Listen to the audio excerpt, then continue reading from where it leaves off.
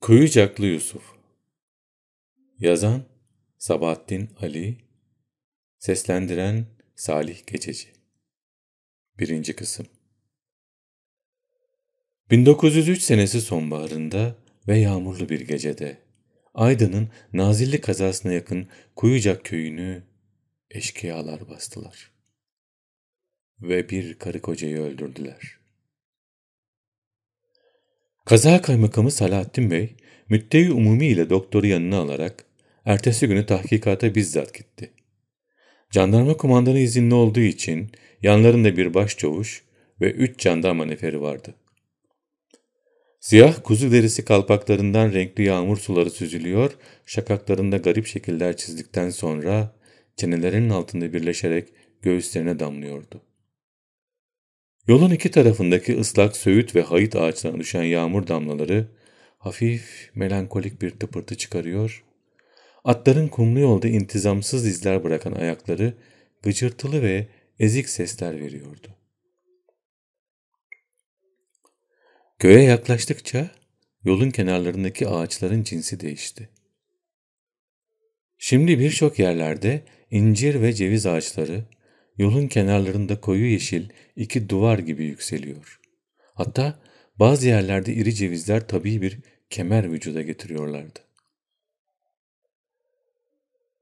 Bu kasvetli ve şıpırtılı günde hiç ses çıkarmadan ilerleyen kafileyi görmek insana elinde olmayan bir ürkeklik veriyordu. Yaşı 35'ten fazla olmamasına rağmen kalpağının kenarından bembeyaz saçları görünen kaymakam en ileride başı önüne eğili ve gözleri atının ıslak ıslak sivrilen kulaklarında gidiyordu. Müttei umumi sağında ve biraz acemice ve korkak. Atın üzerinde sallanıyor, bir türlü ateş almayan çakmağından sigarasını yakmaya uğraşıyordu. Doktor ise kalender. Gün görmüş bir adamdı. Güzel tambur çalardı. Şimdi de bıyıklarından sular akarak hafif hafif ıslık çalıyor, Bugünlerde çalıştığı kemençeci usta Nikolaki'nin mahur saz semaisini tekrar ediyordu. Arkadan gelen dört jandarma yamçılarına bürünmüş ve martinlerini sırtlarına çaprazlama asmışlardı. Yamçılar atların kasıklarına kadar uzandığı ve tüylü, siyah bir ehram halinde süvarisiyle hayvanını birleştirdiği için bir tek mahluk gibi görünüyorlardı. İki saat sonra kuyucağa geldiler. Çamurlu sokaklarda hiç kimseler yoktu. Yalnız çıplak ayaklı küçük bir kız çocuğu elinde bir değnek ile mütemadiyen bağıran ve çamurlu kanatlarını telaşla çarparak koşan birkaç kazı kovalıyor, onları bir bahçe çitinin alt tarafındaki ufak delikten içeri sokmak istiyordu. Atları görünce kenardaki ekşi kokusu ta uzaklara kadar yayılan bir gübre yığının üzerine çıktı. Değneğini ayaklarının ucuna dayadı ve büyük gözlerle geçenlere bakmaya başladı. Atlılar köşeyi dönünce kazları olduğu gibi bıraktı, elinden değneğini atarak evine koştu. Gelenler hiç dinlenmeden muhtarı da alarak cinayet yerine gittiler.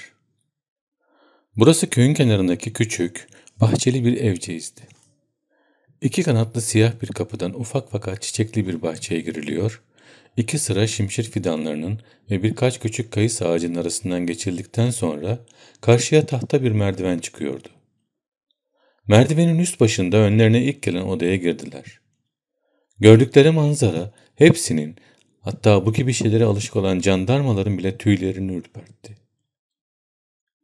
Kapıdan girince sağ tarafta bir yük, onun biraz ötesinde yüksek bir konsol vardı. Konsolun üzerinde bir cam fanusun altına konulmuş eski usul bir saat, kırmızı gaz bezleriyle örtülü, abajurlu iki petrol lambası, sarı yaldız çerçeveli büyükçe bir ayna ve aynanın üst tarafında duvarda kılıflarıyla asılmış bir çift çakmaklı tabanca duruyordu. Karşıda perdelere tamamen inik olan pencerenin önünde bütün duvar boyunca uzanan Üzerine halı döşeli alçak bir sedir ve sedirin köşelerinde pazen yüzlü minderlerle yastıklar. Yastıkların üzerinde ise fiyonk yapılmış sırma işlemeli yağlıklar vardı. Sedirle kapı arasında ayak ucu kapıya doğru bir yatak duruyor, yatağın üzerini tamamen örten ve uçları biraz da yere uzanan yorganı hareketsiz iki insan vücudu kabartıyordu. Yatağın kenarından başlayıp odanın ortasına kadar yayılan ve orada ufak bir gölcük meydana getiren pıhtılaşmış kanlar, bu odada bir takım hadiseler olduğunu söylüyordu. Fakat odaya girenleri dehşet içinde bırakan ne bu bir miktar kan ne de yorganın altında görünmeden kabaran bu iki vücuttu. Onlar sedirin köşesinde diz çöküp oturan ve kendilerine sabit gözlerle bakan küçük bir çocuk görmüşlerdi. Kaymakam ıslak kalpağını biraz geriye attı. Çocuğa doğru yürüdü. Bu esnada doktor da yorganın kenarını kaldırarak ölüleri muayeneye başlamıştı. Kaymakam sordu. Sen kimsin oğlum? Ben Yusuf'um. Kim Yusuf? Ethem Ağa'nın oğlu Yusuf. Kaymakam şaşırmış gibi suallerini kesti. Çocuk ölenlerin oğluydu. Burada ne bekliyorsun? Eliyle ölülere gösterdi. Nah, bunları bekliyorum. Ne zamandan beri buradasın? Akşamdan beri. Vukuattan sonra jandarmaya koştum, haber saldım. Sonra yine geldim. Fıkaraları nasıl yalnız bırakayım? Korkmuyor musun? Anamla babam, nesinden korkayım? Vukuat olduğu zaman da burada mıydın? Yanı başımızdaki odadaydım. Anam bağırınca uyandım. Koştum geldim ama. İmansızlar. Ben gelene kadar babamı da, anamı da kesmişler. Sana bir şey yapmadılar mı? Biri bana da saldırdı ya. Aşağıdan başka biri geldi. Öbürünü aldı götürdü. Elinde ne var? Çocuk ehemmiyet vermek istemeyen bir tavırla başını salladı ve elini uzattı. Odaya girdiğimde anam daha canlıydı. Debeleniyordu. Hemen eşkıyanın üstüne atıldım. Azıcık boğuştuk. Ama anacığızım depreşmez oldu. Ben de yakasını bıraktım. Sonradan bir baktım. Dövüşürken parmağım kesilmiş. Çok acıdı. Çok acıdı ama şimdi biraz hafifledi. İleri doğru uzattığı sağ elinden kanlı paçavralar düştü. Baş parmağının kopuk bir et parçası halinde aşağı sallandığını görünce hepsi hayret dolu bir ürperme geçirdiler. Doktor ölülerin üstüne yorganı tekrar çekerek çocuğun yanına geldi. Kopuk parmağı tamamen kesti ve eli yıkamaya, sarmaya başladı. Çocuk bu esnada hayret veren bir itidal ve lakaytlık gösteriyor Yalnız ara sıra şiddetle dişlerini sıkıyor ve sapsarı kesiliyordu. Bu dayanılmaz acı hamlelerinden sonra sanki zaafını göstermiş olmaktan ve siyah gözlerini nemleyen yaşlardan utanmış gibi soluk ve çok ince dudaklarına bir tebessüm geliyordu. Yüzüne hayretle bakan doktora ''Bir şey değil doktor bey, bir parmaktan ne çıkar?'' dedi. ''Bir şey çıkmaz ama oğlum, sen biraz fazla kan kaybetmişsin. Ve kaymakama döndü. Ayakta nasıl durabildiğini hayret ediyorum. O esnada müttey umume sordu. Bizden evvel buraya giren oldu mu? Muhtar atıldı. Ben girdim ama her şeyi olduğu gibi bıraktım. Geldiğim zaman odayı böyle bulmuştum. Müttey umumi çocuğa döndü. Bunları sen mi yatağa koydun? Ah, zaten yataktalardı. Ben başlarını yastığa getirdim. Yorgancağızı üstlerine çektim. Uyusun fıkaracıklar gayri. Ne yapalım? Bunları söylerken tavrında bir kalenderlikten ziyade bir irade, birçok büyük ve düşünceli adamları gıptaya sevk edecek bir irade görünüyordu. Çaresiz bir şey için hem de bu kadar şehirlinin karşısında teessür göstermek herhalde izzeti nefsine dokunuyordu. Kaymakam tekrar sordu. Senin kimsen var mı?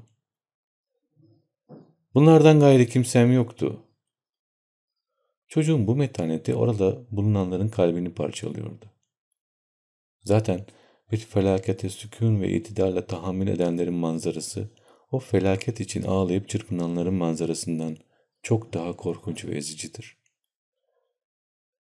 Kuru ve sabit gözlerin arkasında nasıl bir ateşin yandığı, yavaşça kalkıp inen göğsün içinde nelerin kaynadığı bilinmediği için, insan mütemadi bir ürkeklik ve tereddüt içinde üzülür. Kaymakam küçük Yusuf'un elinden tuttu. Kendine doğru çekti. Gözleri yaşarmış gibiydi. Gel benimle öyleyse dedi. Nereye geleyim? Benimle gel. Benim yanımda kal. Ben seni baban gibi severim. Olmaz mı? Beni babam gibi sevemezsin ama geleyim. Senin de kimin kimsen yok mu? Var. Var ama sen de gel. Benim oğlum ol. Benim hiç erkek çocuğum yok.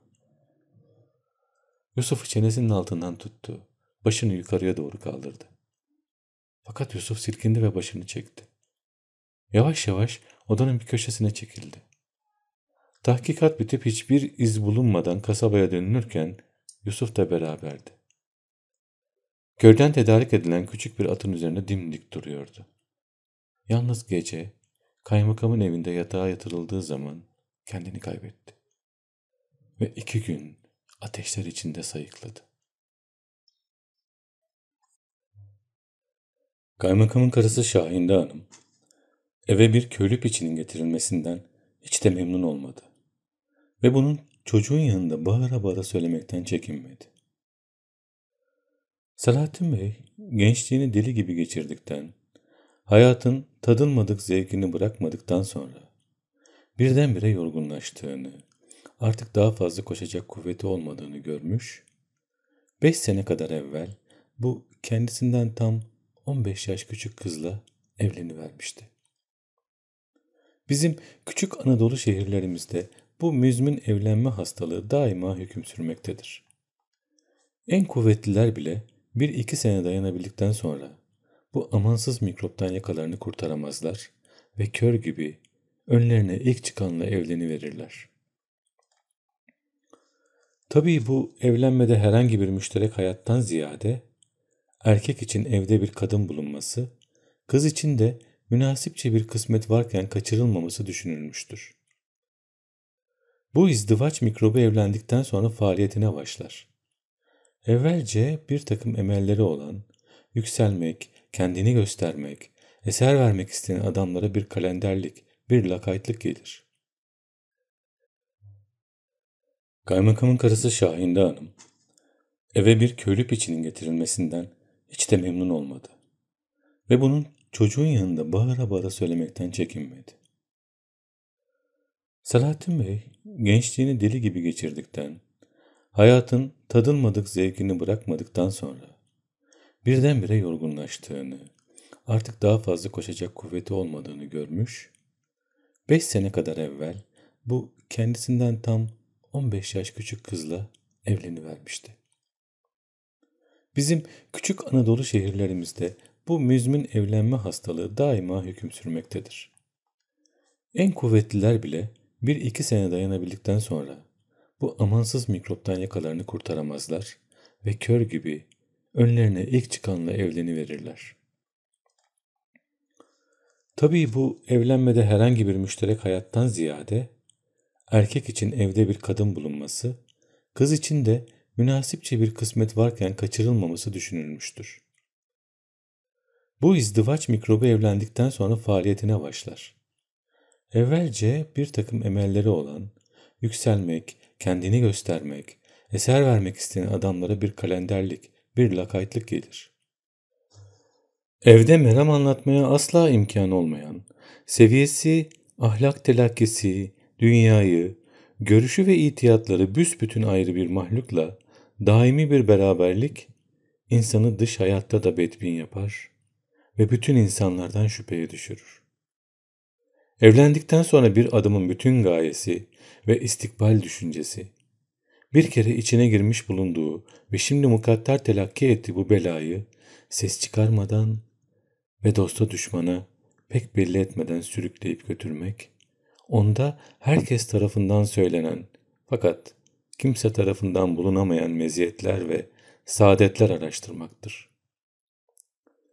Salahattin Bey 30 yaşına kadar gençliğinin ve içindeki sönmez görünen enerjinin yardımı ile hürriyetini ve benliğini koruyabildi. Fakat insanın damarları ve sinirleri bazen iradesinden ve aklından daha kuvvetlidir. Muhayyilemiz bizi ifade etmekte bazen birçok fettanları geri bırakır. Ve bunlar hüküm ve nüfuzu ellerine aldılar mı iş bitmiş demektir. Artık dimağımızın bu işi mantığa uydurup makul göstermesi bir zaman meselesidir. Salahattin Bey oldukça güzel olan bu kızı evvela kendisiyle bir ayarda bir mahluk gibi değil, güzel bir kedi, bir kuzu gibi sevdi. Lakin derhal anladı ki bu kızcağız kendisini hiç de küçük, basit görmemekte, bir musavat istemektedir. Gene pek az zaman içinde tespit etti ki bu güzel kedinin çok sivri tırnakları, bu kuzunun sert boynuzları vardır. Şahin'de Salahattin Bey'den adamcağızın hiç aklına getirmediği bir şeyi, kendisine akran muamelesi etmesini istiyordu. Tabi derhal bir sürü tatsızlıklar hatta bir hayli acılar baş gösterdi. Salahattin Bey'in bu esnada en az işine yarayan şeyler mantık ve akıl gibi bazen pek gülünç ve aciz oluveren büyük isimli vasıtalardı. Kapalı büyüyen ve bu şekilde bütün tabii arzu ve ihtiyaçlarını içinde hapsetmeye mecbur olan genç kız, gayet tabii olarak sinirli ve manen bozuk bir mahluktu. Anası onu gezmeye götürürken bir saat saçlarını düzeltmeye uğraştığı halde ne anasının ne babasının aklına bu kafanın içi ile de bir parça meşgul olmak düşüncesi gelmemişti. Onlar işportaya konan bir elma gibi onu süsleyip temizlemişler, parlatmışlar, sonra yağlı bir müşteriye okutmuşlardı. Kız yetiştirmekten de gaye bu değil miydi? Hakikaten gece saat 12'ye kadar tavla ve çene attıktan sonra ciddi bir tavır alarak eve gelen ve yatakta beyaz, tombul bir vücut arayan birçok kocalar için bu çeşit karılar birebirdi. Fakat Selahattin Bey gibi aklınca bir aile yuvası kurmak isteyenler, işlerin bu şekli alıverdiğini, çok gafillik ettiklerini görünce büyük bir hayal inkisarına uğruyorlardı. Salahattin Bey neler yapmamıştı? Eline geçirebildiği ve Şahinde'nin anlayacağını tahmin ettiği kitapları getirir. Onun fikrini yükseltmek isterdi. Fakat bunun ilk tezahürleri karısının manasız ve lüzumsuz yerlerde lügat kullanması olurdur. Selahattin Bey bunları düzeltmek istedi mi? Karısı, karısının gururu yaralanır ve derhal kızılca kıyamet koparırdı. Salahattin Bey kızın yaşı küçük olduğunu, gözlerini dünyaya kendi evinde açtığını düşünerek onu yola getireceğini, kendisine bir arkadaş yapabileceğini zannetti durdu. Ona evlat ve kardeş muamelesi yapacak oldu ve çirkin bir alayla karşılandı. Efendi ve hakim muamelesi yapacak oldu, ya isyan yahut da daha ileri gidecek olursa bayılma nöbetleriyle karşılaştı. En nihayet ona tam bir müsavat vermek isteyince de bir sürü yersiz taleplere, saçma hareketlere ve sonradan görme arzulara tahammül mecburiyetinde kaldı. Bereket versin, Anadolu'nun bu yalnız kendisine mahsus dertleri yanında bunların gene yalnız kendisine mahsus çareleri vardır. Bunlardan en birincisi rakıdır. Burada felaketse de memur içer, müflis tüccar içer, fena mahsul çıkaran eşraf içer, senelerden beri aynı köşede bırakıldığı için içerleyen zabit içer ve nihayet karısıyla geçinemeyen kaymakam içer. Salahattin Bey de içiyordu. Ve kocasının sarhoşluğu karısını herkes nazarında yavaş yavaş bir şirret ve tecrübesiz kız mevkinden alıp bir sabır ve felakat menakesi mertebesine çıkarıyordu. İzdivaçlarının ilk senesinde dünyaya gelen bir kızcağız bile anasıyla babası arasındaki bu geniş uçuruma bir köprü olamadı. Doğduğu günden beri dünyanın bir acayiplikler diyarı olduğunu ona anlatmaya çalışıyorlardı. Gece yarısı mışıl mışıl uyurken iki sinirli el ona sarılır ve hıçkıran bir göğse bastırırdı. Çocuk anlamayan gözlerle bu alelacayip hareketlere bakarken ağlamaklı bir ses kulağının dibinde vızıldamaya başlardı. Ah benim talihsiz kızım, ah benim zavallı muazzezim, benim yetim yavrucuğum. Bak, baban hala gelmedi. Ah benim talihsiz, masum yavrucuğum. Çocuk bu sözlerden bir şey anlamaz. Fakat hali ise asıl talihsizliğin böyle gece yarısı uykudan uyandırılarak hırpalanmak olduğunu söylemeye çalışır. Sonra daha fazla tahammül edemeyerek anasının ağlamasına daha tiz bir perdeden iştirak ederdi. Annesi bu sefer onu susturmak için kucağında hoplatarak odada dolaşır, sonra bahçeye çıkarak kızcağızı orada avutmak isterdi. Bahçede karanlık yapraklı ağaçlar, bunların arasından süzülüp gelen ay ışığını görünce biraz susar gibi olan çocuk, Kemiklerine geçen soğukla tekrar feryada başlar, komşuları uyandırırdı. Sus şekerim, sus benim bir tanecik kızım sus. Baban şimdi gelir. Sen ağlama benim babası sağken yetim kalan kızım. Allah bize çektirenlerin yanına koymaz. Bu esnada komşu evlerden birinin penceresi açılır. Bir kadın başı görülür ve sorardı. Ne o Şahindeciğim? Kızım bey gene mi gelmedi? Gelmedi teyzeciğim. Yavrucuğun da babası gelmeden uyumuyor. Akşamdan beri baba baba diye çırpınıp durur. Ne yapacağımı ben de şaşırdım teyzeciğim. Komşu teyze genç kadına bir takım nasihatler verdikten ve kocasına bir sürü beddua ettikten sonra çekilir. Bu esnada kapı açılarak Salahattin Bey girer. Merdivenleri yıkıla yıkıla çıkarak kendini elbisesiyle yatağa atardı. Odaya girip kendisini soymak isteyen karısı, sarhoşun zaten taşmaya hazır olan dikkat ve nedamet hislerinin boşanmasına sebep olur, kendini bilmeyen adam anlaşılmaz kelimeler mırıldanarak karısının ellerine sarılır, onları öper, yumruklarıyla göğsünü ve beyaz saçlı başını dövmeye başlardı. Bu çok ateşli tarziye şeklinden ziyadesiyle mütehassiz ve müteheyyiç olan Şahin'de gözyaşlarına büsbütün ceryan verir, bütün bunlardan bir şey anlamayan ve şimdi yatağın kenarına bırakılıvermiş olan küçük Muazzez de şikayet ve sitem dolu ağlamasına devam ederdi. Yusuf evin içindeki bu anlaşılmaz hallere şaşkın şaşkın bakıyordu. Anasıyla babası arasında da kavga olurdu ama Bunlara kavgadan ziyade babasının herhangi bir şeye kızıp acısını anasından çıkarması demek daha doğruydu. Çünkü zavallı kadıncağız mukabele etmek hatta ağzını açmak şöyle dursun. Gözlerini bile kaldıramaz. Sessiz sessiz ağlardı. Yusuf bir kadının çenesini bu kadar açabilmesine hayret ediyor. Bunlara tahammül eden kaymakama da biraz merhametle bakıyordu. Kendisine karşı yapılan muameleleri aldırış ettiği yoktu. Bir evde sözü geçecek, hükmü yürüyecek yegane adam o evin erkeği olduğuna ve bu erkek de kendisini istediğine göre Şahinde Hanım'ın sözlerinin bir kıymeti olamazdı. Kendisine karşı bazen pek edepsizleşen kadına, karı kısmının sözüne bakılmaz, herhalde senin aklın pek yerinde olmamalı demek isteyen gözlerle bakar, Yalnız Selahattin Bey'in bu çenesi gevşek karıyı ne diye kolundan tutup kapı dışarı etmediğine hayret ederdi. İlk geldiği günlerde kimseyle konuşmak istemiyordu. Havalar yavaş yavaş soğuduğu için odada oturur, iş gösterilmediği zamanlar pencereden Kuyucak dağlarına doğru bakar, bulutların arka tarafından bir şeyler görmek ister. Fakat odaya birisi girer girmez derhal başını çevirerek herhangi bir şeyle meşgul olurdu.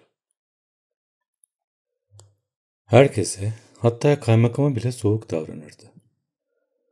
Şahin'de bu çocukta insanlık, his namına bir şey bulunmadığını, anası babası öldürüldüğü zamanki lakaytliğini ileri sürerek söyler dururdu. Hakikaten hiç kimse bu çocuğun şimdiye kadar herhangi bir münasebetle, herhangi bir hissi tezahür gösterdiğini görmemişti. Yalnız ara sıra karı koca kavga ederken adeta kin ve istihfaf ile Şahin Deye'ye dikilen gözleri, Selahattin Bey ilişince öyle yumuşaklaşır, öyle tatlı ve birçok şeyler söyleyen kıvılcımlarla dolardı ki, bunu gören bir adam, Yusuf'un içerisinde bizimkilere hiç benzemeyen, bizimkilerden çok daha derin ve büyük bir takım hislerin bulunduğunu zannedebilirdi. Yusuf'un hislerini görmek, göstermekten çekinmediği yegane mahluk, küçük Muazzez'di.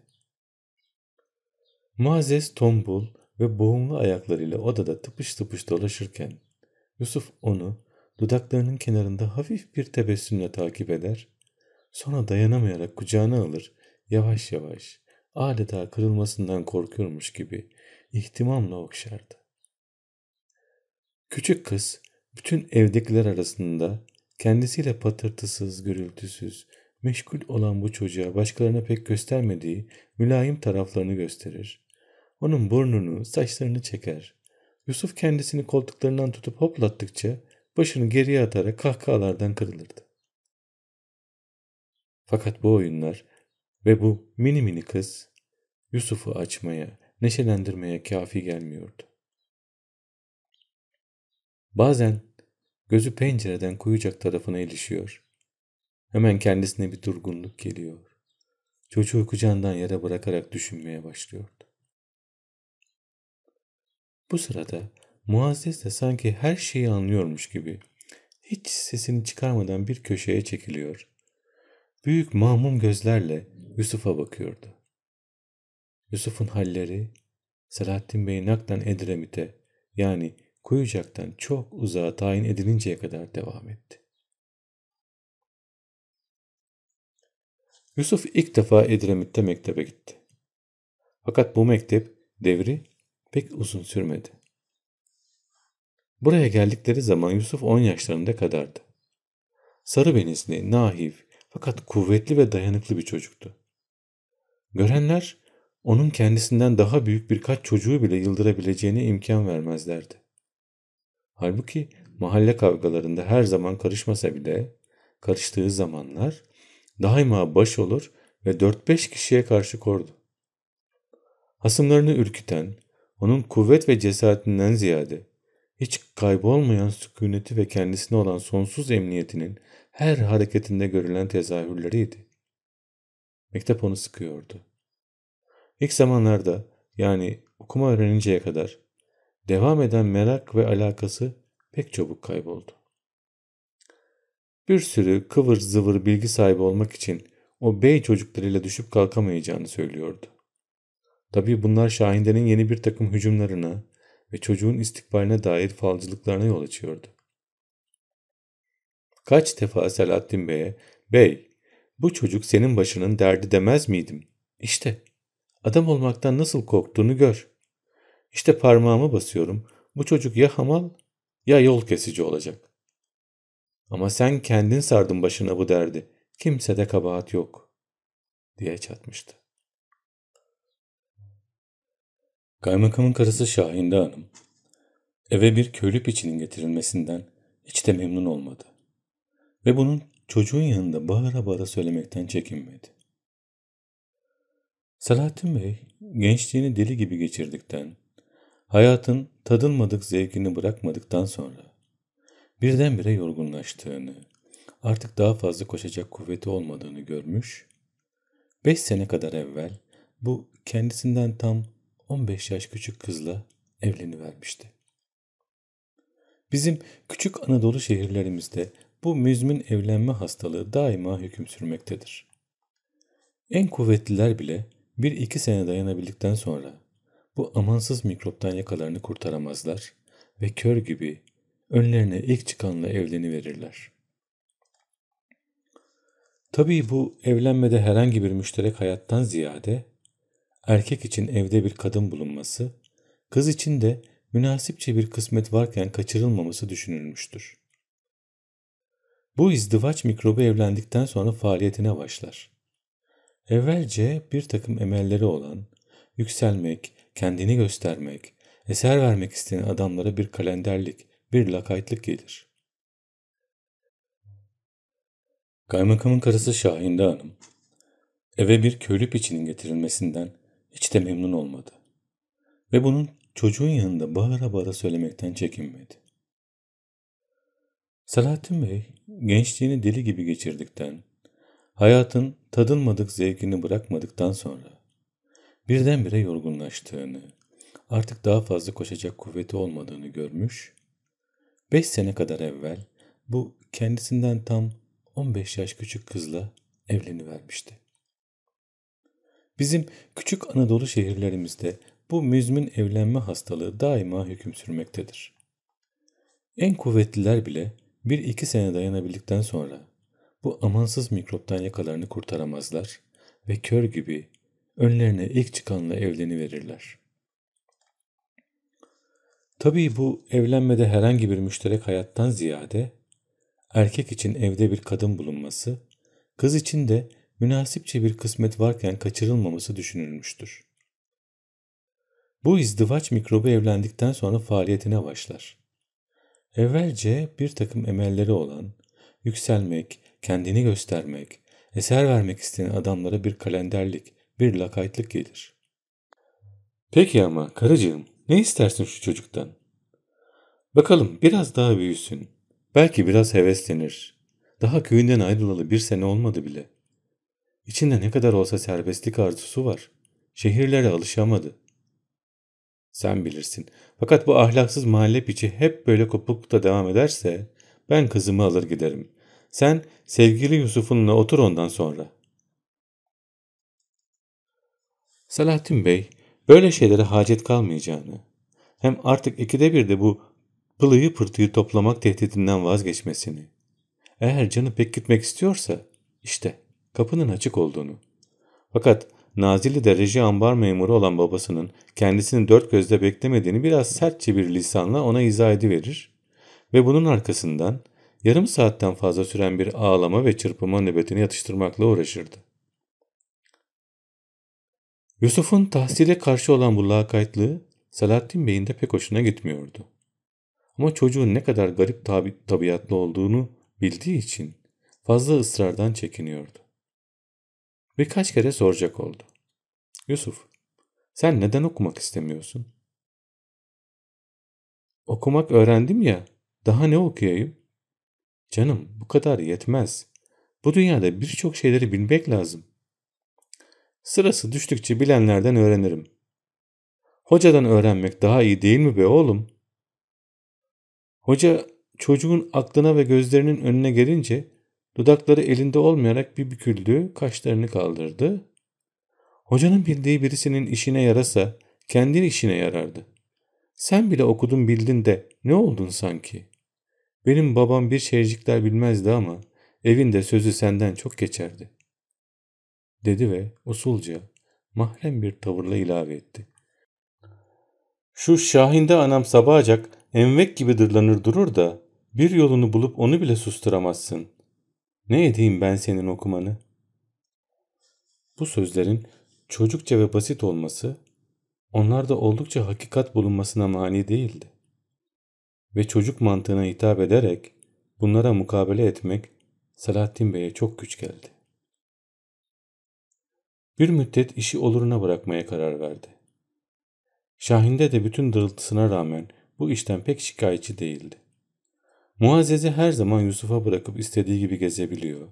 Kızı her yere götürüp başına dert etmek veya evde bırakıp gözü arkada kalmak gibi sıkıntılardan kurtuluyordu. Böylece küçük Yusuf bir su, sur harabesi üzerinde çıkan bir yabani incir ağacı gibi biraz sıkıntılı ve şekilsiz Fakat serbest ve istediği gibi büyüyor, gelişiyordu. Edremit, üç tarafını saran Çamtepe, İbrahimcaköy ve Tavşanbayırı isimli üç yamaca yaslanan büyükçe, şirince bir kasabaydı. İki küçük dere, kasabanın içinden ve kaldırımlı sokakların ortasından gelerek aşağı çarşı dedikleri yerde birleşiyor, sonra biraz ileride kasabayı yalayıp Büyükçe'ye kavuşuyordu. Tepelerden birine çıkıp bakıldığı zaman görülen manzara ender bir şeydi. Damların yosun tutan ve kararan kiremitlerini nihayetsiz dut, erik ve iri yapraklı incir ağaçları örtmeye çalışıyor, derelerin kenarını beyazımtırak yapraklarıyla uzun kavaklar, bazı yerlerde kopan bir şerit halinde ve yalnız kenar mahallelerde takip ediyor, bunların arasında belki 20'den fazla minare bembeyaz yükseliyor ve uzaktan bakan bir göze tıpkı kavak ağaçları gibi hafif hafif sallanıyor hissini veriyordu. Yukarı çarşıdaki Kurşunlu Cami'nin iri kubbesi daima donuk bir ışıltıyla parlıyordu. Kasabanın panoramasında bir tablodaki kadar ahenk ve uygunluk vardı. Bu ağaç, minare ve kiremit kümesinin etrafını ayva ve diğer meyve ağaçlarından ve ova tarafında bağlardan ibaret açık yeşil bir çember sarıyor, onun etrafında da siyah yapraklı zeytinlerin daima kıpırdayan halısı göz alabildiğine uzanıyordu. Şehrin içerisi orta halli bir esnaf manzarası gösterirdi. Dar sokakların iki tarafındaki ahşap fakat oldukça biçimli ve aşağı yukarı birbirine benzeyen evlerin hepsinde muhakkak bir bahçe vardı. Bunların arasında bazen sivrili veren büyük eşraf evleri, beyaz badanaları, çifte kanatlı sokak kapıları ve ikinci katın sokağa doğru yaptığı çıkıntıdaki tozlu kalyon ve muharebe resimleriyle insana küçükken dinlediği masalları hatırlatırdı. Salahattin Bey'i evi bayram yeri dedikleri semtte yabancı memurların oturduğu Rum mahallesi ve aşağı çarşı taraflarından uzaktaydı. Sokağın köşesinde olan evin arkasında büyük bir bahçe vardı. Dere bahçenin kenarından geçer ve çocuklar ellerindeki fıçı çemberlerinin keskin taraflarını vurarak bir karıştan daha derin olmayan suda balık avlarlardı. Evin ön tarafındaki meydanda mahallenin bulgur değirmeni vardı. Büyük bir taş çanağın üzerine tahta kollar vasıtasıyla döndürülen, yine taş bir yuvarlaktan ibaret olan bu değirmeni kadınlar gülüşüp oynaşarak çevirirlerdi. Biraz ileride derenin bir parça genişleyip derinleştiği yerde mahallenin büyükçe çocukları ördek dövüştürürlerdi. Burada çocukların büyük adamlar gibi muhtelif sınıfları, muhtelif grupları vardı ve bu tasnifte büyüklerinkinden çok farklı esaslar gözetiliyordu. En itibarlı ve en sözü geçen sınıf kabadayı, aynı zamanda ağırbaşlı olanlardı.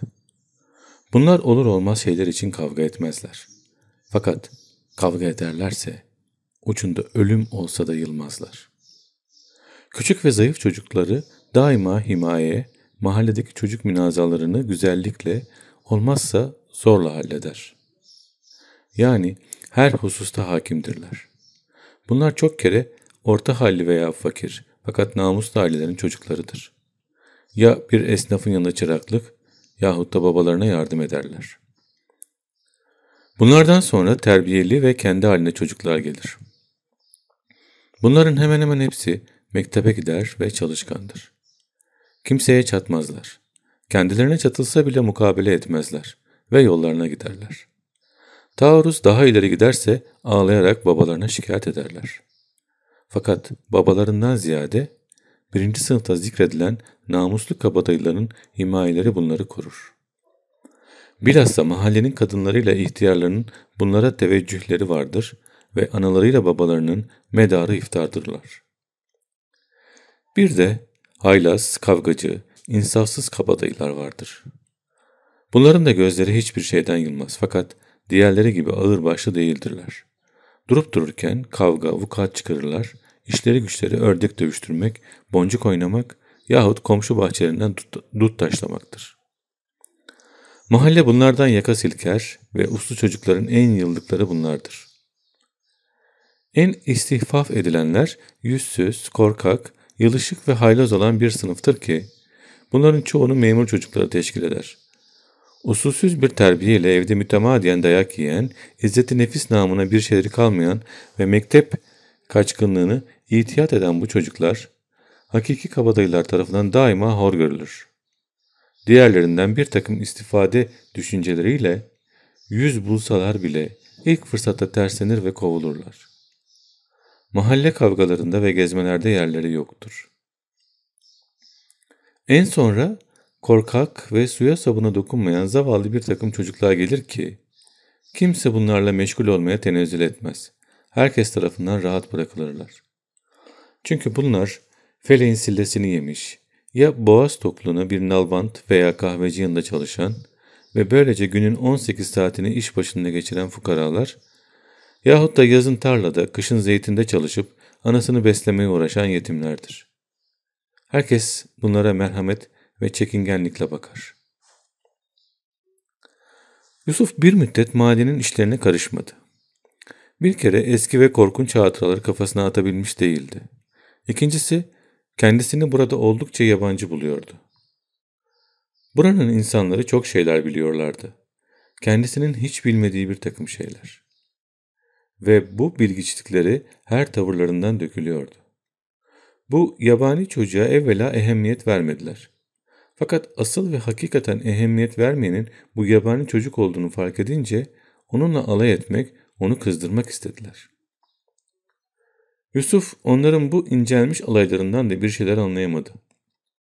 Fakat bir gün kendisi hakkında yine manasını anlayamadığı bir şeyler söyleyen ve bu pek de Yusuf'un lehine olmayan sözlerle etrafındakileri güldüren Karabaş'ın Mehmet ismindeki bir çocuğa Yusuf birdenbire iki kuvvetli yumruk ekleştirdi. Neye uğradığını bilemeyen çocuk ağzı kan içinde iki kere yerde yuvarlandı. Kalkıp Yusuf'a atılmak istedi. Daha doğrulmaya vakit bulamadan ikinci bir hücumla yere serildi. Yusuf etrafta ses çıkarmadan baka kalan çocukların yanından ağır ağır çekildi eve döndü. O zamandan sonra bütün mahalle ondan çekiniyordu. O sırada birkaç arkadaş peyda etti. Bunların en başında bakkal Şerif Efendi'nin oğlu Ali vardı. Muntazam mektebe giden ve hiç kimseyle kavga etmeyen bu çocukla evde annesinin yanında tanıştı. Yaşça kendisinden büyük olduğu halde onu korumaya, ona ağabeylik etmeye başladı. Ali mektepte birçok şeyler öğreniyor, bunları Yusuf'a da anlatıyordu. Yusuf bazen hafif bir tebessümle, bazen de ciddiyetle kaşlarını kaldırarak bunları dinler, fakat katiyen hayret eseri göstermezdi. Adeta bütün bu anlatılan şeyleri önceden biliyormuş gibi bir hali vardı. Dünyanın en meraklı ve hayret verecek hadisesi bile onun lakaytliğini izal, izale edemeyecek gibiydi.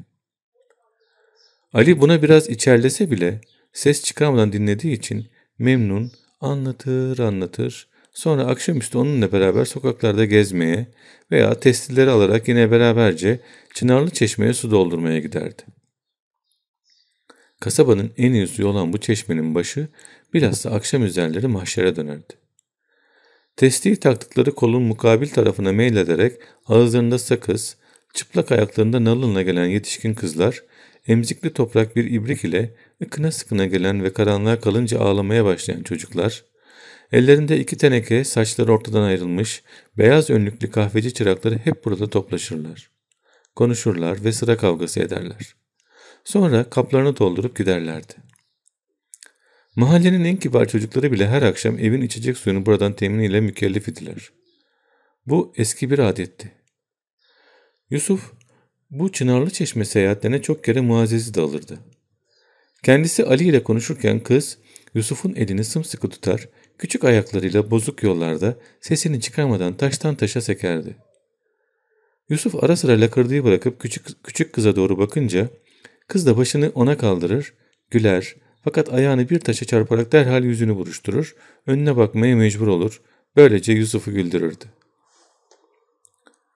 Bütün dışarıdaki arkadaşlarına rağmen Yusuf'un asla ihmal etmediği bir tek kişi Muazzez'di. Gün geçtikçe ahbaplıkları artıyordu.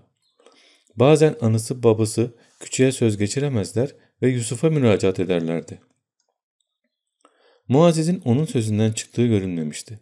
Birbirlerine bu kadar sokulmalarında çok yalnız ve alakasız bırakılmaların bir da tesiri vardı. Şahinde Hanım, Nazilli'ye nazaran çok daha büyük ve ileri olan bu kasabada kafa dengi birçok arkadaş, komşular bulmuştu. Onlarla geziyor, eğleniyor, çalgı cümbüş vakit geçiriyordu. Salahattin Bey'in ise evin semtine uğradığı yoktu. Gündüzün hükümet işleri, gece de rakı meclisleri, onun yüzünü çocukların bazen haftalarca görmemelerine sebep oluyordu. Rumelili ihtiyar bir hizmetçi, çocukların önüne bir iki kap yemek kor, ondan sonra odasına giderek uyur, onları keyiflerine bırakırdı. Zaten biraz yaramaz olan Muazzez, Yusuf olmasa evin altını üstüne getirebilirdi. Bereket versin. Beriki onun oyunlarını tanzim ve idare ediyor, ona hem arkadaşlık hem de aklının erdiği kadar mürebbilik yapıyordu. Bu esnada seneler birer birer ağır ağır fakat hiç durmadan geçiyordu. Yusuf'un mahalledeki diğer bir arkadaşı da Alanyalı Rüştü Efendi'nin oğlu Kazım idi. Bunların evlerinin bahçeleri çok büyük olduğu için çocuklar ekseriya burada oynarlardı. Burasının tercihinde bahçede pek bol bulunan meyve ağaçlarının da esiri vardı. Hele kocaman bir ekşi karadut ağacı bir mıknatıs gibi mahallenin çocuklarını çekerdi. Sırf bu dutun hatırı için Kazım ile ahbap olanlar vardı.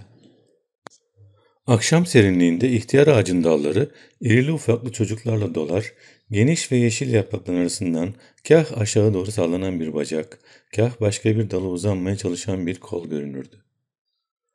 Ağaçtan inenlerin elleri, yüzleri ve gömlekleri koyu vişne çürüğü lekelerle donanır, hepsi ellerinde bir avuç tut yaprağı bunlarla uğuşturarak lekelerini çıkarmak için tulumbanın başına koşarlardı.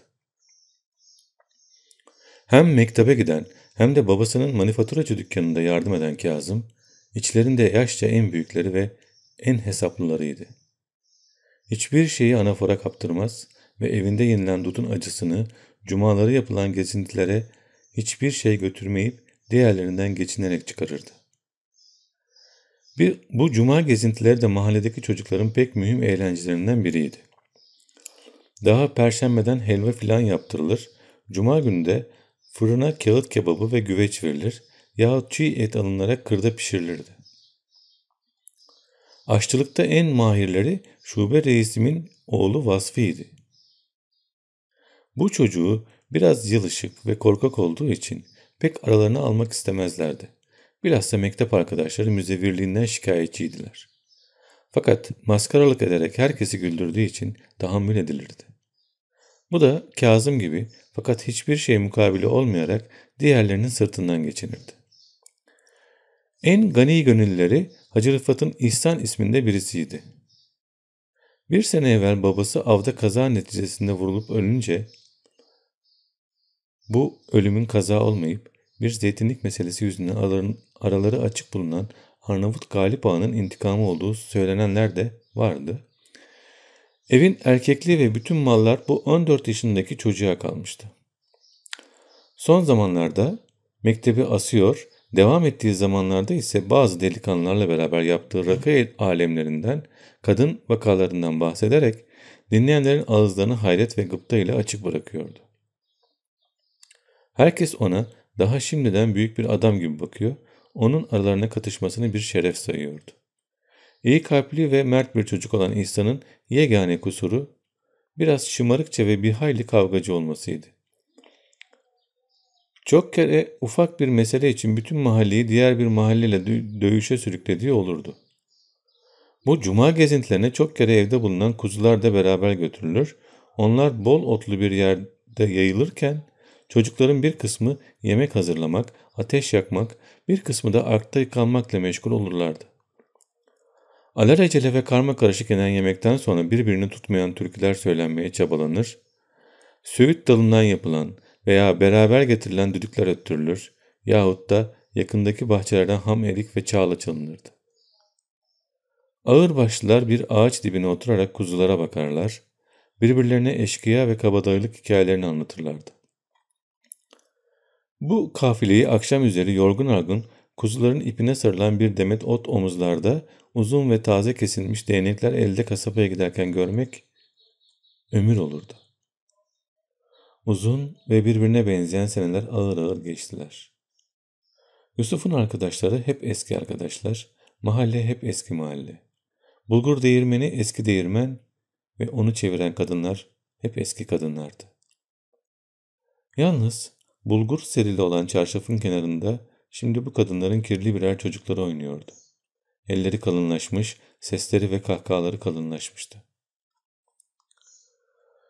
Yusuf Kuyucak'tan çıkalı altı sene olmuştu.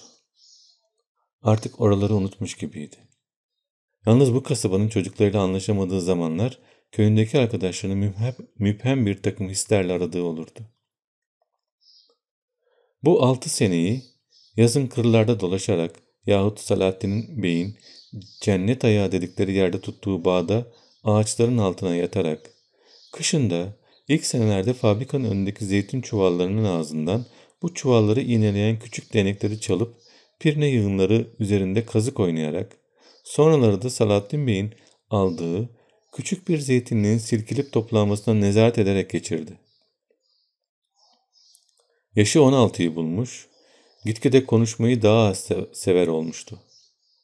Mektebi bitirdikten sonra babasının işini eline alan Ali ile bayram yerindeki dükkanın önünde iki alçak ve aralıksız iskemle atarlar, saatlerce hiç konuşmadan yan yana otururlardı. Önlerindeki meydanda büyük bir şadırvan vardı. Camiye gidecek ihtiyarlar burada abdest alırlardı. Şadırvanın ayağında birkaç ördek birbiri arkasında ve sallana sallana dolaşır, yastık agalarından çamurlu suları süzerlerdi.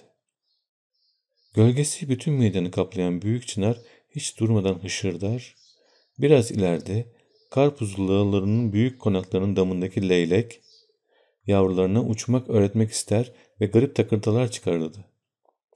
Burada alışveriş ezana yakın başlar ve ondan evvel dükkana pek az kimseler gelirdi. Böylece bu iki sükutu seven arkadaş gözlerini çınarın yapraklarına veya ördeklere dikerek uzun müddet düşünebilirlerdi. Bazen kıvraklarını siyah dimiden bir nevi yeldirme, başlarına atıp boşlukta sallanan yenlerini rüzgarda uçurarak birkaç yetişkin kız gelir ve pamukaki ile tel yaldız seçerdi. Misafirlikten dönen bir hanım kahve fincanı bakar, bir hizmetçi yarım okka tuz ile iki limon satın alır, Karpuzoğlu'nun torunu tuzlu fıstık isterdi. Kış günleri biraz daha değişik ve kolay geçiyordu. Yusuf o, o zaman güneş doğmadan kalkar, çizmelerini ve aba ceketini giyerek işçilerden evvel zeytinliğe giderdi. Orada erkeklerin uzun sırıkları küçük yapraklı dallara hızla vuruşlarını ve siyah kıvrıkla, kıvraklarının eteklerini bellerine sokmuş kadınların iki kat eğilerek soğuktan sertleşen parmaklarla yerden zeytin tanelerini toplayışlarını seyreder yahut sırtını bir ağaca vererek yere bakardı. Bu buruşuk yüzlü ve her sene budanmaktan şeklini kaybetmiş eğri büğrü ağaçlar uzun bir hikaye anlatan garip şekilli harfler gibiydi. Ve herhalde Yusuf bunların dilinden anlıyordu. Yusuf işçilerin dilini de herkesten iyi anlıyordu. Bazı mal sahipleri kadınların yanlarında getirdikleri emzirikli çocuklarına meme vermelerine bile müsaade etmezlerken Yusuf onların biraz yorulduğunu görür görmez derhal işi bıraktırırdı. Bu zavallıların halini mukadder telakki etmekle beraber onlara çok acıyordu.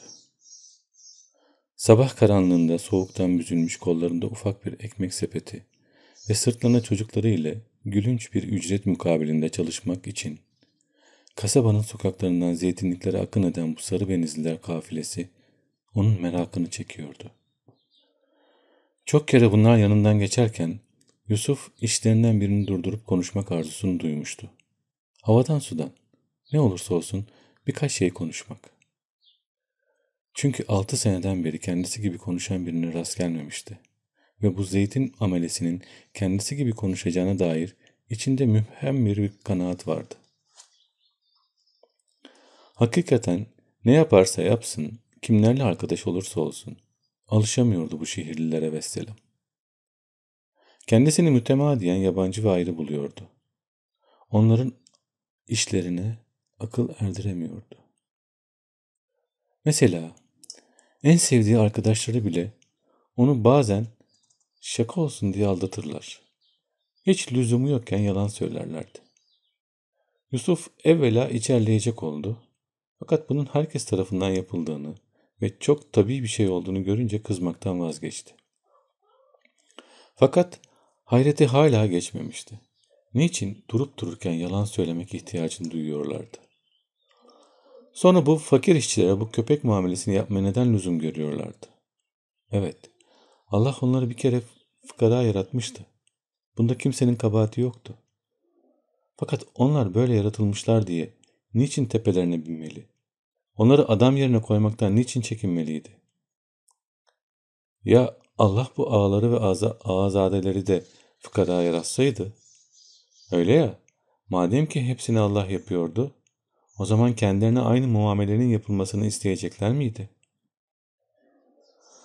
Allah hakkındaki düşüncesi pek ileri gitmiyor, onu her istediğini yapan korkunç bir şey olarak tasavvur ediyordu. Ve şimdilik onun pek dehşetli olduğunu söylenen, gazabını ayıklandıracak bir şey yapmadığını bildiği için kendisinden korkmak ihtiyacını da duymuyordu. Muazzez 10 yaşına gelmişti. Birkaç sene devam edip dört sınıflı iptidayı de bitirmişti. Şimdi annesinden ziyade bazı iyi kalpli ve alakalı komşuların sayesinde nakış, gergef ve biraz da dikiş öğreniyor, kendisiyle akran olan kızlarla beraber Terzi Mürüvvet Hanım'dan ut dersi alıyordu. Fakat bu ut derslerini Yusuf pek az sonra birdenbire kestirdi.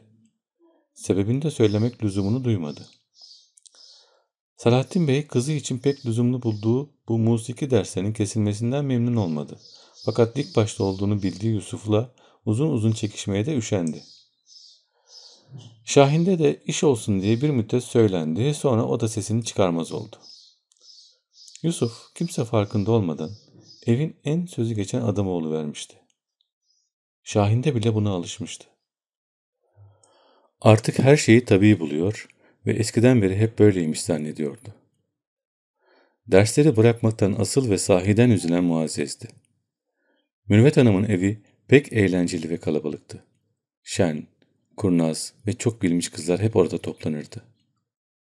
Ne çare ki Yusuf'a menem anlatmak imkansızdı. Ve Muazzez'in bu üzüntüsünü ancak Yusuf abinin sözünü dinlemiş olmak zevki biraz hafifletebiliyordu.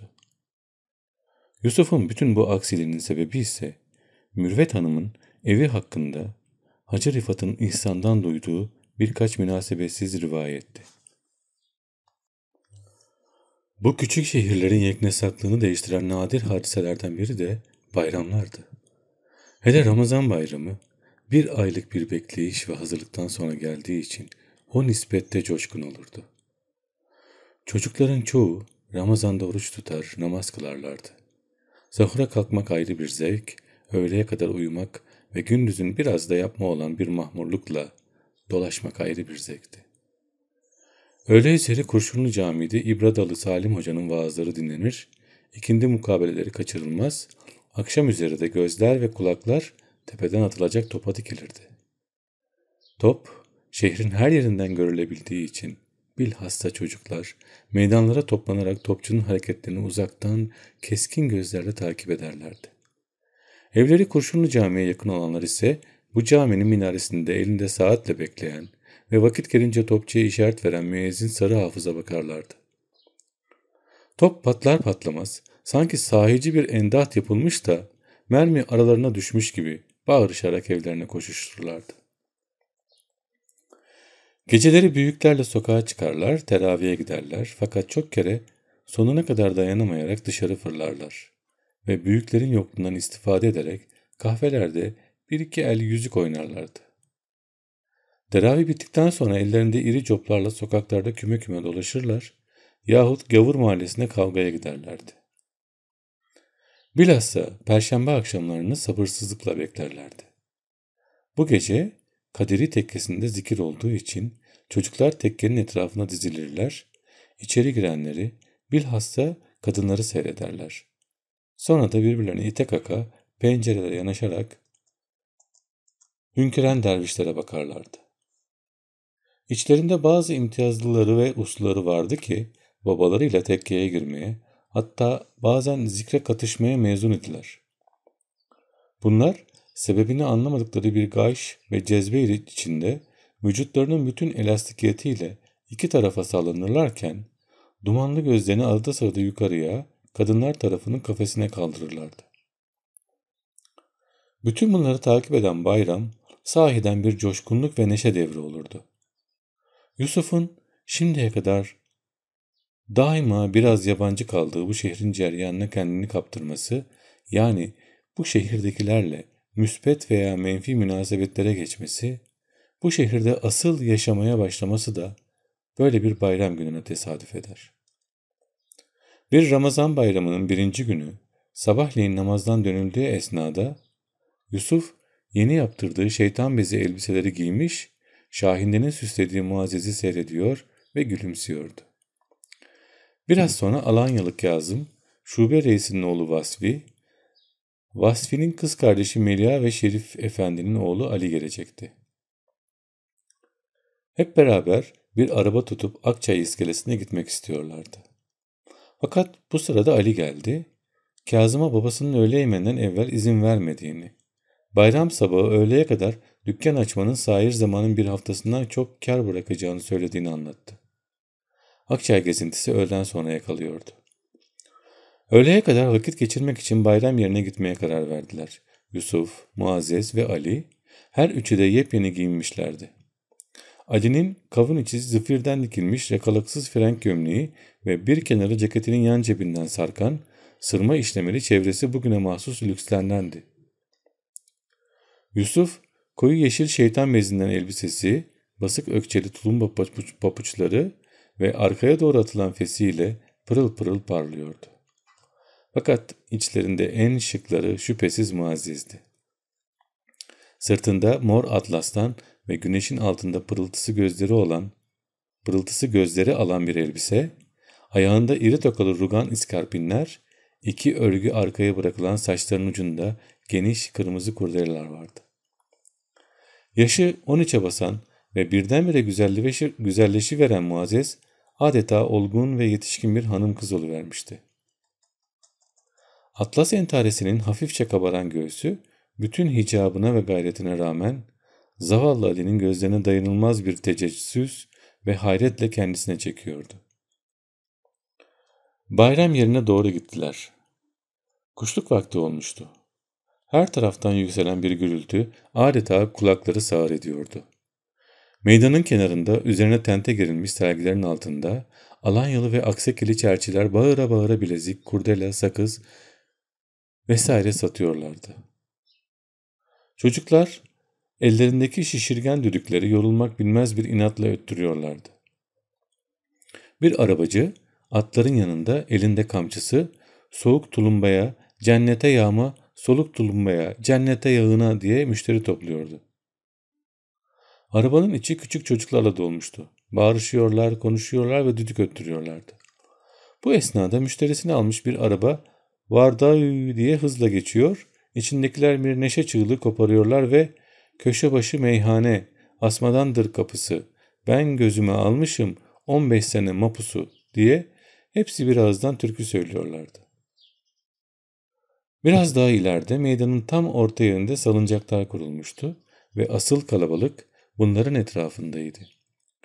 İçerisine 8-10 kişi alan ve adeta küçük bir odaya benzeyen salıncaklarda Mini mini çocuklar bin türlü çiğ renkli elbiseleriyle ağır ağır sallanıyorlardı. Büyükler ikişer kişilik kayık salıncaklara biniyorlardı. Biraz kenardan seyrettikten sonra Ali, hadi binelim dedi. Yusuf başını salladı. Siz binin, benim başım döner. O sırada içindekileri in, inen bir salıncağa Ali ile Muazzez bindiler. Salıncak evvela hafif hafif, sonra gitgide hızlanarak uçmaya başladı. Ali iki taraftan iplere sarılmış vücudunun bütün kuvvetiyle kolan vuruyor. Muazzez ise biraz korkak, yüzü kıpkırmızı yerinde sıkı oturmaya çalışıyordu. Ali gözleri iki tarafına bakınmasına ve başını mütemadiyen başka istikametlere çevirmek istemesine rağmen Muazzez'in yüzüne doğru kayıyor ve derhal kendi yüzü de onunki gibi kızarıyordu. Muazzez'in bunların farkında olmadığı zannedilebilirdi. Çünkü salıncağın yere her yaklaşışında biraz ilerideki bir ağaca yaslanmış duran Yusuf'a doğru gülümsüyor, başıyla işaretler ediyordu. Bu sırada yandaki salıncak durdu ve oraya bu sefer iki yeni müşteri bindi. Bunlardan biri Hacı Rıfat'ın İhsan, öbürü de fabrikatör Hilmi Bey'in oğlu Şakir'di. Yusuf'un derhal yüzü bozuldu. Bu Şakir, yaşının 18'den fazla olmamasına rağmen kasabada herkese yaka siktirmiş bir çocuktu. Ayyaş, Hovarda ahlaksız bir şeydi. Babasının kazandığı parayı Rum orospular veya İzmirli oğlanlarla yiyor, etmediği rezalet bırakmıyordu. Bugün çapraz yelekli lacivert bir elbise giymiş, yeleğin üzerine yarım okkalık gümüş bir köstek takmıştı. Fesinin etrafında çok fiyakalı sarılmış oyalı bir yemeni vardı. Hacı Rıfat'ın İhsan salıncağa bindikten sonra Yusuf'u gördü. Başıyla ve elleriyle selamladı. Sonra sallanmaya başladılar. Biraz hızlanınca Şakir dört tarafa çarpılır oldu. Belli ki fena halde sarhoştu. İhsan onu biraz doğrultmaya uğraştı. Fakat o birdenbire silkinerek hayt diye bir nara attı. Saçları yüzüne dökülerek kolon vurmaya başladı. Yusuf sapsarı kesilmişti. Şakir bütün çehresine yayılan pis bir sarhoş gülüşüyle yanındaki salıncağa Muazzez'e bakıyor. Başının şaşkın hareketleriyle iki tarafa uçan salıncağı takibe uğraşıyordu. Birdenbire başındaki oyalı yemeniyi çıkararak tam yanı başından geçen Muazzez'in salıncağına attı. Muazzez korkak bir çığlık kopardı. Ali derhal kolon vurmayı keserek salıncağı durdurmaya çalıştı. Hacı Rıfat'ın İhsan şimdi büsbütün yıkılan Şakir'i tutmaya aynı zamanda muvazenesi bozulan salıncağı düzeltmeye uğraşıyordu. Yusuf salıncaktan inenlere hadi siz eve gide durun. Ben İhsan'a bir iki laf diyeceğim dedi. Ali ile Muazzez biraz ilerlediler. Fakat Muazzez ne olacağını biliyormuş gibi biraz ötede su muhallebesi satan bir serginin arkasında durdu. Ali'yi de durdurdu. Yusuf salıncaktan inen İhsan'a doğru yürüdü ve sordu. İhsan, ne istiyor bu Yiğitoğlu? Şakir yüzüne dökülen ve yağlı yağlı parlayan uzun saçlarını fesinin altına sokmaya çalışarak bu tarafa döndü. Kim ulen itoğlu? Elini alışkın bir hareketle arka cebine götürdü. Fakat tam bu sırada Yusuf'un pek de dayanılacak gibi olmayan yumruğunu suratına yiyerek yere yuvarlandı. İhsan iki kolu ile Yusuf'u sımsıkı sarmış onu teskine çalışıyordu. Etme gözünü seveyim Yusuf. Bak sarhoş işte. Ben şimdi alır götürürüm. Yusuf silkindi ve yerdekine iki tekme daha savurdu. Fakat derhal koşup gelen Muazzez ile Ali kendisini çekip götürdüler. Bu sırada ayağa kalkan Şakir onların arkasından koşmak istiyordu. Fakat İhsan'la salıncakçı kollarından tutmuşlar, bırakmıyorlar ve elinden tabancasını almaya çalışıyorlardı. Tam o sırada Şakir'in en iyi arkadaşı Hacı Etem geldi. Sarhoşu kolundan tuttu, etrafındakilere bana bırakın siz dedi. Ve onu zorla yürütmeye başladı. Bu Hacı Etem 24 yaşlarında güzel ve kurnaz bir çocuktu. Anası babası 20 sene evvel haca giderlerken 4 yaşındaki Ethem'i de beraber götürdükleri için ismi böyle kalmıştı. Pek hali vakti yerinde olmadığı halde herkesten iyi giyinir, herkesten paralı gezerdi. Bu bolluğun İhsan ve Şakir gibi birkaç zengin ve hovardar arkadaştan çıktığı ve Ethem'in bunlara hem dal kavukluk ettiği hem de eğlencelerine her iki cinsten mahluklar tedarik edip getirerek bazı ufak hizmetler gördüğü söylenirdi. Fakat bunlar Ethem'in kabadayılığına, fiyakasına ve itibarına hiç de helal vermemiş değildi. O yine Yemeneri fesini kaşını eğerek dolaşır, her yerde riayet görürdü. Şakir'in kendisine benzeyenlerden ibaret bir partisi vardı. Ne jandarma ne hükümet bunlara karışmazdı. Çünkü parayı bolca oynatıyorlardı. Bu grubun ekseriyetini yaşlıca hovardalar teşkil ederdi. Bunlar paralarını şurada burada yiyip bitirdikten sonra şimdi bu husustaki şöhret ve tecrübelerinden ve aralarına yeni katılan ve daha ellerinde yiyecek paraları bulunan delikanlıların sahavetlerinden istifade edip geçiniyorlardı. Bunların aileler arasında da çok şiddetli nüfuzları vardı. Hepsi şehrin eski ve itibarlı ailelerinden oldukları için bugün kibar düşkünü bile olsalar eski nüfuzlarını devam ettirmek isterler. Bunda bir dereceye kadar da muvaffak olurlardı. Çünkü herkesin aklında hala falancanın ablasının düğünündeki azamet, filanca bayramda falancaların yaptığı muazzam eğlence yaşardı. Yaşlıca kadınlar bu düşkün eşraf konaklarından birine gittiler mi, orada eski alemleri, merhum ağanın hayalini tekrar görür gibi olurlar ve hiçbir şeyin değişmediğini zannederlerdi. Bunların nazarında kızlara bulunacak en iyi ve münasip koca gene bu eşraf züğürtü serseriler, bu müflis ayyaşlardı. Hovardalıklarından daha ziyade mazur gören bir teessüfle bahsederler, biraz yaşlanınca uslanırlar, ne diyeceksin delikanlılık derlerdi. Fakat bu delikanlıların çoğunun yaşı kırkı aşkındı. Şehrin en iyi yerleri arasında bile bunların istedikleri zaman alamayacakları kız yoktu. Adeta bütün eşraf aileleri arasında ezelden beri mevcut değişmez bir mukavele vardı ve buna harici şeklin değişmesine vaziyetin tamamen başka olmasına rağmen daima riayet ediliyordu. Bunun için bunların herhangi bir talebini reddetmek akla gelmez ve 15-16 yaşındaki temiz, güzel kızcağızlar bu saçı kırarmaya başlamış, manen ve maddeten çürümüş, on parasız sefillerin kucağına atılırdı. Ekserisi pis bir takım hastalıklarla malul olan bu heriflerin evleri bundan sonra dışarıdan pek belli olmayan ve şiddetle saklanan faciaların yuvası olurdu. Şehir kızlarını bu felaketten biraz olsun koruyan, bu adamların orospular arasında yaşayarak evlenmek hususunu pek seyrek duymaları ve daha bu hayattan yorulup kız istemeye vakit kalmadan ya bir tabanca kurşunu ile yahut da bir hastalık neticesinde ölmeleriydi. Bunlar şehirdeki nüfuslarının bir kısmını da kendileri gibi iflas etmeyip akıllı davranarak mevkilerini sağlamlaştırmış akrabalara borçluydular. Kimisi belediye reisi, kimisi fabrikatör olan bu adamlar bu kopuk akrabalarıyla pek yakından temasa gelmek istemezlerse de evdeki kadınların tesiriyle birçok ehemmiyetli vakalarda onları müdafaya mecbur olurlardı. Çünkü ya karıları böyle bir serserinin kardeşi yahut da kardeşleri böyle bir serserinin karısıydı. Ve aile düşünceleri, akrabalık rabıtaları bilhassa kadınlar arasında şiddetle gözetilen meselelerdendi. İşte Yusuf'un böylelerden birine hem de daha elindeki maddi menbaları tükenmeye vakit bulamamış birine çatması kendisi için iyi olmayabilirdi. Fakat şimdilik bunların herhangi bir kötülüklerini icap ettirecek bir vesile zuhur etmedi. İhtimal Yusuf'un kaymakamın oğlu olması, onu burada birçokları böyle biliyordu, biraz daha ihtiyatlı hareket etmelerine ve beklemelerine sebep oluyordu.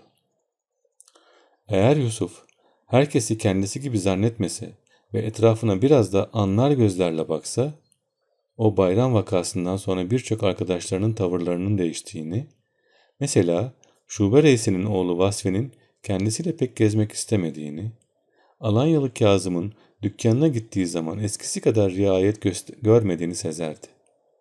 Hepsi Şakir'den ve onun partisinden çekiniyorlardı. Fakat Yusuf'un aklı böyle şeylere ermediği ve arkadaşlarının kendisine karşı muamelelerine de pek kulak asmadığı için hiçbir şeyin farkında değildi. Ta kışa kadar hiçbir yerden hiçbir ses çıkmadı. Yalnız kışın bazı vakalar kendisiyle uğraşanlar bulunduğunu ona anlattı. Yusuf'a kalsa gene işin farkına varacağı yoktu. Bereket versin hiçbir zaman ondan ayrılmayan ve yapılan teklif ve tehditlere rağmen Yusuf'u terk etmeyen Ali, ona birçok bilmediği şeyleri öğretiyor, pek körü körüne yürümemesini temine çalışıyordu. Bu vakaların en mühimi ve Yusuf'un ilerideki hayatı üzerinde de tesiri olan bir zeytin işçisi meselesiydi. Adam akıllı soğuk bir günde Yusuf gene erkenden zeytinliğe gitmişti. O gün işçiler arasında tanımadığı bir kadınla 12 yaşlarında kadar bir kız gördü. İşçilerin başı Köse İbrahim'i çağırarak bunların kim olduklarını sordu. İbrahim, işçi ağam, Şakir Beygiller'de çalışırlarmış, dayak atmışlar, mahiyetine gelmek isterler. Boğazı tokluğuna da olsa senin yanında kalacaklarmış. Yusuf kadını çağırdı. Ne diye ağını bıraktın da buraya geldin yenge? Dövdüler beni ağam. Durup dururken adamı döverler mi? Dövdüler işte. Yusuf anlamadığını gösteren bir tavırla omuzlarını silkti. Peki ama ben ne yapayım seni? Benim işçim tamam. Aman ağam kulun olayım. Beni ters yüzüne çevirme. Kızcağızımla bir ikimiz ortalarda kaldık. Yusuf kadının yanındaki kıza baktı. Birdenbire hiç şüphesiz tüyleri ürperdi. Fakat gözlerini uzun müddet kızdan ayıramadı. İnce ve yaşına nazaran uzun boylu olan bu kızın sapsarı, insana korku verecek kadar sarı bir yüzü vardı. Fakat bu sarılık bir zayıflık ve kansızlığın verdiği renksizlikten ziyade bir hastalıktan doğan yeşilimtırak bir sarılığa benziyordu. Bilhassa siyah, ince fakat çok keskin kaşlarının gölgelediği gene siyem, simsiyah ve iri gözleri çok şeyler biliyor hissini veren görmüş geçirmiş bir bakışla ve hiç çekinmeden insanın yüzüne dikiliyordu. Soluk ve ensiz dudakların kenarında gene çok yaşamış olanlarda görülen tecrübe çizgileri vardı. Bütün yüzünün ifadesinde bir bezginlik, hatta daha ziyade bir nefret aksediyor gibiydi. Bu çehre ve bu bakış Yusuf'u adeta suçluymuş gibi eziyor, şaşırtıyordu. Gözlerini kızdan ayırmayarak tekrar annesine sordu. Siz buralı mısınız? Yok, Çineliyiz. Ne? Çineli mi? Aydın Çinesinden mi? Öyle ya. Ne diye geldiniz buralara? Kadın birkaç kelimeyle bir zaptiye başçavuşunun karısı olduğunu, kocasıyla buraya geldiğini, sonra kocasının bir orospu ile kaçarak bunları yüzüstü bıraktığını, şimdi orospuyu da bırakan herifin Manyas taraflarına tütün kaçakçılığı ettiğini, fakat bunları hiç aramadığını anlattı.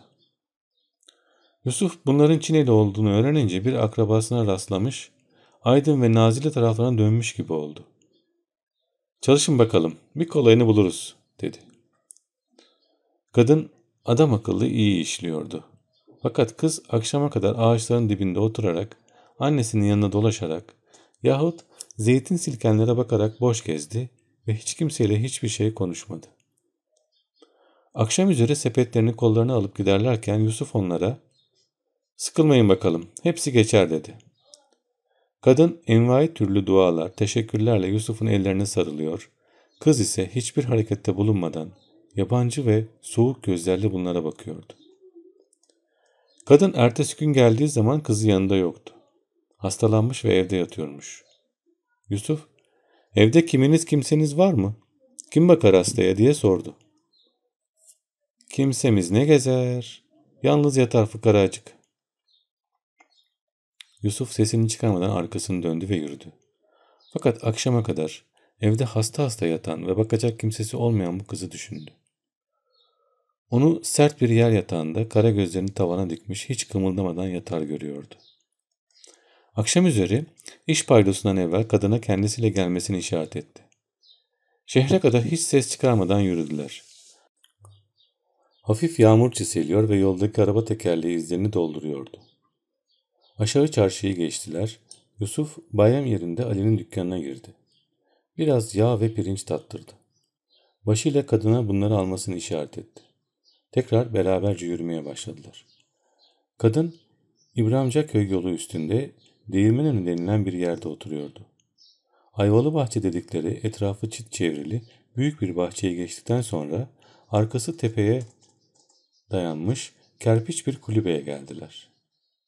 Kayalık ve dik tepede çıkan bir yabani incir ağacının dalları kulübenin damına sarkıyordu. Ortalık daha oldukça aydınlık olduğu halde kulübenin içi zifiri karanlıktı. Kadın ocak kılıklı bir şeyin üzerinden bir yağ kandili alıp yakmaya uğraşırken Yusuf'un gözleri karanlığa alıştı ve köşede bir yer yatağında yatan kızı gördü. Kız başını duvara çevirmiş, üstünü örtmeye çalışıyordu. Yusuf daha kapının önünde dururken içeride süratli bazı tıpırtılar olmuş ve sonra birdenbire kesilmişti. Şimdi kızı böyle telaşla yatakta kımıldanır görünce nedense aklına onun şimdi bunlar gelince yatağa girdi düşüncesi geldi. Kadın kızına haydi Kübra doğru azıcık Yusuf ağa geldi dedi. Kız başını çevirdi Yusuf'a doğru baktı. Sonra yavaşça doğrularak sırtını duvara dayadı ve yorganı göğsüne çekti.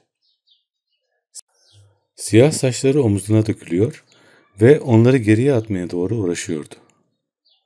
Omuzlarına kadar çıplak olan kolları soğuktan diken dikendi. Yusuf odanın bir köşesine çekilip yataktaki kıza uzun uzun baktı. Kız da hiç başını çevirmeden buna bakıyordu.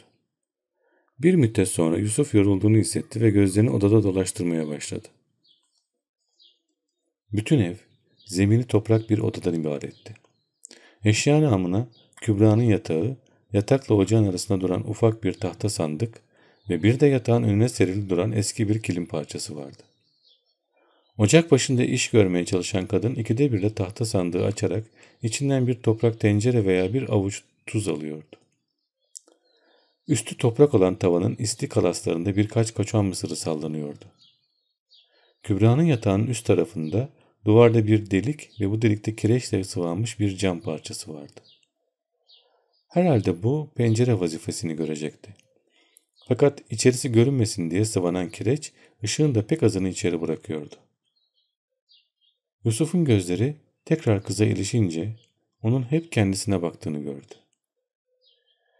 Bir şey söylemek lüzumunu duyarak çok hasta mısın dedi. Değilim.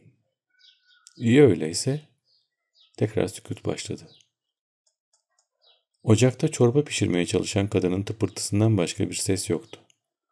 Bir de toprak dama düşen yağmur damlalarının boğuk sesi. Bu sırada dışarıda hafif ayak sesleri oldu.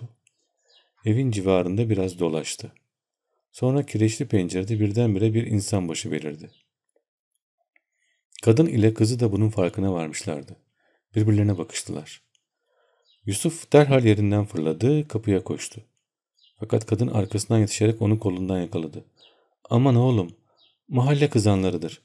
Her zaman böyle bakarlar. Sen otur, rahatına bak.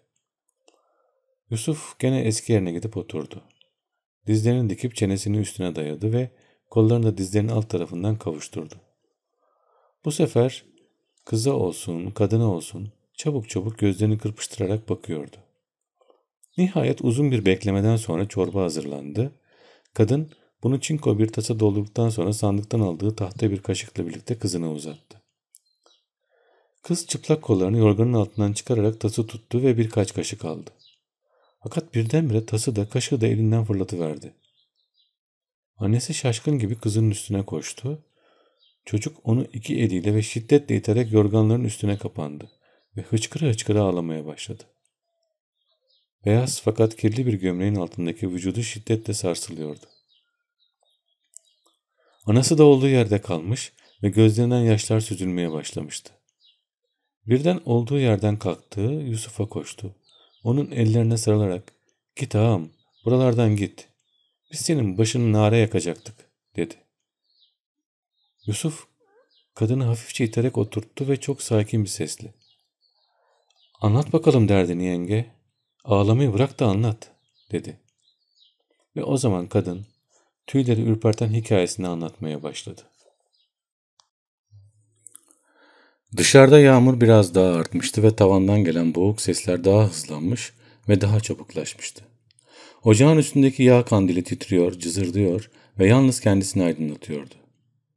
Yatağın önündeki devrilmiş çorba tası ve tahta kaşık olduğu gibi duruyor ve kimse onlara el sürmüyordu. Yusuf yatağın kenarına oturmuştu. Önüne bakıyor, hikayesini ara sıra ağlama nöbetleriyle kesen kadını dinliyordu. Kız yatağın bir köşesinde yorganların arasına gömülmüş duruyor, hiç ses çıkarmıyordu. Sana hepsini ne diye anlatıp başını ağrıtayım ağam diye kadın başladı. Yerimizden ayrılmasak başımıza bu işler gelmezdi ama ne diyeceksin? Kaderde yazılıymış. Allah'ın yazdığını kul bozamaz ki. Erkeğin beni alıp buralara gelmek isteyince ben gitmem dedim. Ayak diredim. İlle ve lakin o da erkek. Lafına daha çok karşı koyamazsın ki. Hem o eskiden daha içineden çıkmadan melaike gibi bir adamdı. Ona buralarda ne ettilerse ettiler. İçirdiler, sarhoş ettiler. Evinden, çocuğundan soğuttular. Ne diyordum? Kalktık, güzelim çinemizi bıraktık, buralara geldik. İlk önceleri burada da iyiydi. Gün günden kocam değişmeye başladı. Eve geç gelir oldu. Bazen bir hafta uğramaz sorduğumda takipteydim derdi. Ama ben onun takipte filan olmadığını bilirdim. Arasta'da papuççu bir Yunus ağa vardı. O haber verirdi. Havran'a yahut Frankköy'e gidip avrat oynatırlarmış. Bir gün yine takipten geliyorum dedi ama bu sefer pek bitkin, pek sarıydı. Ben de inandım. Girdi yatağa yattı, uyur gibi yaptı. Uyumadığı besbelliydi. Yatakta iki yana döner, gözlerini aralar bana bakardı. Üç kere kendini tutamadı, derin derin of çekti. Yanına sokuldum. Bir şeyin var mı? Seyit Efe dedim. Jandarmaydı ama Çin'de hep Efe derlerdi. Zati Efeleri, Zeybekleri de pek sever, pek kururdu. Dinarlı Kara Mehmet'i iki takipte yakalamış, yine salı vermişti. Bunu bana kimseciklere söyleme, beni asarlar ha diye ant verip öyle anlatmıştı. Seyit Efe dedim. Neye kesabet ediyorsun? Neyin var çok şükür Allah'a? O hiç sesini çıkarmadı. Gözlerini büsbütün sıktı, uyuyor gibi yaptı. Ama yüzü kıpkırmızı kesilmişti. Göğsü yorganı kaldırıp indiriyordu. Seyitimin derdi büyüktü ama neydi? Bana neden diyemiyordu. Akşama doğru kalktı, Kübra mahalle mektebine gidiyordu o zamanlar. Babası Kur'an okumasını öğrensin demişti. De, ne diyordum? Akşama doğru kalktı, Kübra'yı sordu. Bu vakte mektep kalmaz ama bir bakayım dedim. Değirmen önüne kadar gittim. Yine mahalle kızlarıyla oyuna daldı ise babasından dayak yer diye içim titriyordu. Baktım değirmen önünde yok. Rukiye Molla'nın evine kadar uzandım. Hani mektep orasıydı da. Orada da yok. Şimdi çıktı eve gitti dediler. Rukiye Molla'ya un eliği vermiş de geç kalmış. Pek de bilirdi kızcağızın böyle şeyleri. Şimdi her şeyleri bıraktı. Vah benim karabahtı kızım, vah benim. Kadın bir gözyaşı selinde boğulur gibi ağlayıp dövünmeye başladı. Kübra başını kaldırarak anasına baktı fakat bir şey söylemeden ve en küçük bir harekette bile bulunmadan başını tekrar yorganların arasına soktu. Bu sefer de onu tezkere filan çalışmayarak susmasını bekledi. Kadın biraz sonra gözlerini kolunun yeni, yenine silerek tekrar anlatmaya başladı. İlk zamanlarda da sözlerini hıçkırıklar kesiyor ve bir şey anlaşılmıyordu. Eve döndüğümde bir de ne göreyim? Kübra kapının dışında oturmuş, baba, baba diye ağlar. Ah dedim, Seyit Efe dövdük çocukcağızı yine. Kızım, ne diye ağlıyorsun dedim. Ben babamı isterim dedi. Şaşırdım kaldım. Evin içine girdim, baktım Seyit Efe yok. Kübra'ya sordum. Kız ağlamaktan iki yana bakacak halde değil. Biraz susunca anlattı. Eve gelince babası kucağına almış, dört bir yanından kızı şapır şapır öpmeye başlamış. Kız babasının yüzüne bakınca korkmuş. Baba hasta mısın neyin var diye sormuş. Ne diye ağlarsın demiş. Ya koca adam çocuk gibi ağlarmış. Ben halbuki karısı oldum olalı gözünden yaş geldiğini görmemiştim. Seyit Efe kızını bir daha, bir daha bağrına basmış. Sonra dolaklarını sarmış, duvardan martinini almış, gözlerini çevresine kurulayıp yürümüş gitmiş. Bir baktım kızın göğsü bağrı açık. Ne oldu dedim. Babam giderken boynundan muskamı aldı. Kendi boynuna taktı, dedi. Ağlamaktan katılıyordu zavallı. Aman kızım, ne diye ağlarsın? Takibe gitmiştir. Muska da ona uğur getirir diye çabuk döner inşallah. Dedim. Ama benim gözlerimden de yaş teller gibi akıyordu. Kız, o gelmez artık dedi. Nereden biliyorsun dedim. Gidişinden belliydi dedi. Sahiden de o gün bugündür Seyit Efe'nin yüzünü görmedim. Daha ertesi güne evi gelip aradılar. Sordum. Sordum bir şey diyemediler. Gittim. O zamanlar sakallı bir kaymakam vardı. Ona çıktım. Kim, kim olduğumu söyleyince acırmış gibi yüzüme baktı. Hatun, kocanı biz de arıyoruz. Kaşık kıran dedikleri Hayriye'yi almış, kaçmış. Ama kabahat sende. Kocanı zapt etmesini bilememişsin. Artık ondan sana hayır gelmez. Başının çaresine bak dedi. Kadın uzun müddet durdu, kızına baktı, tekrar başladı. Bu olmasa hiçbir şeyi tasa etmezdim. Lakin babası gidince kızcağızımın elime bakar oldu. O zamana kadar da bolluk içinde değildik ama şükür Allah'a darlık da görmemiştik. Seyit Efeciğim gideceği güne kadar bir şeyimizi eksik etmemişti. Gittikten sonra bile 15 gün evimizdeki bulgurumuz, yağımızla geçindik. 15 gün sonra kapta kaçakta ne varsa tükendi. 2 gün, 3 gün aç oturduk. Kızcağızım sesini çıkarmazdı ama onun bu sessizliği, bu menilliği benim yüreğime büsbütün dokunurdu. Bir sabah anne dedi, başım dönüyor, yataktan kalkamayacağım. Evlatcağızım, açım, dermanım yok demiyordu da başım dönüyor diyordu.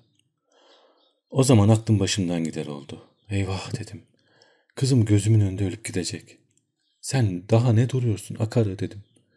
Evladım mum gibi sönüp gidiyor da sen daha ne duruyorsun? Hemen kıvrağımı sırtıma aldım. Sokağa fırladım. Bizim komşu papuççu Yunus Ağa olan biteni haber almış. Bize gelirmiş. Yolda rastladım. Adam yüzüme bir baktı. Her şeyi anladı. Kolumdan tutup aman kızım dedi. Dünya bu. Beterin beteri var. Kendini topla da akıllı uslu çalış. Maşallah elin kolun tutuyor. Hem kendini hem kızını Allah'ın izniyle namerde muhtaç etme. Adamcağız nurlu yüzlü bir ihtiyardı. Bana her zaman nasihat verir, yol gösterirdi. Bu sefer de onu önüme Allah çıkarmıştı. Yunus ağa dedim. Nerede çalışayım? Ben burada garipim. Kimseyi tanıyıp bilmem. Kim bana iş verir? Azıcık düşündü. Bizim ihtiyar bir şeyler diyordu. Fabrikacı Hilmi Beyler bir kadın mı ararlarmış neymiş? Gel bir eve kadar gidelim dedi. Yürüdük, evlerine vardık. Sahiden dediği gibiymiş. Hilmi Beyler orta hizmetine bakacak bir kadın ararlarmış. Yunus Ağa'nın karısı hemen kıvrağını giydi, beni yanına aldı. Beraber gittik. Hilmi Bey'in hanımı şişman, her yanı incili elmaslı bir hanımdı. Yunus Ağa'nınki başımdan geçenleri anlattı. Meğer öbürleri de bu işi duymuşlarmış. Hanım, erkek kısmına inan olur mu hiç dedi. Sen şimdi çalış da kendi elinin emeğiyle yaşa. Burada kocanın evinden daha çok rahat edersin. Hanım biraz kibirliceydi ama iyi kalpliye benziyordu. Bana kalsa kocacığımın evi olsaydı da daha az rahat olsaydı. Ama ne yaparsın? El evinde çalışmak ne kadar güç gelse kızımın hatırı için yapacaktım. Neyse uzatmayalım. Hemen ertesi günü Hilmi Beylere taşındık. Kübra ile bana küçük bir oda verdiler. Ne yalan söyleyeyim. İş biraz ağırcaydı ama karnımız tok, sırtımız pekti. Ne de, ne de olsa insan yavaş yavaş alışıyordu. Kendi kendime şurada gayretle çalışıp kendimi efendilere beğendirirsem ömrümün sonuna kadar otururum. Kızcağızımı da namuslu bir esnafa verirsem içim büsbütün rahat eder. Kim bilir belki damat çok hayırlı çıkar da beni de yanına alır. Ben de el evinde çalışacağımı, kızımla damadıma saçımı süpürge ederim, onların çocuklarına bakarım dedim. Artık bütün ümidim Kübra'daydı. Kadın kendini tutmak için çok çalıştı. Fakat gözyaşları ondan daha kuvvetli çıktılar ve o bu sefer sessiz sessiz yaşlarının yarısını içine akıtarak ağladı. Tam bu sırada hiç beklenilmeyen bir şey oldu ve kadının hikayesini yarım bıraktırdı. Dışarıda yağmur damlaların boğuk sesi arasında bir ayak tıpırtısı peyda oldu. Kapıya yaklaştı ve hızlı hızlı vurdu. Kadın birdenbire sapsarı olarak yerinden fırladı. Kapıya gidip sordu. Kim o? Aç aç benim. Yusuf derhal Hacı Ethem'in sesini tanıdı. Açsana be. Kadın yavaşça kapıyı açtı. Dışarıda yağmur sularının altında sırtında gocuğuyla Hacı Ethem göründü. İçeri doğru bir adım attı fakat Yusuf'u görür görmez derhal geriledi. Herhalde bu vakitte burada göreceğini ümit etmiyordu. Fakat kendini çabuk topladı. Gülerek, ''Akşamlar hayırlı olsun Yusuf Efe'' dedi. Sonra ona başka bir nazar bile atmadan kadının yanına çekerek bir şeyler söylemek istedi. Daha ağzından birkaç kelime çıkmamıştı ki kadının yüzü değişti. Ellerini yumruk yapıp ona doğru uzatarak bağırmaya başladı. Daha ne istiyorsunuz benden ha? Daha benden ne istiyorsunuz? Hacı Ethem söyle bakayım ne diye geldin buraya? Haber almaya geldin değil mi? İşler nasıl gidiyor, yolunda gidiyor mu diye haber almaya geldin. İşler hiç yolunda değil Hacı Ethem. Dolapları iyi çeviremedik. Belayı bu delikanlının başına sardıramadık. Ne yapalım? Daha sizin kadar kansız olamamışız. Daha bu işlerin acemisiyiz. Öyle öldürecek gibi ne yüzüme bakıyorsun? Yok, bana kızma. Benim hiç kabahatim yok.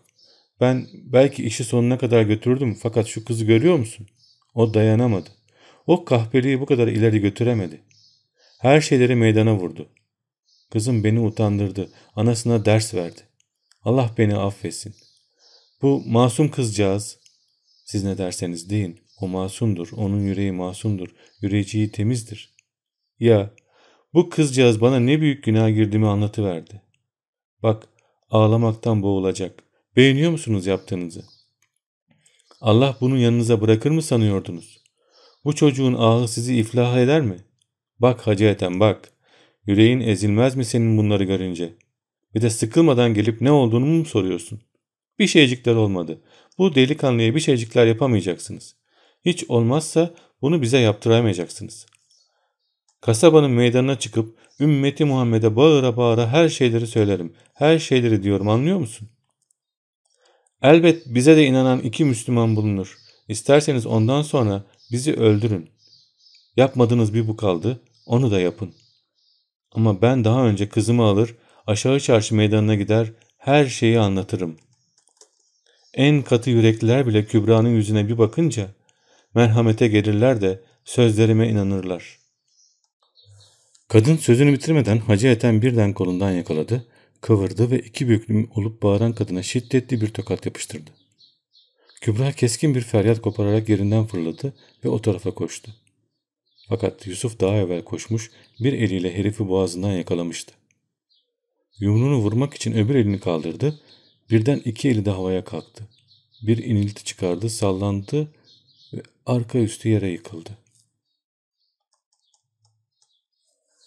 Kaymakam Salahattin Bey, evvelce de söylediğimiz gibi gündüzleri biraz ağırca olan işiyle, geceleri de içkisiyle meşguldü ve yaşayıp gidiyordu. Memlekette münasebette bulunduğu adamlar az ve seçmeydi. Uzun memuriyetlerin tecrübesi, yerlilerin kendisi gibi memurlarla niçin ahbap olduklarını ona öğretmişti. Tonga'ya basmayı pek sevmediği ve namuslu kalmak niyetinde olduğu için ziyafetlere, davetlere pek aldırış etmez, çok itimat ettiği hukuk mezunu birkaç avukat ve bazen de ceza reisiyle sessiz sessiz içmeyi tercih ederdi. Bu avukatlardan Hulusi Bey'in Tavşan Bayırı'nda büyük, güzel bir evi vardı. Evin bahçesi Edremit'te bir taneydi. Etrafı şimşir ağaçlarla çevrilmiş, çakıl döşeli yollar buraya ufak bir park manzarası veriyordu. Evin tam önünde bir asma çardağı, ufak ve fiskeli bir havuz vardı. Akşamları bu havuzun kenarına bir tahta masa çıkarılır, üzeri patlıcan salatası, balık tavası vesaire donatılırdı. Rakı şişeleri de bir kenara dizilirdi. Kış günleri ise bu masa içeride bir odada hazırlanır, Edremit'te pek de lüzumu olmayan mavi bir çini soba yanar ve rakı burada içilirdi. Oldukça serin bir kış gecesi Salahattin Bey, ceza reisi ve birkaç avukat Hulusi Bey'in evine toplanmışlardı. Epeyce kafayı tuttukları sırada kapı çalındı. İçeriye fabrikatör Hilmi Bey ile Hacı Ethem girdi. Bu Hilmi Bey, Edremit'in eski eşraf ailelerinden birine mensup kibarca bir adamdı. Vaktiyle Midilli adasında mezun olduğu için oldukça okumuş yazmışlardan, memleketin tahsillerinden sayılır ve hürmet görürdü. Fakat hürmetin asıl sebebi sonu gelmeyecek kadar çok olduğu rivayet edilen servetiydi. Muhakkak ki Edremit'te ondan çok zeytini olan yoktu. Fakat asıl nakit parasının sayısını Allah'ın bildiği ve bunları saymak için vakit yetmeyeceğinden Hilmi Bey'in altınlarını şinikle ölçtüğü söylenirdi. Bunlar da biraz hakikat bulunması lazımdı. Çünkü şöyle böyle bir servet baba ile oğlun bitip tükenmez israfına yetmezdi. Bu adamın oğlu ile münasebeti memlekette oldukça kuvvetli bir dedikoduya menbaıydı.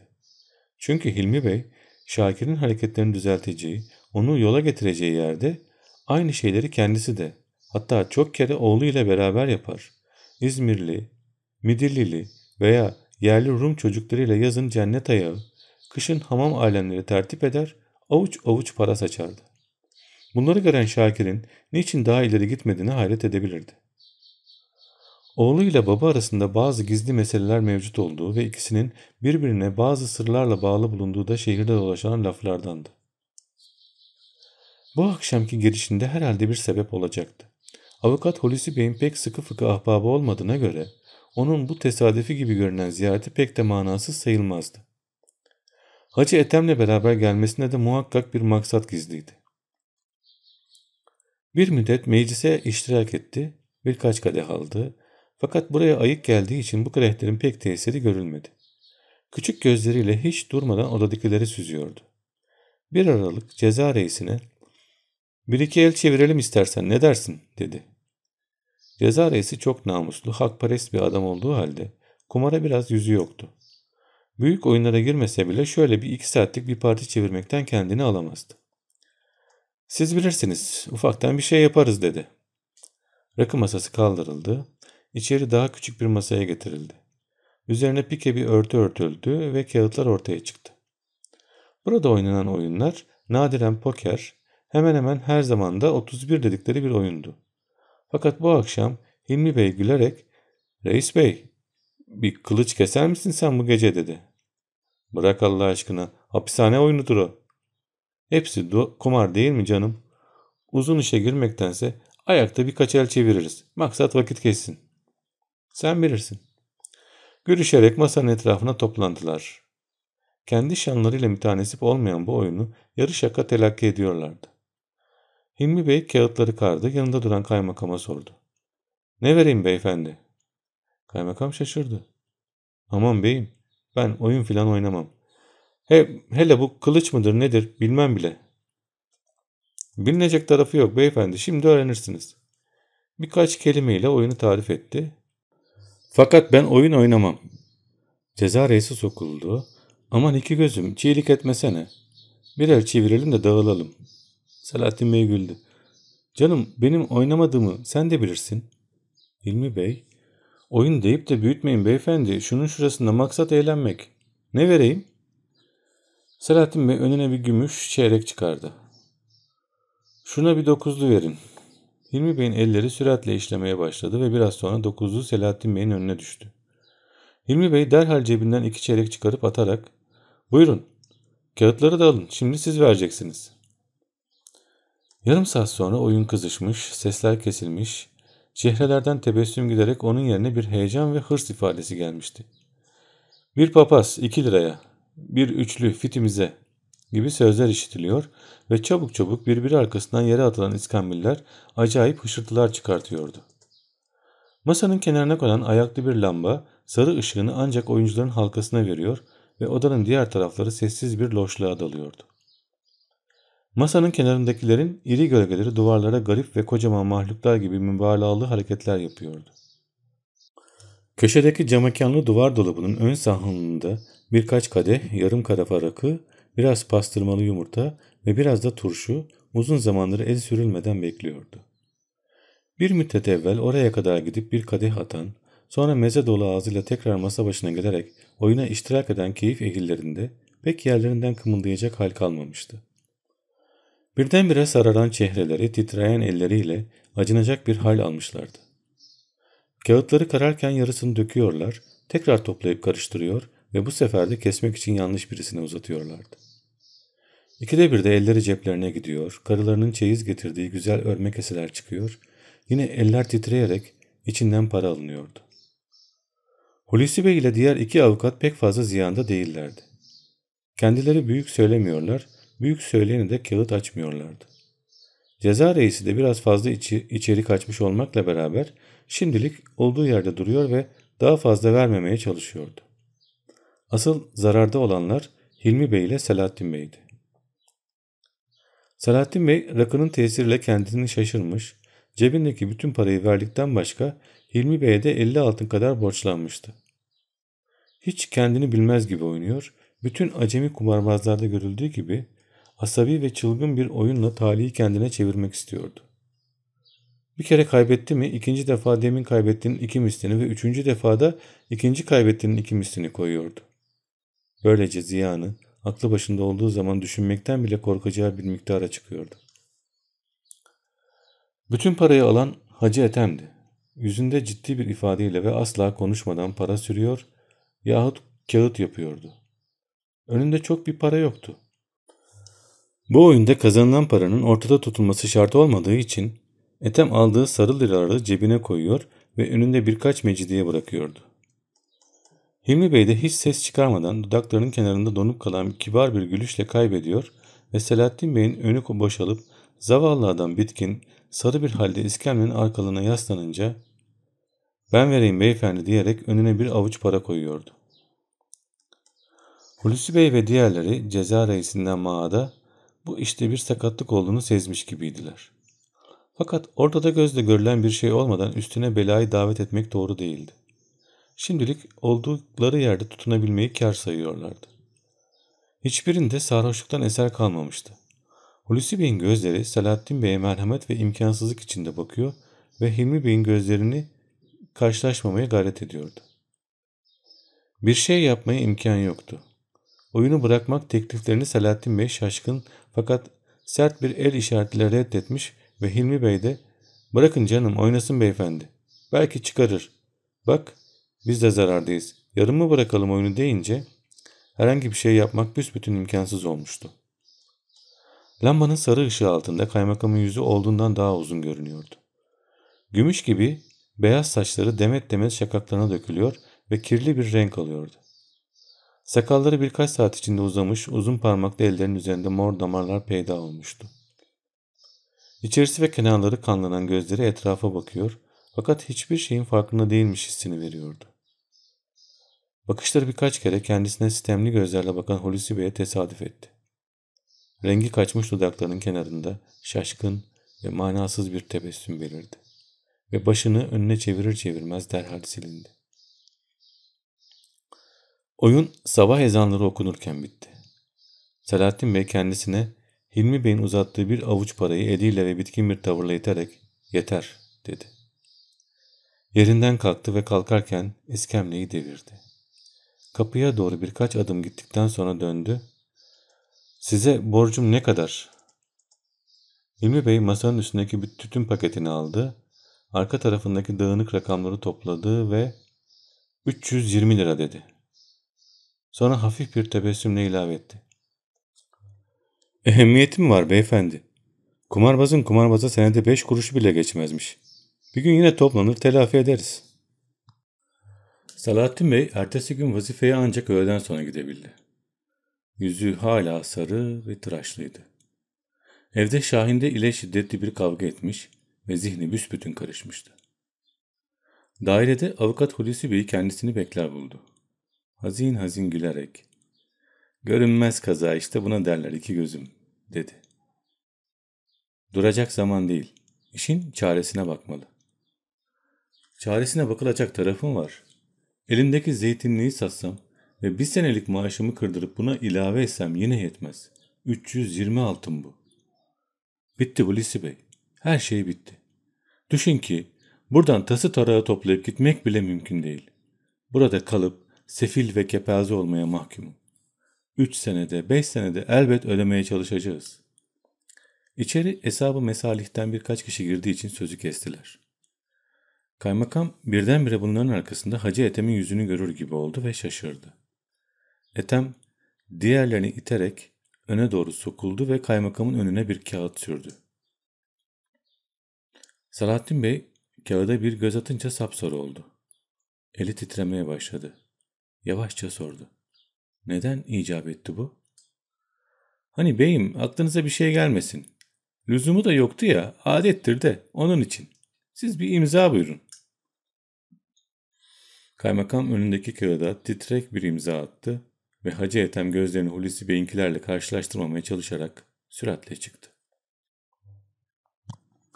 Kaymakam diğerlerinin kağıtlarını da bir kere göz bile gezdirmeden imzaladıktan sonra yavaşça Hulusi Bey'e döndü Dün akşamki para için bir senet imzalattılar dedi. Niçin imzaladınız? Ne yapayım? Hem görmüyor musun? Ne biçimsiz zamanda geldi. Muhakkak kerate bir saattir içerisinde olmasını beklemiş. Her şey bitti dedim ya sana. A iki gözüm. Senin bu Hilmi Bey'e bir kötülüğün dokunmuş değildir. Senden intikam almak istemesine filan imkan yok. Herhalde başka bir maksatları olacak. Ya senden mühim bir çıkarları var ya da başka bir şey. Hilmi Bey senden bu 300 bilmem ne kadar lirayı alamayacağını pek iyi bilir. Kaymakam Bey'i kendisine borçlu etmek zevki içinde bu kadar paraya kıyamaz. Dur bakalım. Bir müddet bekleyelim. Herhalde bir kokusu çıkacak.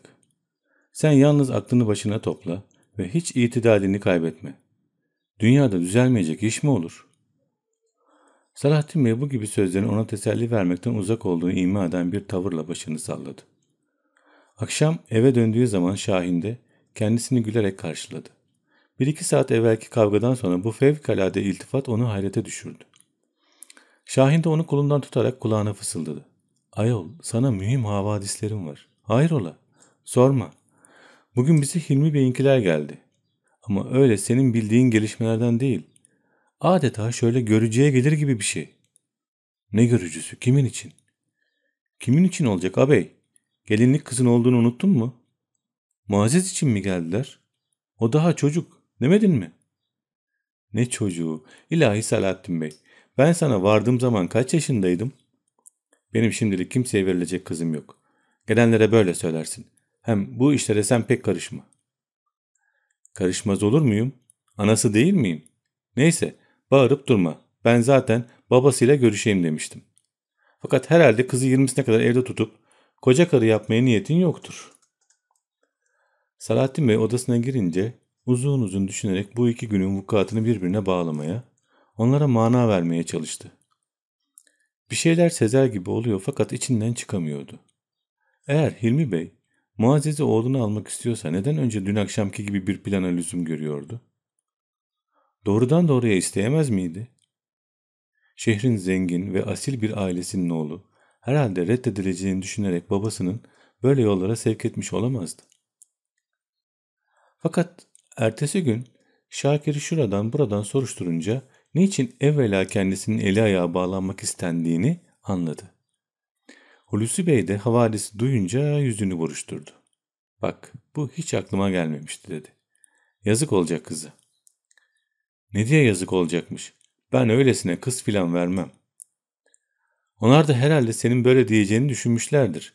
Ne diye akşam sana 300 lira verdiler? Hem dur bakalım. Bu daha bir şey değil. Onlar bir dolap çevirmeye başlamasınlar yoksa bu hiçtir. Bu parayı sana Edremit'i bırakıp gidemeyesin diye verdiler. Üst tarafı için başka tedarikleri olacağını tahmin ediyorum. Yalnız bir şey aklıma ermiyor. Şakir, zevkinde, safasında bir serseriydi. Evlenmek aklına nereden geldi acaba? Salahattin Bey tekrar düşünmeye daldı. Kızını kendine anlatılan şekilde bir ite vermek mecburiyetinde kalacağını akla almıyordu. Hulusi Bey, mamafi, belki de bu Şakir'in delice heveslerinden biridir. Yarın öbür gün geçer. Şimdilik işi mümkün olduğu kadar uzatmaya bak. Kaçamaklı cevaplar ver. Belki bıktırıp bu işin arkasını bıraktırırsın. 320 lira meselesine gelince dediğim gibi bunu senden alamayacaklarını bilirler. Hem sen ne zaman olsa onlara lazımsın. Sonra Hacı Etem demek Şakir demektir. Hilmi Bey'den çıkan para pek yabancı yere gitmedi ki. Selahattin Bey de şimdilik işi savsaklamayı en uygun çare buldu. Yusuf'a hiçbir şey açmamayı tercih etti.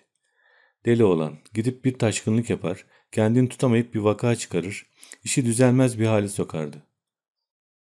Bayramda Şakir ile ikisi arasında cereyan eden hadiseyi de bir parça bildiği için Yusuf'un bir işten haberi olmasını şimdilik münasip bulmadı. Böylece 10-15 gün kadar bir zaman geçti. Ve tam bu sıralarda Yusuf'u bir gece eve getirdiler. Getirenler Yunus Ağa isminde ihtiyar bir papuççu ile 35 yaşlarında perişan kıyafetli bir kadın ve onun yanında mütemadiyen Yusuf'un sarı çehresine bakan ve durmadan ağlayan hasta kılıklı bir kızdı. Bu kızla anısı o gece ve ondan sonraki geceler Yusuf'un başucundan ayrılmadılar ve kaymakamın evinde kaldılar. Yusuf'un yarısı ağır değildi. Kasığının yanına, baldırına saplanan bıçak onu 15-20 gün yatağa bağlamaktan başka bir şey yapamayacaktı. Salahattin Bey, hatta Şahin de onu bu görünce şaşırdılar. Bilhassa Salahattin Bey kendisi için Yusuf'un ne kadar kıymetli olduğunu o zaman anladı. Günde birkaç kere eve uğrayarak yukarı onun yanına çıkır, çıkıyor, gülerek bak kerataya diyordu. Daha bu yaşta efelik yapmaya kalkıyor. Ne kadar olsa serde aydınlılık var değil mi? Ee, sen şu işin aslını bize ne zaman anlatacaksın? Sonra başıyla diğerlerinin göremeyeceği bir işaret yaparak bu kadınla kızın kim olduklarını sormak istiyordu. Fakat Yusuf bir şey söylememekte ısrar ediyor ve kendisine çok sorulduğu zaman başını yorgun bir tavırla duvara doğru çeviriyordu. Kübra ile annesi evde tabii birer hizmetçi vermişler, diğerlerini kendilerine bu gözle bakmaya alıştırmışlardı. Bunun için herkesin tecessüsünü fazla gıcıklamıyorlardı. Ama şehirde bu meselenin duyulduğu ve birçok rivayetlere meydan geldiği muhakkaktı. Hilmi Bey ile Şakir'in bu Kübra meselesinden biraz fazla telaşa düştükleri, hatta hiç tetiğini bozmayan Hacı Ethem'in bile bugünlerde suratı asık olduğu söyleniyordu. Yusuf'un Kübraların evinde yaralandığı da gizli kalmamıştı. Buna da bir türlü mana verenler vardı.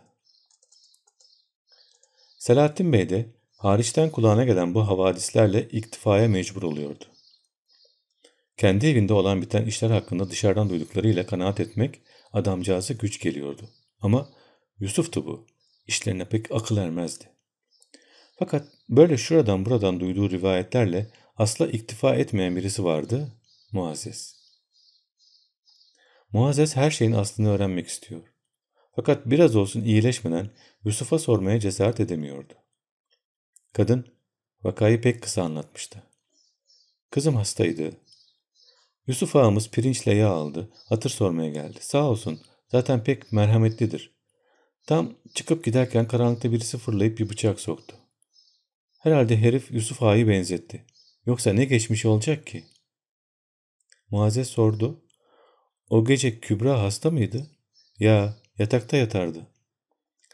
Peki Yusuf vurulunca ikiniz de onunla birlikte geldiniz. Hasta kız yağmurda sokaklarda dolaştı da bir şey olmadı mı? Ah kızcağızım, biz alışkınız böyle şeylere. Az mihnet mi çektik? Kızımızın korkudan bir şeycikleri kalmayıverdi. Yusuf ağasını pek severdi.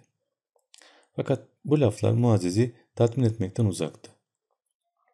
Nihayet daha fazla dayanamadı. Bir gün Yusuf'un yattığı odaya gitti. Yatağın kenarına oturdu ve sordu. Yusuf abi, söyle bakayım artık. Bütün bu işler ne demek oluyor? Sonra kim bu kız, bu Kübra? Burada hiç sebepsiz yüzü kızardı ve önüne baktı Yusuf. O da bir Allah'ın garibi Muazzez dedi. O da çok çekmiş. Yüzüne bir baksana. Muazzez çocukça bir konuşkanlıkla atıldı. Biliyorum Yusuf abi. Fakat tuhaf bir hali var. Yaşı benden küçük olduğu halde beraber olduğumuz zamanlar bir çekingenlik ne diyeyim bir üzüntü duyuyorum. Hem görsen beni ne kadar seviyor.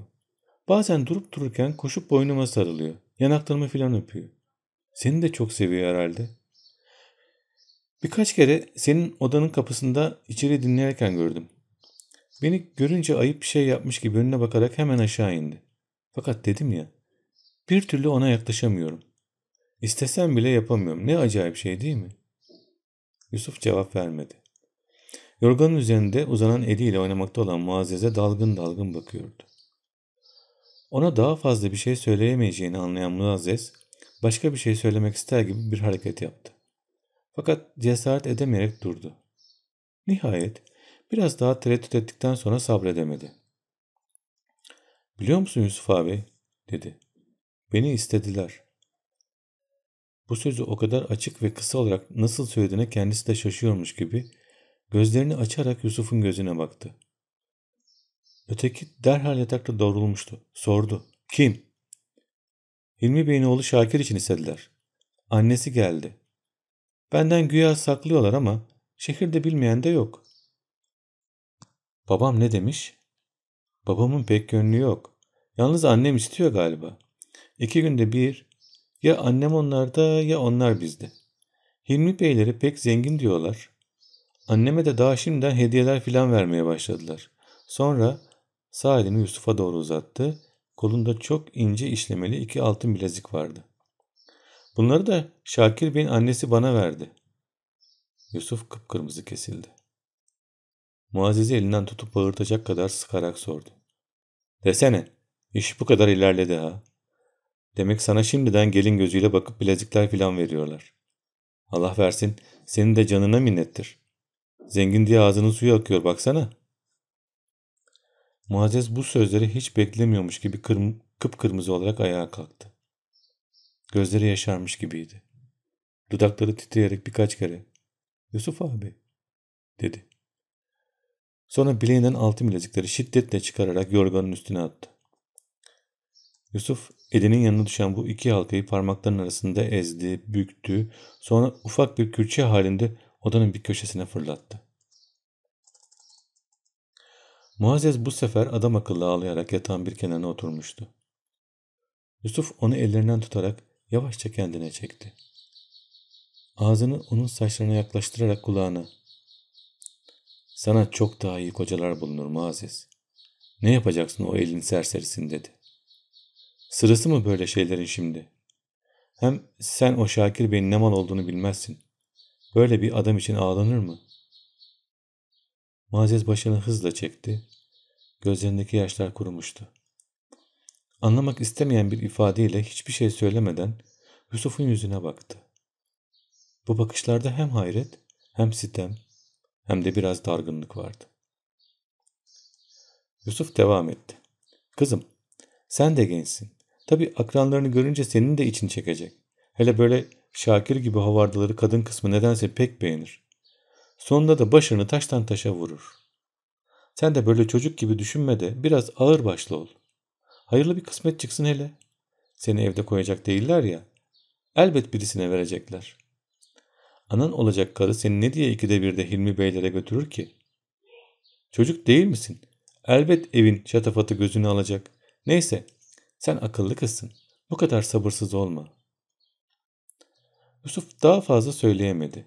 Muazzez'in yüzü onu korkuttu ve şaşırttı. Genç kızın iri gözlerinin içi ateş gibi yanıyor, dudaklarının kenarı tokat yemiş gibi titriyordu. Ağlayamayacak kadar çok ıstırap çektiği, şiddetli bir buhran geçirmek üzere olduğu görülüyordu. Fakat böyle bir şey olmadı.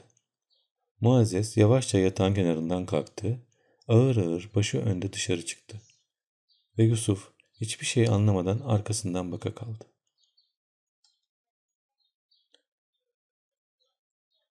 Şakir bayram günü Yusuf'la kavga ettikten sonra sarhoşlukla o kızı karı diye alıp evime götürmezsem anam avradım olsun. Şakir'in kim olduğunu belirtmeli o yabancının Yusuf'una diye yemin etmişti. Bu sözleri Şakir'in her zamanki sarhoşluk palavraları zannedenler yanıldılar. Her yerde ve daima hükmünü yürütmeye alışmış olan bu şımarık delikanlı, herkesin içinde yediğin yumruğun acısını bir türlü unutamıyor ve ancak Muazzez'i almakla Yusuf'a tam bir mukabelede bulunabileceğini zannediyordu. O zaman Yusuf'a dönüp bu muydu benden sakladığın kız? İşte onu evime avrat diye götürüyorum diyecekti. Ve başka bir şey istemiyordu. Babası evvela bunu dinlemek bile istemedi. Oğluna bir memur kızı almayı, bu memur kim olursa olsun aklından bile geçiremezdi. Fakat Şakir'le bir odaya kapanarak yaptıkları uzun bir münakaşadan sonra razı oldu. Nedense bu baba oğul birbirlerinin sözünden çıkamıyorlardı. Hatta Hilmi Bey'in oğluna karşı biraz da çekingence bir hali vardı. Çok kere şiddetle muhalif olduğu şeyleri böyle bir hususi ve gizli münakaşadan sonra kabul ederdi. Sonra bu meselede pek fazla ısrarda lüzumlu bulunma, bulmadı. Bir kaymakam bazen zengin bir eşraf kızından daha çok işe yarayabilirdi. Ve ihtimal Şakir konuştukları zaman babasına bu izdivacın aynı zamanda lüzumlu olduğunu da ispat ederek onu kandırmıştı. Fakat ikisi de nedense doğrudan doğruya kızı istemeden evvel Selahattin Bey'in elini ayağını bağlamayı muvafık buldular. Bunu belki işi süratle bitirmek için yapmışlardı. Selahattin Bey'in mütereddit cevaplarından memnun olmayarak katı bir neticeye varmak teşebbüsünde bulunmaları da bu işte beklemeyi pek istemediklerini gösteriyordu. Bilhassa Yusuf'un yaralanması ve Kübra ile annesinin kaymakamlara taşınmaları onları daha çabuk olmaya sevk etti. Memleketin bütün sözü geçen takımı seferber hale gelerek Selahattin Bey'e sıkıştırmaya başladı. İlk zamanlarda rica ve kandırma yolu tutan bu adamların sözleri Selahattin Bey'in mütemadi redleri karşısında yavaş yavaş bir tehdit kılığı alır oldular. Zavallı adam işin bu şekle gireceğini düşünmemişti. Memleketi asıl idareleri altında bulunduran bu adamların karşısında bir hükümet memurunun ne kadar az kıymeti olabileceğini, bir kaymakamın aşağı yukarı kendisine itibar edilen fakat işlerine engel olmaya başlayınca derhal tüydürülen bir kukla olduğunu bildiği için vaziyetten tamamen ümidi kesmiş gibiydi. Elde bulunan bir tek çare yani burayı bırakıp gitmek Hilmi Bey'in elinde o senet kaldıkça imkansızdı. Halbuki bu vaziyette biraz daha beklemek memleketteki nüfuzlu kimselerin müştereken kendi aleyhine harekete geçmelerine, azline, en sonunda kepaze olmasına bile yol açabilirdi. İçkinin zayıflattığı sinirleri daha fazla tahammül edemeyecek gibi görünüyordu. Yavaş yavaş başka türlü düşünmeye ve kendi kendine sormaya başladı. Bu kadar ısrarın manası neydi? Bekir'in bu işten vazgeçmeyip bilakis daha fazla üstüne düşmesi, ondaki bu arzunun geçici bir heves olmadığını gösteriyordu. Bu kadar kuvvetle bir şeye sarılan bir adamın zamanla kendini ıslah etmesi hiç de olmayacak şey değildi. Hatta ihtimal Şakir'in yaşadığı kirli hayata karşı duymaya başladığı nefret ve iğrenme ona bir aile hayatı kurmak arzusunu vermişti. Bütün bunlara mukabil kendisinin ortaya sürdüğü sebepler ve itirazlar ne kadar manasızdı. Şakir'in yaptıklarını aynı şekilde ve bu kadar ileri giderek olmasa bile gençliğinde kendisi de yapmamış mıydı? Düşündükçe şimdiye kadar aldığı tavırları manasız buluyor ve kendisini de başkalarının da boş yere sıkıntıya soktuğunu zannediyordu. Avukat Hulusi Bey de eski itirazlarında o kadar ısrar etmiyor. Sen bilirsin. Hayırlısı neyse o olsun. diyordu. Adamcağız bu şehirde oturduğunu ve bu şehirden ekmek yiyeceğini unutmamak mecburiyetindeydi. Nihayet bir gün Selahattin Bey işi Yusuf'a açtı. Bir akşam yemeğinden sonra onu kenara çekerek Yusuf dedi. Muazzez artık evlenecek çağa geldi. Kendisini isteyenler de var. Ben sana şimdiye kadar açmadım ama sen herhalde dışarıdan duymuşsundur. Hilmi Bey'in oğlu Şakir. Senin bununla aranın iyi olmadığını biliyorum. Fakat mesele kardeşinin saadeti meselesidir. Evvela ben de bu işe taraftar değildim. Ben de bu Şakir Bey'i pek edepsiz biri olarak tanıyordum. Fakat sözlerine itimat ettiğim birçok kimseler onun aslında hiç de fena bir delikanlı olmadığını, yalnız gençliğin ve bazı fena arkadaşlarının tesiriyle biraz taşkın ve biçimsiz bir hayat geçirdiğini söylediler. Ama şimdi Muazzez'i istedikten sonra herhangi bir hafifliğini gören yok. Birçokları şaşıyoruz bu ele avuca sığmayan delikanlının nasıl böyle uslu uslu durduğuna diyorlar. Demek ki çocuğun mayasında iyi taraflar varmış. Sen de tabii ufak bir geçmişten dolayı bu işe karşı komazsın. Selahattin Bey bu sırada Yusuf'un kendisini dinlemeyerek perdenin püsküllerini saç örgüsü gibi örmekle meşgul olduğunu gördü. Canı sıkılarak derhal sözünü kesti. Yusuf perdenin kenarını bırakıp ona döndü. Sen kararını vermişsin. Bana bunları ne diye anlatıyorsun? dedi. Kızın babası sensin. Onu benden çok düşünmen lazım. Bana ne? Aman Yusuf, böyle söyleme. Muazzez'i benden çok senin düşündüğünü bilmez miyim? Sen ona hem ağabeylik hem babalık yaptın. Ne yalan söyleyeyim. Ona anasının bile senin kadar emeği geçmemiştir. Şimdi bana ne filan diye ters cevaplar vermenin sırası mı? Bak ben seninle akran gibi konuşuyor, danışıyorum. Eski hıncını filan bir tarafa bırak. Bu işte bir fenalık görüyorsan söyle. Niçin bunun lakırdısını bile etmek istemiyorsun? Bildiğin bir şey mi var? Bildiğim bu Şakir'in bir it olduğudur. Böylelerine kız filan verilmez. Yusuf, ben de öyle düşünüyordum. Fakat hemen kestirip atmak doğru mu ya? Herkes Şakir'in artık adam akıllı değiştiğini söylüyor. Neden değişti dersin? Neden olacak? Uslanmaya, adam olmaya niyetli de ondan. Sen gene öyle zannet. Ya neden uslandı? Korkudan. Hilmi Bey ile Şakir'in sen bugünlerde nasıl dokuz doğurduklarını bir bilsen. Ben bir şeyler olduğunu seziyordum ama pek içinden çıkamıyordum. Bereket versin Ali biraz gözümü açtı. Bana Şakir Beygillerin bugünlerde biraz işkilli olduklarını çıtlattı. O da sağlam bir şey bilmiyor. Hep şuradan buradan duyma ama ateş olmayan yerden duman çıkmaz. Duyduklarımın onda biri doğru olsa böyle adama kız değil selam bile verilmez. Bunlar büyütülmüş yahut uydurulmuş vakalardır. Bunlara bakıp hüküm verilir mi? Yusuf bu mesele, mesele üzerinde fazla konuşmaktan sıkılıyormuş gibi başını çevirdi. Bildiğinizi yapın dedi. Bana sordunuz da onun için söyledim. Selahattin Bey de Yusuf'un bu şekilde hareket etmesine sinirlenmiş gibiydi. Tabii bildiğimi yapacağım. Yalnız sen de bildiğini söylesen, böyle manasız homurtuları bıraksan daha iyi edersin. Yusuf omuzlarını silkti. Selahattin Bey daha fazla dayanamadı. Yerinden kalkan ve odadan dışarı gitmek isteyen Yusuf'u kolundan tutup hızla çekti. Yüzü sapsarı olmuştu. Kısık ve bazen titreyen bir sesle. Hepiniz birlik olup beni öldürmeye mi niyet ettiniz? dedi. Bütün şehir, evimin içindekiler de dahil olduğu halde hep birden bana hücum etmeye, beni mahvetmeye mi karar verdiniz Yusuf? Sen bari bana neler çektiğimi anlayacak, bana acıyacaktın. Çıldıracağım be oğlum, anlıyor musun? Çıldıracağım. Bu hal biraz daha devam eder, herkes bana karşı cephe almaya başlarsa ya başımı alıp kaçacağım yahut da kafama bir kurşun sıkacağım. Muazzezi Şakir'e vermeyelim diyorsun değil mi? Ala. Bunu ben de istemiyorum. Fakat ne yapalım? Bir akıl biliyorsan söyle de onu yapayım. Yalnız benim artık daha fazla uğraşmaya takatim kalmadı.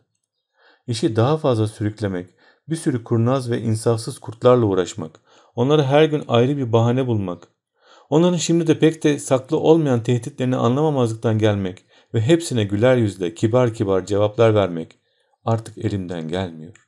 Ben de insanım Yusuf. Ben de etten ve sinirden yapılmış bir mahlum. Bana da biraz acıyın canım.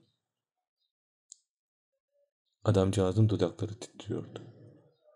Yusuf'un içi bu adama karşı duyduğu sonsuz bir merhamet ve sevgi hissiyle ezildi. Kendini tutmasa onun boynuna sarılacak ve yanaklarını şapur şupur öpecekti. Fakat sadece kolayına bakarız baba dedi.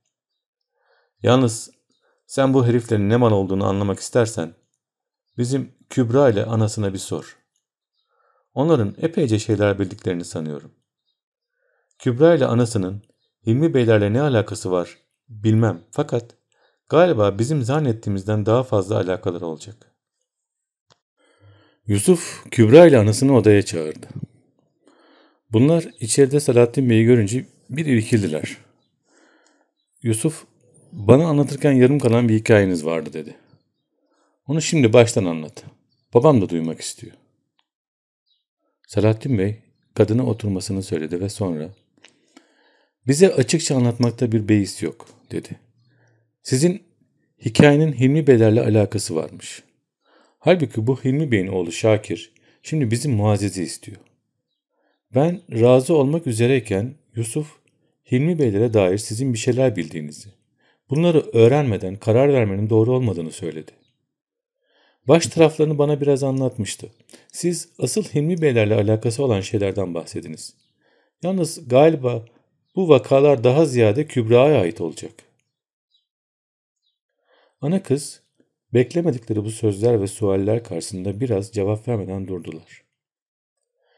Kübra başını önüne eğmiş, yere bakıyordu.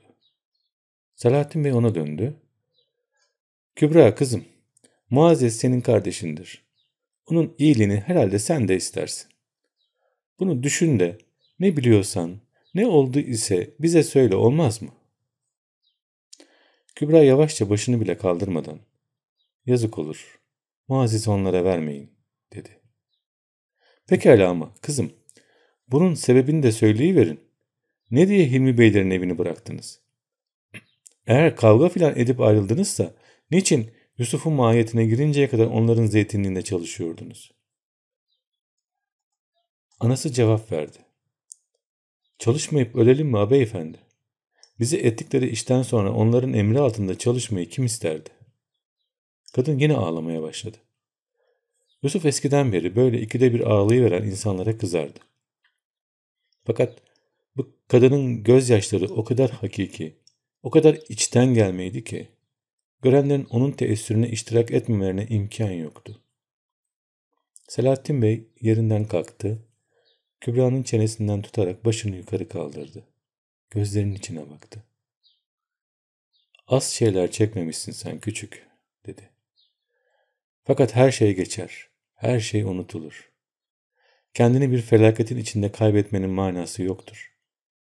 İnsan birazcık da kalender olmalıdır. Bu sözleri Kübra'nın anlayamayacağını düşünerek devam etmedi. Fakat Kübra verdiği cevapla kelimeleri değilse bile söylenilen sözün ruhunu kavradığını gösterdi. Dedi ki, hiç geçmeyen, hiç unutulmayan şeyler de var beyefendi. Ölünceye kadar insanın sırtından atamayacağı şeyler de var. Kaymakam, şimdi yalnız muazzez meselesi için değil, doğrudan doğruya bu kızın macerasını merak ettiği için sabırsızlıkla sordu. Fakat kızım, bana her derdinizi niçin açıkça söylemiyorsunuz? Size karşı bir fenalık yapıldıysa onu cezalandırmak kaymakam olduğum için de vazifemdir. Onlara kimsenin kudreti yetmez. Selahattin Bey, benim kudretim yeter diyecekti fakat bunun laf olsun diye söylemek bile elinden gelmedi.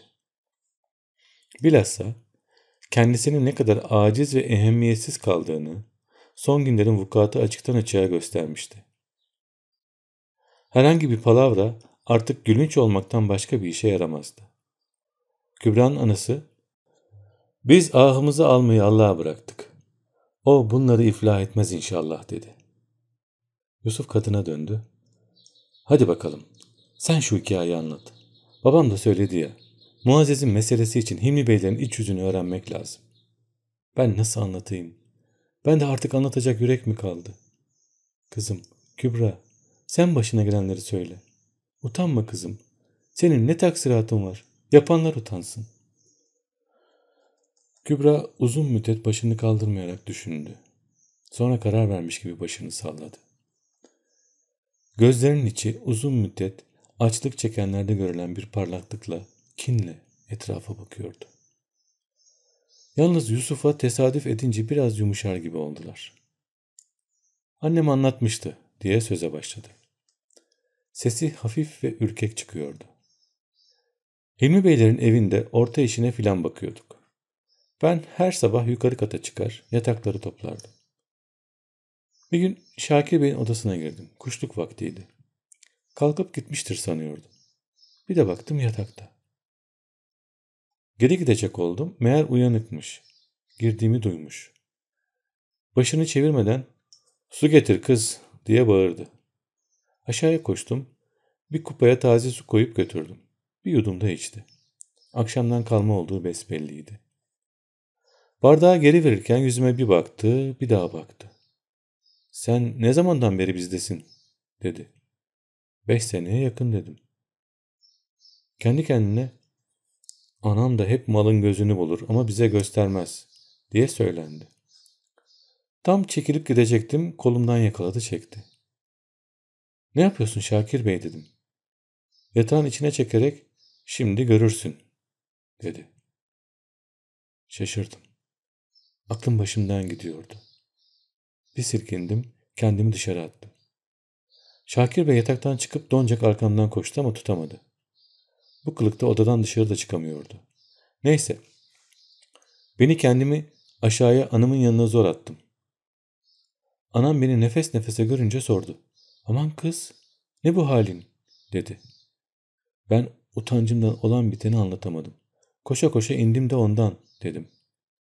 El elinde koşmaya sıkılmıyor musun? Boyun boyuma geldi daha akıllanacağın yok diye uzun uzun söylendi. Ben gayri Şakir Bey'e görünmeyeyim diye bucak bucak kaçardım. Odasına çağırdığında kapıyı ardında hep açık bırakırdım. Ama Şakir Bey artık pek evden çıkmaz olmuştu. Şurada burada yolumu keser, her bir yanımı sıkıştırmaya kalkardı. Ben de korkudan sesimi çıkarmaz, debelenip elinden kaçmaya bakardım. Bir gün, beş gün yakamı bırakmadı. Bir türlü anama bir şeyler diyemiyordum. Bu vakte kadar ne diye söylemedin der de büsbütün kızar diye korkuyordum. Ama Şakir Bey'in halleri de dayanılır gibi değildi. Sabahları kuşluk vaktine kadar yataktan çıkmaz, türlü mana bulup beni çağırtır. Anama birkaç kere yukarı işine sen bak da ben senin yerine mutfağa gireyim dedim. Anacığızım kim bilir ne anladı.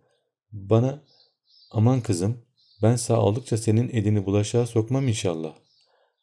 Bana acıdığından bunu söylüyorsan yazık. Anan senin için her şeyleri yapar, dedi. Fıkara kadın. Bilmezdi benim neler çektiğimi. Gün geçtikçe Şakir Bey işi azıttı. Evde başkaları da duyup bir şey sanacak, beni de anamı da evden kovacaklar diye yüreğim titriyordu. En nihayet Şakir Bey de bu işten bıkmış gibi yakamı bıraktı. Ben, eh dedim biraz başım dinlenecek. Çünkü artık beni gördüğü yerde öteme verime dokunmuyor, yalnız kötü kötü bakıp geçiyordu. O zaman bahar vaktiydi. Evde cümbüş, kıyamet gidiyordu. Bir gün hanım beni yanına çağırdı. Cennet ayağındaki bağa eşya taşınıyor. Arabalarla git de öteberiyi yerleştir, dedi. Günah boynuna. Bir şeyden haberi var mıydı bilmem. Anam da sabahtan beri Yunak'ta çamaşır başındaydı. Gittiğinden haberi olmadı. Ben bağı pek severdim. Vişne zamanında gelmişti. Sevine sevine koştum. Arabadaki yatakların, kilimlerin üstüne oturdum. Arabacı deli bir oğlandı. Atları sürer, arabayı devirecek gibi koştururdu. Hem korkudan iki yanıma sarılır hem de keyfimden bağırırdım. Bağ cennet ayağının ta öbür başındaydı. Soğuk tulumbayı geçtik, bahçelerin arasına daldık, yoldan su geçiyordu. Arabanın tekerleri yarısına kadar suya gömülüp gittiğinden şıpır şıpır sesler çıkarıyordu. Arabacı da iyice coşmuş, türkü çığırır oldu. En sonunda bağ geldik. Ben hemen atladım. Vişnelerin dibine koştum. Dalları tutup aşağı eğerek yemeye başladım. Arabacılar eşya indirene kadar vişneye doyarım diyordum. Biraz sonra bizim deli arabacı Kübra biz gidiyoruz gel topla eşyaları diye bağırdı. Ben de vişne dalını bırakıp eve seyirttim. Eşyalar darmadağınık duruyordu. Yazın burası bu bağda geçeceği için her şeyleri getirmişlerdi. Sepetlerin içinde bakır tencerelerden kırmızı biber kutularına kadar her bir şey vardı. Ben hem eşyayı evin içine taşıyor hem de türkü çağırıyordum. Bugün gibi aklımda. Musa Çavuş'un kaçırdığı Şadiye için bir türkü yakmışlardı. Aman beyler yoldan geldim yorgunum. Şadiye Hanım'ın cilvesine vurgunum diye. İşte onu söylüyordum. Yukarı katta koca bir halıyı odaya sürüklerken merdivenleri birisi çıkmaya başladı. Yüreğim hop diye ağzıma geldi. Odanın öbür başına kaçıp sofaya doğru baktım. Sırıtıp gelen Şakir Bey'i gördüm. Selahattin Bey ve Yusuf kımıldadılar. Kübra onlara bakarak sustu. Yüzü fevkalade manasız bir ifade almıştı. Son sözler ağzından bir plaktan geliyormuş gibi ruhsuz ve kapalı çıkıyordu. Şakir Bey hep öyle sırıtarak kapıya kadar geldi. Ben bağırıp dışarı fırlamak için iki adım yürüdüm. Aklım büsbütün başımdan gidecekti. Bu sefer de merdivenden Hilmi Bey çıkıyordu. Selahattin Bey yerinden fırlayıp bağırdı. Babası mı? Babası. O da sırıtıyordu. Aman anacığım. Ben dünyada bunların sırıtması kadar kötü şey görmedim. Kız yüzünde hep o taş kesilmiş ifade olduğu gibi anasının kucağına kapandı. Hiç kımıldamıyordu. Eğer ağlıyorsa bu pek garip bir ağlayıştı. Yusuf da yerinden kalktı. Odadan çıkmak için yürüdü. Tam kapıdayken Kübra'nın annesinin sesini duyarak geriye baktı. Kadın kaymakama doğru boynunu uzatmış, boğuk boğuk. Kızım pencereye koşmuş. Yarı beline kadar dışarı sarkmış. Ama aşağı düşmeden oğlan eteğinden yakalamış. Dışarıda bahçe kapısının içindeki kuyunun taşında Hacı Etem oturup çomak yontarmış diyordu. İkinci kısım Birkaç gün sonra bir kuşluk vaktiydi. Şakır şakır yağmur yağıyordu. Yusuf gocuğuna bürünmüş, hızlı adımlarla aşağı çarşıdan geçerken Hacı Ethem'e rast geldi. Beriki bunu görünce yolunu değiştirecek oldu fakat Yusuf onu önledi. Gelsene azıcık dedi. Hacı Ethem eliyle tabancasını yokladı ve bir adım ileride giden Yusuf'un hareketlerine dikkat etmeye başladı. Yusuf ellerini arkasına kavuşturmuş hızlı hızlı gidiyordu. Yolun kenarına gelince bir dükkan çatısının altına sığındı. Hacı Ethem'in yüzüne bakmadan ''Babamdan aldığınız senet yanında mı?'' dedi. Bir kavgaya, bir hesap sormaya hazırlanan fakat bu suali hiç beklemeyin Hacı Ethem. Bende senet ne gezer? Beyin kendisindedir, dedi ve ilave etti. Ne olacaktı ki? Akşamüstü al da Çınarlı kahveye gel. Parayı ödeyeceğim. Hacı Ethem bu sefer kendi karnına bir bıçak yemiş gibi sanırdı. Hele bunu hiç beklemiyordu. Nereden ödeyeceksin? Üstüne vazife mi? Senedi getir, parayı vereceğim. Ve arkasına bakmadan soğuk tulumba tarafına yürüdü. Zeytinliğe gidip akşama kadar işçilere göz kulak oldu. Hacı Ethem kahvede pastıra oynamaya gitmek için evden çıkmıştı. Fakat Yusuf'la karşılaştıktan sonra hemen döndü. Hilmi Beylerin evine giderek iki saat kadar kaldı. Baba oğul onlar da böyle bir şey beklemiyorlardı. Selahattin Bey'in bir iki günde 300 lirayı bulabilmesine imkan yoktu. Kaymakamın hepsi memur olan arkadaşları da kendi gibi züğürttü. Yerlilerden ise böyle bir fedakarlığı hem de karışık bir işe girmek suretiyle yapmak isteyecek kimse bulunamazdı. Bu işte bir oyun olması ihtimalini en akla yakın buldular. Hilmi Bey senedi Hacı Ethem'e verirken ''Gözünü aç da kağıdı kaptırma. O oğlanı pek gözüm tutmuyor.'' dedi. Halbuki akşam üzeri camları nefesten buğulanan çınarlı kahveye arkasında iki de adamıyla birlikte giren Hacı Ethem'i Yusuf ayakta karşıladı. Ondan senedi alınca karşısındakinin beklediği gibi yırtmaya veya kaçmaya kalkacağı yerde güzelce katlayıp cebine koydu ve gocuğunun cebinden büyükçe bir meşin kese çıkararak beyaz boyalı demir masanın üzerine altınları saymaya başladı. 320 lira tamam olunca yine karşısındakinin yüzüne bakmadan ve bir şey söylemeden kapıya gidip yağmurun içinde kayboldu. Kahvede bulunup bu manzarayı görünce tavlalarını bırakarak o tarafa sokulanlar ağızlarının kenarında ahbapça sırıtmalarla Hacı Ethem'e bakıyorlar ve o liraları avuçlayıp cebine doldururken aptal bir bakışla dudaklarını yalıyorlardı. Kahvenin kapısı tekrar aralandı ve içeri Şakir girdi. Hacı Ethem'in etrafında toplananlar onu görünce yerlerine dağıldılar ve ikisini yalnız bıraktılar. Şakir kapıya yakın bir masaya gitti, tahta iskemleyi Gülhan Beyci bir tavırla çekip altına aldı. Hacı Ethem de karşısına geçti. Evvela ikisi de bir şey söylemediler. Şakir bir müddet kahvenin içini süzdü. Oldukça geniş olan salon adam akıllı kalabalıktı. Uzun ve beyaz bıyıklarını oynata oynata bir köşede Rumca muhabbet eden Giritlilerin sesi buradan duyuluyordu. Daha ileride kahve ocağına yakın bir yerde 4-5 at çambazı küçük Mikyas'ta bir kavgaya başlamışlardı.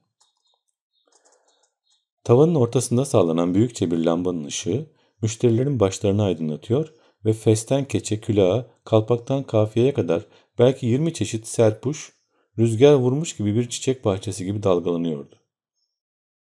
Kahve ocağını müşterilerden ayıran, üst kısmı raflardan müteşekkil tahta bölmede sırayla dizilmiş nargileler ve dikine konmuş sarı bakır tepsiler parlıyor ve bir kenarda kabzaları kadifeli kırmızı marpuçlar sallanıyordu. Esmer duvarlarda başları taçlı, göğüsleri kat kat incili şişman acem güzelleri duruyor ve mütemadiyen kımıldayan bir insan başı bahçesini seyrediyordu. Bunların karşı sırasında diğerleri gibi renkli taş basması iki Otello sahnesi vardı. Bunlardan biri yere eğilip Desdemona'nın düşürdüğü mendili alan Yago'yu, diğeri de muhteşem bir yatağa serilen Desdemona ile hançeri kendi gırtlağına saplamak için kolunu kaldıran aksakallı kıskanç zenciyi gösteriyordu. Fakat Şakir ömrünün yarısını geçirdiği bu kahvede bu anlattığımız şeylere bakmıyor. Sadece Hacı Ethem'in daha evvel söze başlaması için gözlerini etrafta dolaştırıyordu. Nihayet onun da sustuğunu görünce gözünün birini kapayıp başını sallayarak ne var ne yok demek isteyen bir işaret yaptı. Hacı Ethem bunu bekliyormuş gibi hemen fena dedi. Parayı verdi mi? Tas tamam. Ne halt edeceğiz? Bilmem. Sen bir çare düşünmedin mi? Vallahi zor iş. Aralıkta benim başımda nare yanacak. Bana kalırsa kızı buralardan aşırmaya bakmalı, kaçırmalı. Şakir gözleri parlayarak ona doğru eğildi. Babam, bu işe onu razı edebilir misin? Hacı Ethem bu ne biçim laf der gibi Şakir'in yüzüne baktı. Canı isterse yoksa üçümüz birden damı boylarız. Şakir karşısındakinin sözlerini artık dinlemiyordu. Bir şey düşünmeye baş dalmıştı. Yavaşça sordu. Hemen bu işi yapabilir miyiz? Kolay değil. Nereye götürürüz? Şakir onun sözünü kesti. Bizim yaylaya dedi. Ben götürürüm. Hacı Ethem canı sıkılmış bir tavırla ve yan yana ona baktı. Ya anasını ne yapacağız? Şakir onun ne demek istediğini pek anlayamadı. Anasını mı? Evinde otursun anası. Bana ne? Bana kızı lazım. Hacı Ethem'in yüzü büsbütün içerlemiş bir ifade aldı. Sen kimi diyorsun Allah aşkına? Kaymakamın kızını. Hacı Ethem altına alıp oturmuş olduğu sağ ayağını yere indirdi ve eliyle bir şey fırlatıp atar gibi bir işaret yaptı. Bırak Allah'ını seversen Şakir Bey. Hep keyfinin havasındasın. Ben şu başımıza sardığımız derdi Kübra mıdır nedir onu söylüyorum. Sen sevdalık peşindesin. Öbür işi temizlemezsek başımıza gelmedik bela kalmaz. Hele şimdi kaymakam kendini serbest bulunca var kuvvetiyle bize dayanacaktır. Memlekette kepaze olduğumuza mı yanarsın, mahkemelerde süründüğümüze mi yanarsın? Hani sen o işi düzenlemiştin ya? Senin dünyadan haberin yok Şakir Bey. Senin gözünü mü boyadılar nedir? Düzene koyduk dediğin iş yüzünden az daha ben sizden evvel damı boylayacaktım. Biz belayı Yusuf'un başına sardıralım derken kahpenin kızı Mostra'yı meydana vurdu. Ne edeceğimi şaşırdım. İşin içine bir de bıçak oyunu girdi. Bakalım ne olacak? Bütün emirim şu paradaydı. Onu da ödedikten sonra herifin bizden ne korkusu olacak? Hele şu yere bakanı olan şu Yusuf yok mu? Onun hesabını da görecek zaman gelir elbette. Bütün açmazlar onun başının altından çıkıyor. 320 lirayı nereden denkleştirdi bilemedim gitti. Yol mu kesti dersin? Şakir ifadesiz gözlerle ona baktı. Peki Muazzez ne olacak? O meseleyi ne yapacağız dedi. Hacı Ethem yerinden kalktı. Şakir de doğruldu. Kapıya doğru yürüdüler. Dışarıda yağmur azalmıştı. Kapının önünde birbirlerinden ayrılırken Hacı Ethem ''Senin gözünü sevda bürümüş bey'' dedi. ''Sen bir İzmir'e git de gönlüne eyle.'' Yusuf 320 lirayı yol keserek tedarik etmemişti. Kübra başından geçenleri anlattığı gün akşam üzeri doğru Yusuf evden çıkmış Şerif Ağa'nın oğlu Ali'nin dükkanına gitmişti.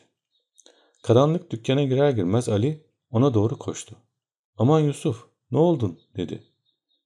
Yusuf o zamana kadar yüzünde görünmemiş bir heyecanla fasulye çuvallarından birine ilişti. Ali'ye uzun uzun ve dikkatle baktıktan sonra ağlar gibi bir sesle sordu. Siz ne biçim insanlarsınız? Bu sözlerde bir sualin bütün talepleri, anlayamamanın bütün isyanı toplanmış gibiydi. Ali şaşırdı ve durakladı. Ne oldu Yusuf? Tam bu sırada içeri giren bir müşteri Ali'den Tosya pirinci istedi. Müşteriyi sağladıktan sonra Yusuf'un yanına gelen Ali, onun tekrar kendini topladığını fark etti. Şimdi dudaklarında hep o lakayt ve her şeyi bilen tebessüm vardı. Bir türlü anlayamadığı, bir türlü içlerine karışamadığı ve bunu zaten asla istemediği bu insanlarla arasında çelik bir duvar gibi yükselttiği bu tebessüm, onun müracaat ettiği en son çareydi. Kendini bu şehrin korkunç akıntısından ancak etrafında ördüğü bu soğuk duvarla kurtaracağını sanıyordu. Ruhuna bir gülle gibi düşen ve orasını darmadağınık eden Kübra'nın hikayesini ve onun akislerini bu duvarın içinde saklamalıydı. Zaten saklamasa ne yapabilirdi? Kendi diliyle bu insanların dili arasında herhalde pek büyük farklar olacaktı. Onlar Yusuf'un sözlerinden bir şey anlamayacaklar ve o anlattığıyla kalacaktı. Sonra insan ancak her hususuna akıl erdirebildiği şeyleri söylemeliydi. Halbuki Yusuf birçok şeylerin niçin yapıldığını ve nasıl yapılabildiğini hala anlayamıyor. Bunları belki ömrünün sonuna kadar da anlayamayacağını müphem bir şekilde hissediyordu. Onun için ömrünün bu en azaplı, en fırtınalı anında gene sükunetini aldı ve Ali'ye sadece duyduğu vakayı anlattı. Ali hiçbir şey sormadan sonuna kadar dinledi. Yalnız Yusuf'un sözünü bitirmesine yakın yüzü kıpkırmızı oldu. Bir müddet sustular. Sonra Ali, ben bu kadarını düşünmemiştim, dedi. Sandığımdan daha aşağılık adammış bunlar. Demek ki babanı borçlu etmekten maksatları buymuş. Bir yerden kokusu çıkarsa babam vasıtasıyla önlemek isteyecekler herhalde. Şakir de Muazzez'i bu yoldan elde etmek niyetinde. Babamdan artık hayır yok. Ne yapacağını bilmiyor. Ali bir müddet tereddüt ettikten sonra dayanamadı. Muazze'nin, Muazzez'in bu anlattıklarına haberi var mı? dedi. Bilmem. Nereden haberi olacak? Şakir'e gitmek istiyor mu? O ne bilecek, aklı erer mi? Ali'nin gözleri parladı. Ermez olur mu? Yalnız Şakir'in ne mal olduğunu öğrenirse herhalde adını bile anmaz değil mi? Yusuf mukalemenin nereye gittiğini anlayamadı. Sadece omuz silkti. Ali bir şeyler söylemek istiyor fakat bir türlü beceremiyordu. Birkaç kere ağzını açtı sonra tekrar sustu. Yusuf dalgın dalgın bekliyordu. Bir aralık gülümseyerek ''Beni de işin içine karıştırma istediler desene.'' dedi. ''Hangi işin?'' ''Ha şu bıçak meselesi değil mi?'' ''Aşk olsun kıza. Ne biçim kız bu? Ben hiç görmedim.'' ''Sorma. İnsan bakamıyor bile. Fakat onda bir şeyler var. O kız böyle kalmaz. Muhakkak bir şeyler yapacak. Evde onu gördükçe ürküyorum. Ali tekrar kafasının içine dolaşan mevzuya dönmek için herhalde babam parayı ödemeli dedi. Yusuf ancak birkaç saniye sonra, sonra intikal ederek nasıl öder diye cevap verdi. Neyle öder? O zaman Ali birdenbire kendisinin bile şaştığı bir cesaretle ben vereyim dedi. Yusuf ağır ağır karşısındakinin gözlerinin içine baka baka Muazzez'i sen mi istiyorsun dedi. Ali gene kıpkırmızı olarak önüne baktı. Yusuf yerinden kalkıp Ali'nin omzuna vurdu. Bu dünyada karşılıksız hayır işlenmediğini öğrendim de onun için sordum dedi. Ne kızarıyorsun? Bu işi ben de münasip bulurum. Babamı bu akşam açayım. Herhalde razı olacaktır. Yalnız sen kendi babanı nasıl yola getirip bu kadar parayı alacaksın? Ali, aldırma dedi. Yusuf dükkandan çıkıp giderken yanına sokulup Bizim büyük anne altın küpüdür. Benim bir sözümü iki etmez. Babamın da ruhu bile duymaz diye fısıldadı. Hakikaten Ali'nin anneannesi Edremit'in meşhur simalarındandı. Genç yaşında küçük bir kız çocukla dul kaldığı halde babasından ve kocasından kalan malları tek başına idare etmiş, ayağına meslerini giyip aylarca zeytinlerinin başında dolaşmış. İstanbul'a ve İzmir'e yağ satmış, nihayet kızını oldukça fakir bir delikanlı olan Şerif Efendi'ye Ali'nin babasına verince biraz istirahate çekilmişti. Artık malları damadıyla torunu idare ediyordu. Fakat ihtiyar Ganimet Hanım'ın bir köşecikte sarı liraları bulunduğu, hatta bunların kefen param buradadır, cenazemi bununla kaldırınız diye gösterdiği, fakat baş ucundan ayırmadığı yeşil boyalı küçük meşe sandıkta durduğu söylenirdi.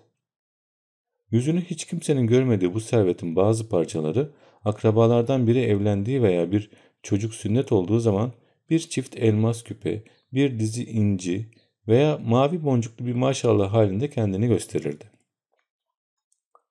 Evlerinin alt katındaki alçak tavanlı ve loş odada bir köşe minderine oturarak hiç durmadan okuyup kınalı elleriyle tesbih çeken, üç ayları tutan, günde bilmem kaç rekat nafile namazı kılan ve damadına bile başörtülü çıkan bu kadının Ali'ye karşı büyük bir zaafı vardı. Ali kendisine gidip derdini anlattığı zaman Git oğul, bende o kadar para ne gezer dediği halde yatsı namazını kıldıktan sonra usulca Ali'nin odasına gitmiş. Al, babana bir şey duyurma diyerek Ali'nin yerde serili duran yatağının başucuna büyükçe bir kese bırakmıştı. Bu sırada Ali odanın öbür ucunda yere diz çökmüş önünde küçük bir rahle 5 numara bir lambanın ışığı altında veresiye defterlerini temize çekiyordu. Nenesini görünce kurşun kalemiyle kocaman defteri elinden fırlatarak boynuna sarılmak için ona doğru koştu. Fakat ihtiyar kadın eliyle sus diye işaret ettikten sonra geldiği gibi sessiz adımlarla ve uzun eteklerini eşiklerde sürüyerek dışarı süzüldü. Ali sabahı zor etti ve ertesi gün akşamın alacakaranlığına kadar Yusuf'u bekledi. Zaman geçtikçe ümidi kırılıyor ve dükkana dört tarafa gidip geliyordu. Ara sıra başını kapıdan dışarı uzatarak yola bakıyor, sonra kendini oyalamak için tekrar veresiye defterlerine sarılıyordu. Bu esnada aklı büsbütün başka yerlerde dolaşıyor veya düğün günü arkadaşlarıyla beraber alay havası oynarken görüyordu. Sonra birdenbire Yusuf'un hala gelmediğini hatırlıyor, içi burkuluyor, kafasının içinde müspet ve menfi ihtimaller birbirini kovalayan dalgalar halinde çalkalanıyordu. Birkaç kere dalgınlıkla müşterilerin sirke şişesine az kaldı gaz yağı dolduracaktı. Akşama kadar belki 5-6 veresiyeciyi deftere yazmayı unuttu ve düşüncelerinin sonunda birkaç kere gözleri yaşardı. Bazen tatlı, bazen acı hayallerle. Ortalık adam akıllı karardıktan sonra büyük bir ümitsizlik ve yorgunluk içinde dükkanı kapamaya başladı. İndirdiği tahta kepenklere kol vurup kilitledi ve ağır ağır evin yolunu tuttu. Bayram yeri caminin önden geçerken içeride hızlı hızlı namaz kıldıran imamın sesini duydu. Kısa fasılalarla secdeye varanların patırtısı dışarıdan işitiliyordu. Biraz daha yürüdükten sonra çivitli kireçle badana edilmiş olan ev göründü. Bahçe duvarının üstünden iri bir incirin dalları sokağa doğru uzanıyordu. İçeri girip avludaki tulumbada yıkandıktan sonra yemek yemeden yukarı kata kendi odasına çıktı. Beyaz patiska örtülü ve halı yastıklı mindere uzanarak düşünmeye başladı. Bir bakkala da kız verecek değiller ya, diyordu. Beş on kuruş paramız var diye biz de kendimizi adamdan sayıyoruz. Koskoca kaymakam bu. Kalkıp konsolun üstünde birbiri üstüne yığılı duran kitaplardan birini aldı. Bu mektep zamanından kalma bir dördüncü sınıf kıraatiydi. Ara sıra akşamları böyle kah bir riyaziye, kah bir tarih kitabını eline alır, belki elli defa okuduğu yerleri bir daha gözden geçirirdi. Dünyada mektep kitabından başka bir şey okunabileceğini bilmiyordu. Büyük annesinin ara sıra diğer ihtiyar kadınlarla beraber okuyup ağlaştığı Muhammediye'yi sıkıcı buluyor, şube reisinin oğlu Vasfi de pek bol bulunan iki sütun üzerine basılmış tercüme romanları da pek anlamıyordu. Onun kıraat ihtiyacını bu mektep kitapları karşılıyordu. Fakat bu akşam birkaç parçasını gözden geçirdiği kıraat kitabı da onu sıktı ve tekrar mindere oturarak kafesli pencereden dışarı bakmaya başladı. İçinde tekrar tatlı ümitler uyandı. Muazzez'in yavaşça oda kapısını açarak elinde tepsiyle içeriye girdiğini ve kendisine kahve getirdiğini farz etti. Bütün yüzünü memnun bir tebessüm kapladı.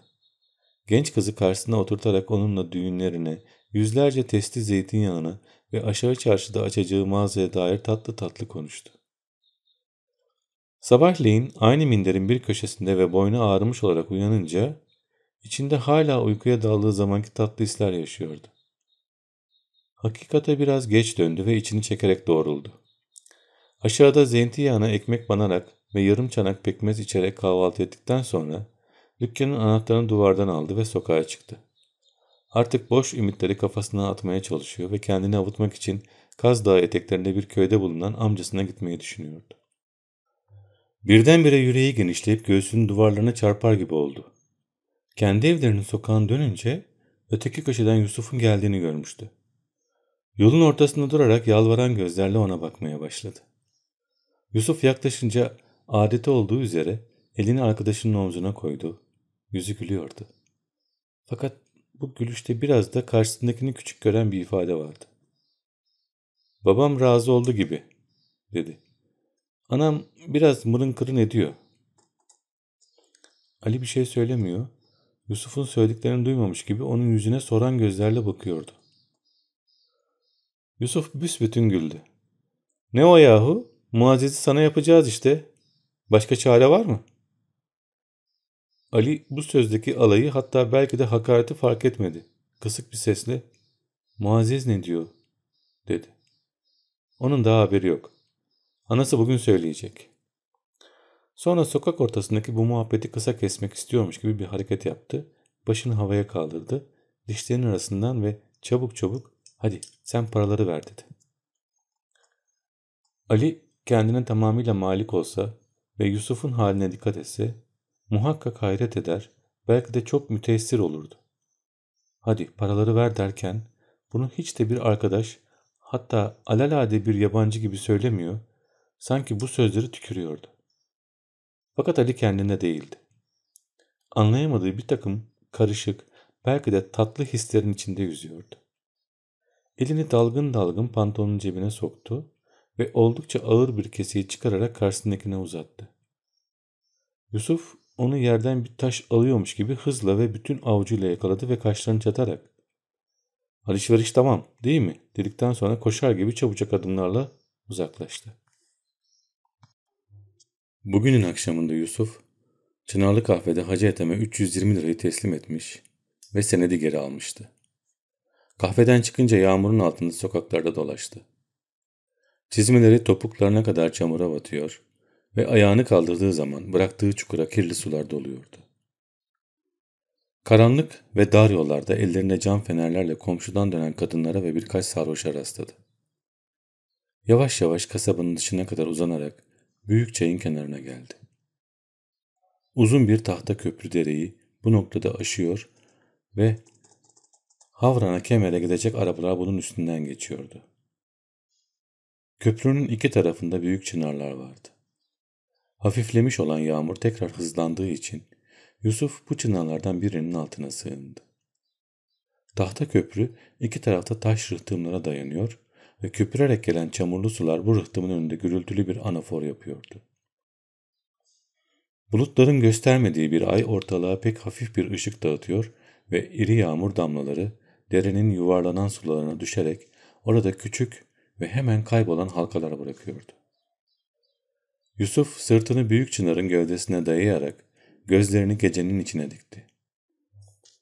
Derenin öte yakasındaki ağaçlar, şehre doğru uzanan ve üzerindeki su birinkitleri yer yer parlayan çamurlu yol, zaman zaman alçalıp koyulaşan ve yükselip açılan bulutlar, birbirine karışmış, birbirlerinin içinde kaybolmuş gibi görünüyorlardı. Sanki tabiatta bu anda müstakil hiçbir şey yoktu. Yusuf kendini de bu muazzam ve yekpare geceye yapışık sandı ve korkuyla ürperdi. Islak ellerini yüzünde dolaştırdı. Kirpiklerinden yanaklarına yağmur suları süzülüyordu. Yaptığı hareketler ona hiçbir yere bağlı olmadığının şuurunu verdi. Hatta yavaş yavaş etrafından ne kadar ayrı olduğunu, ne kadar uzak olduğunu hissetmeye başladı. Bir an içinde deminkinin tamamıyla aksi olan bir yalnızlık duygusuyla sarsıldı. Etrafına baktığı zaman ağaçların, bulutların, derenin kendisinden hızla uzaklaştığını sezer gibi oldu. Kasabanın bazı evlerinin pencerelerini aydınlatan hafif ve sarı bir ışık, Yusuf'un ıslak gözlerinde yıldızlanıyor ve dalgalı bir su üzerine bırakılmış gibi oynuyordu. İki eliyle arkasındaki ağacın kabuklarına sarıldı. Parmakları soğuk yarıkların arasına girdi. Elini hemen geri çekti ve göğsüne götürdü. Göğsünün içinde bu asırlık ağacın kabuğu gibi yarıklar bulunduğunu sandı. Ve gırtlağına kadar bir ateşin çıktığını hissetti. Aman ya Rabbi. Ne kadar yalnızdı. Yalnız gökyüzündeki yıldızlardan çayın dibindeki çakıllara, doğu tarafından kopup gelen bulutlardan batı tarafındaki denize kadar uzanan ve yayılan bu kocaman gecenin içinde yapayalnızdı. Düşüncelerini hangi istikamete koşturursa koştursun, karşısına kimse çıkmıyordu. Şu anda bu koskoca dünya üzerinde kendisini düşünen bir tek kişi bile mevcut olmadığına o kadar emniyeti vardı ki, acı bir kabadayılıkla kendisi de hiç kimseyi düşünülmeye layık bulmuyor. Fakat bundan sebebini anlayamadığı bir üzüntü duyuyordu. Acaba onu sahiden hiç düşünen yok muydu? Ve o hiç kimseyi düşünmemekte, kendini yalnız bulmakta bu kadar haklı mıydı? Bu ihtimal onun gerilmiş olan sinirlerini biraz gevşetti. Sırtını ağaçtan ayırdı. Derin bir nefes aldıktan sonra kasabaya doğru yürümeye başladı. Eve gelince cebindeki anahtarla kapıyı açıp içeri girdi. Aynı zamanda kiler ve sandık odası vazifesini zamanına göre de misafir odası işini gören taşlıkta Kübra ile anası yatıyorlardı. Yusuf'un girdiğini gören kadın, yukarı kata giden merdivenin alt basamaklarından birinde duran idareyi alıp fitili yükseltti. Yusuf eliyle rahatsız olmamasını işaret ederek sessizce yukarı çıkmak istedi. Fakat yerde bir hasırın üzerine serili yatakların yanından geçerken Kübra'nın iri ve parlak gözlerinin kendisine baktığını fark etti. Kadının elinden idareyi alırken sordu. Daha uyumadınız mı?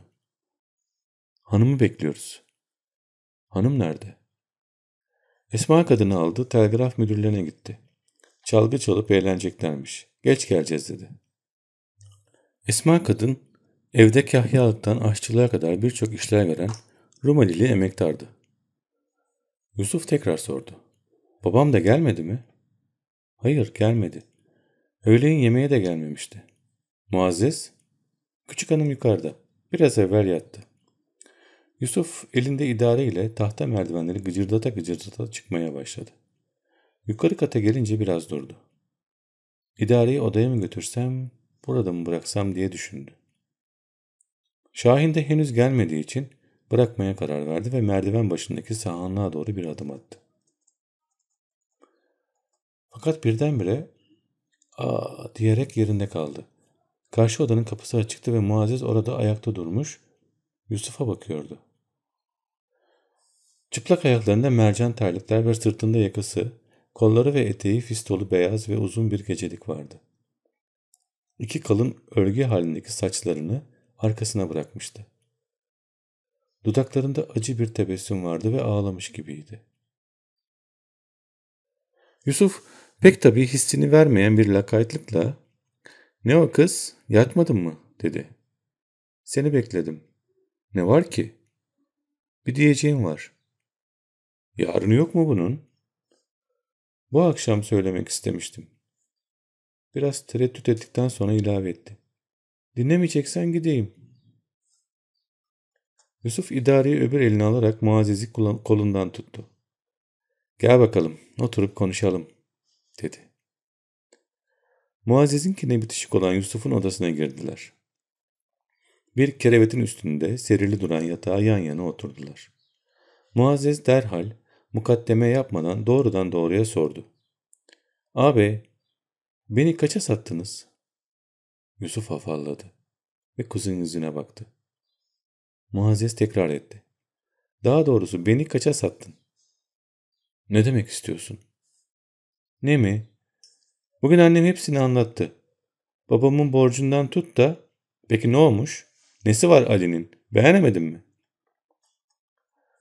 Bunu bana sormak şimdi mi aklınıza geldi? Kimseyi beğenmediğim yok. Fakat ben Ali'ye filan gitmem. Bunu da bilmiş olun. Yusuf, mükalemenin çok sert bir üslupla devam ettiğini ve bunda biraz da kendi kabahati olduğunu düşünerek mülayim bir sesle ve yarı şaka ''Yoksa gönlün hep o Şakir'de mi?'' dedi. Muazzez yerinden fırladı. Kolları soğuktan diken diken olduğu halde yüzü kıpkırmızı kesilmişti. Bana bir daha böyle şey söyleme Yusuf abi. Böyle şey söyleme. Yumrukları sıkılmıştı ve her tarafı titriyordu. Yusuf içinde hafif bir ürperme duyarak sordu. Peki kimi istiyorsun öyleyse? Muazzez kendini daha fazla zapt edemeyerek ağlamaya başladı. Başını öne eğmişti ve gözlerinden yaşlar birbiri arkasına süzülerek göğsüne damlıyordu. Yusuf onu kolundan tutup çekerek tekrar yatağın kenarına oturttu ve yavaş, tatlı bir sesle sordu. Söylesene, kimi istiyorsun? Muazzez yaşlı gözlerini Yusuf'a dikerek haykırdı. Hiç kimseyi. Anlıyor musun? Hiç kimseyi. Ve gözlerini uzun müddet onun gözlerinden ayırmadı. Yusuf da ona bakıyor ve idarenin titrek ışığı vuran yüzünde yer yer ürpermeler oluyordu. Elini yavaşça uzatarak genç kızın saçlarını okşadı. O zaman Muazzez bu işareti bekliyormuş gibi doğruldu. Yusuf'un ellerini avuçlarının içine alarak ''Kimi istiyorum, anladın mı?'' dedi. Yusuf alt dudağını ısırarak ağır ağır başını salladı. Anladım. Muazzez, hayatında ilk defa Yusuf'un iri kahverengi gözlerinde yaşlar parladığını gördü. Yarım saat hiç konuşmadan yan yana oturdular. Her ikisi de soğuktan titriyor. Fakat hiçbiri ufak bir hareket yapmaya cesaret edemiyordu. İlk defa Yusuf doğruldu ve Muazzez'in omzuna dokunarak haydi yat dedi. İkisi de ayağa kalktılar. Muazzez'in odasına gittiler. Genç kız yatağa girdikten sonra Yusuf başucuna oturdu. Gene bir şey konuşmuyorlardı. Yalnız delikanlı ara sıra elini uzatıp yataktakinin saçlarına dokunuyordu.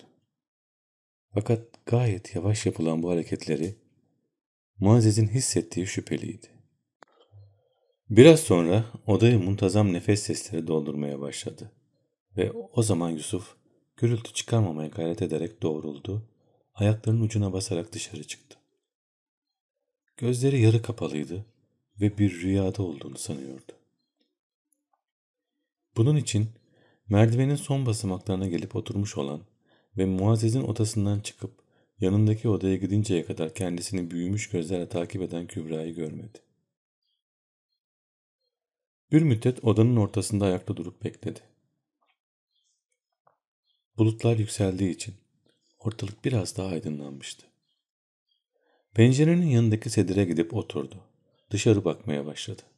Seyrekleşen, kimisi gümüş gibi beyazlaşan ve kimisi hala simsiyah alçaklarda dolaşan bulutlar birbirlerini kovalıyorlardı. Yusuf gözlerini bunlara dikti ve sabaha kadar böyle bekledi. Birer gece Fazla ile başka başka odalarda ve bir minder üzerinde aynı kızı düşünerek gecelemiş olan delikanlılar anlattığımız gecenin ertesi günü öğleye doğru buluştular. Yusuf Ali'nin dükkanına gitti. Gayet sakindi. Yapmaya mecbur olduğu işin ne kadar ağır olduğunu bilmiyor değildi. Zihninde işi çabuk kestirip atacak bir cümle hazırlamaya uğraşıyordu. Kız razı olmuyor.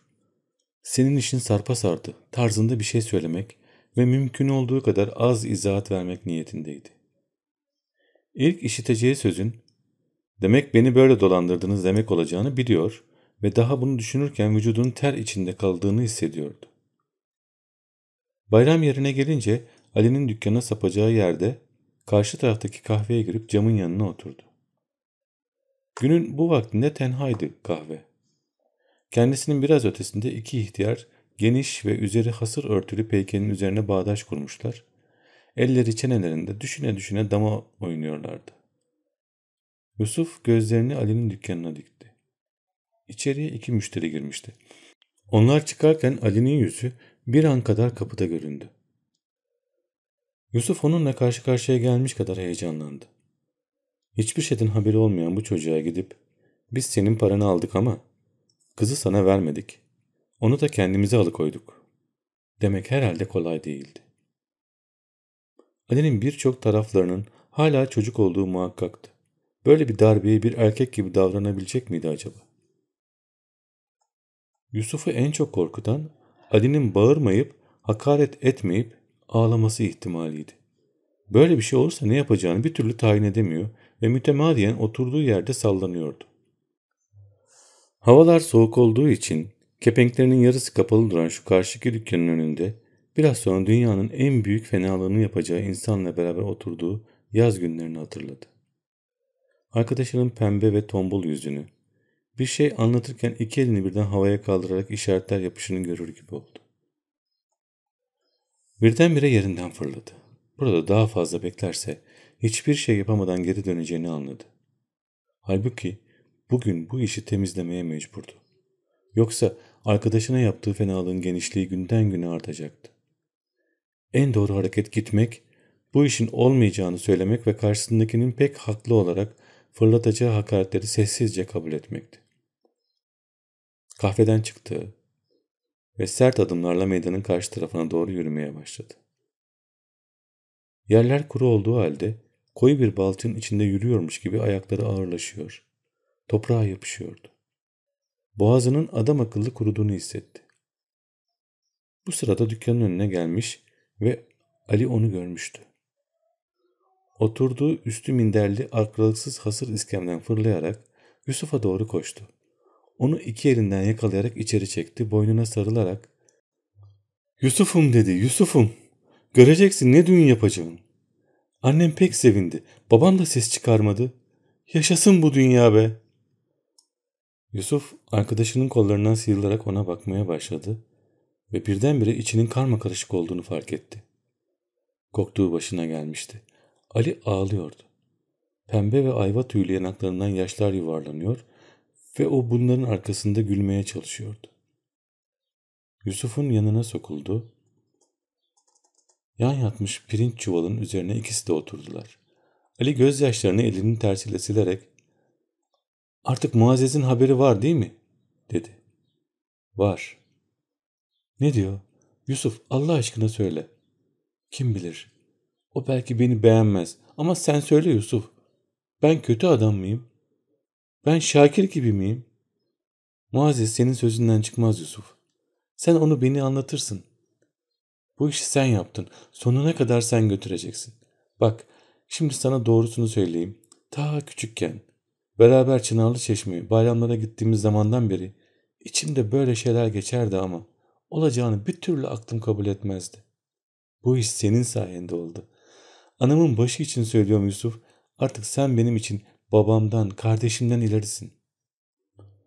Elini tekrar onun omzuna koydu. Saadetinden titriyordu. Yarın, öbür gün anam gidip isteyecek. Nişanı, düğünü de gene onlar konuşacak. Ben hiçbirine karışmayacağım. Ama dedim ya, bir düğün yapacağım. Edremit'te 40 yıl söylenecek. Birdenbire aklına gelmiş gibi. Yahu haberin yok mu? Bizim Hacı Rıfat'ın İhsan da evleniyor. İki haftaya kadar düğünü var. Çoruk'tan gelin getiriyor. Dehşetli ahenk yapacakmış dedi. Yusuf'un kulağına böyle bir şey çalınmıştı. Başını salladı. Ali gülerek hele bir o düğününü yapsın da görelim. Sonra biz de bizimkini yaparız dedi. Yusuf ayağa kalktı. Öteki onun kolundan tutarak ne o gidiyor musun dedi. Peki git ama Muazzez'e benim için söylemeyi unutma. Elinden gelen her şeyi yap. Onu bana ısındır. Yusuf biraz düşündükten sonra peki dedi ve eve döndü. Ömrünün bu en güzel gecesini, ömrünün bu en korkunç gününün takip etmesi mi mukadderdi? Neydi bu içinden çıkılmaz meseleler? Neydi bu mavi göğe veya sevgili bir yüze bakmayı zevk olmaktan çıkaran hisler ve üzüntüler? Yusuf bunlara alışık değildi.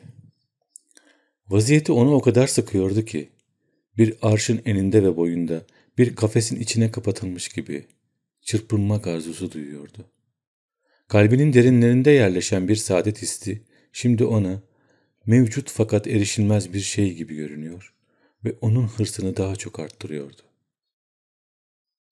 Hayatta hiçbir şey ona kıymetli görünmemiş, peşinden koşmak, erişmek, sahip olmak arzusunu vermemişti. Etrafına daima bir yabancı gözüyle bakmış. Hiçbir yere bağlanmak arzusu duymamış. Bu yalnızlığının gururu içinde memnun olmaya çalışmıştı. Şimdi ilk defa bir şey istiyor. Hem de korkunç bir şiddetle istiyordu.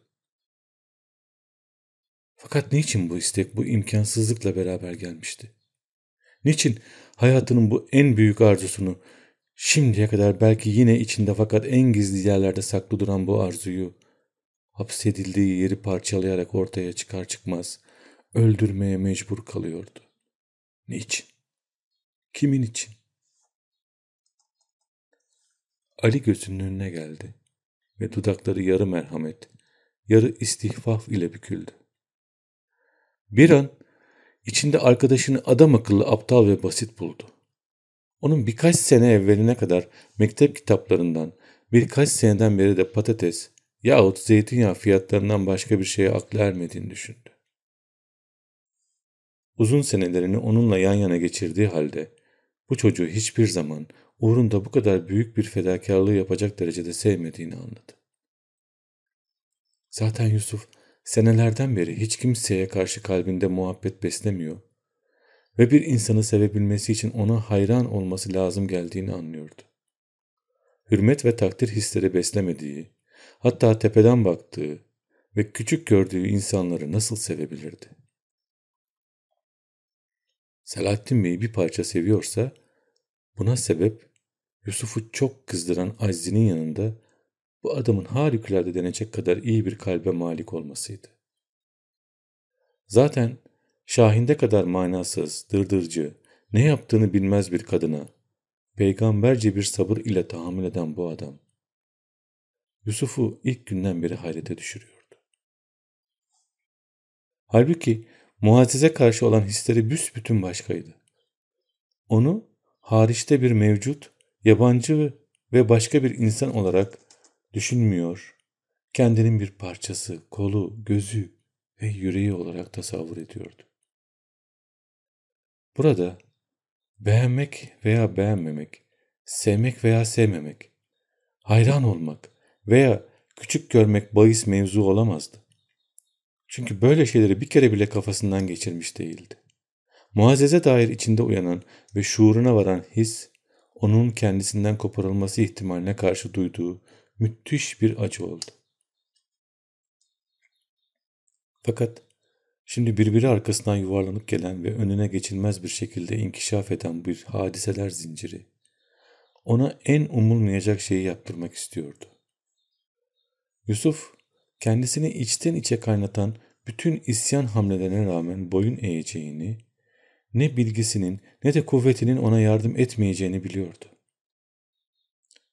Müphem bir düşünce şeridi halinde kafasından bunlar geçer ve o elleri ensesinde mindere arkası üstü uzanıp gözlerini tavana dikerken hafifçe oda kapısı gıcırdadı. Yusuf hemen doğruldu. İçeri girenin muazzez olduğunu görünce ayağı fırlayarak ona doğru yürüdü. Muazzez'in kalbi patlayacak kadar hızlı atmaya başlamıştı. Fakat Yusuf onun boynuna sarılacağı, yüzünü gözünü öpeceği yerde yanından geçerek kapıya gitti. Orada arkasına döndü. Kendine hayretle bakan kızı ben dışarı gidiyorum. Acele bir işim var dedi. Yusuf yarın öbür gün Ali'nin anası sana görücü gelecekmiş. Göreyim seni. Kaymakam kızı olduğunu belli et. Yusuf. Annenin sözlerinde pek kulak asma. Ali kötü çocuk değildir. Parası var, malı da var. Ahlakı da mazbut. Son cümleleri söylerken Yusuf'un yüzünü zehirli bir tebessüm kaplamıştı. Bunu fark eden Muazzez bir adım geriledi. Bir şey demek için ağzını açtı fakat diyemedi. Birkaç kere daha gayret etti fakat bu sefer de gırtlağından ancak anlaşılmaz birkaç ses fırladı. Bir şeyler söylediğim zannettiği halde kelimeler ağzının içinde kalmışlar ve dışarı çıkamamışlardı. Yusuf'un kafası zong zong atıyordu. Fakat hep o kendine hakim tavrıyla yalnız daha sıcak genç kıza sokuldu. Sus kızım. Bunun böyle olması lazım dedi. Anlattığımız vakalardan biri iki hafta geçmiş. Bu müddet zarfında Yusuf eve pek az uğramış. Zamanını daha çok zeytinlikte geçirmişti. Gece yarısından sonra geliyor. Şafak'la beraber gidiyordu. Muazzez'le karşılaşmak istemediği belliydi. Bir müddet evvel Ali'nin annesi Muazzez'e görücü gelmiş. Düşünelim cevabını almıştı. Bunun burada bir muvafakat olduğu malumdu. Artık söz kesilmiş demekti.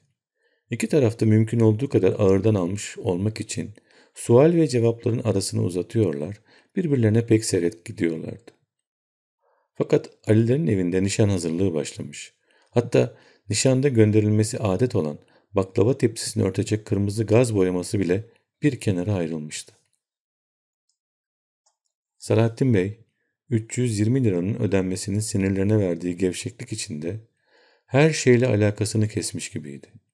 Mütemadiyen ve sabahlara kadar düşündüğü günlerin acısını çıkarmak için olacak, Kafasının mutlak surette boş kalmasına gayret ediyor ve evde kendisine sorulan en basit şeylere bile omuz silkmekle mukabele ediyordu. Şahinde Hanım eskisi gibi komşu komşu dolaşıp gevezelik etmekte, alemler yapmaktaydı. Araya giren soğukluğa rağmen Hilmi Beylere bile gidip geliyor, yalnız burada Muazzez'in başkasına sözlü olduğunu asla ağzına almıyordu. Fakat başka yerlerde daha da bir kararımız yok ama bilmem ki damadı pek zengin diyorlar. Ahlakı da melek gibiymiş diyerek Ali'nin senasında bulunmaktan geri kalmıyor ve bu sırada ondan damat diye bahsederek işin pek iptidarlarda bulunmadığını anlatmak istiyordu. Fakat tek başına bir şey becerecek kadar aklı olmadığı ve Selahattin Bey ile Yusuf da bu son günlerde kendi havalarında gezdikleri için nişan hazırlığı filan yapıldığı yoktu. Bu vaziyetten en çok sıkılan ve ne olduğunu, ne olacağını bir türlü anlayamayan Muazzez, her sabah ve her akşam Yusuf'u tek başına bulup konuşmaya karar veriyor. Fakat bazen çare, cesaretsizliği, bazen de Yusuf'un yorgunluktan bitkin bir halde eve gelip derhal yatağa girişi yüzünden bunu bir türlü yapamıyordu. Birkaç kere annesinin ve babasının evde olmadığı akşamlar Yusuf'u geç vakte kadar bekledi. O gelince önüne çıkıp Yusuf abi diye söze başlayacak oldu. Yusuf derhal onun sözünü keserek ''Daha yatmadın mı Muazzez?'' dedi. ''Kış günü bu kıyafetle sofaya çıkılır mı? Koş yatağına. Ben de bugün çok yoruldum. Hemen yatacağım.'' Genç kızın cevap vermesini beklemeden odasına girdi. İlk zamanlarda Yusuf'a karşı müthiş bir ihdet, hatta kin duymaya başlayan, sonra yavaş yavaş bu kızgınlığı büyük bir teessüre çevrilen Muazzez, son zamanlarda Yusuf'un halinden korkmaya başlamıştı.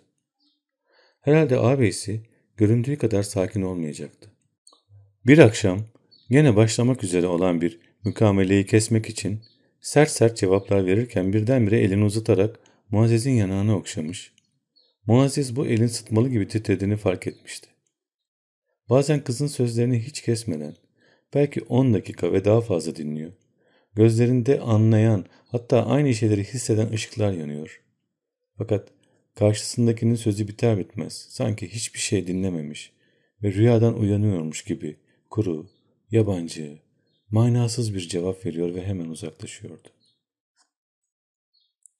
Onun bu hallerini gördükçe zavallı Muazzez'in perişanlığı daha çok artıyordu. Bütün gününü evde yalnız geçirdiği için kendi kendini dinlemeye alışmıştı.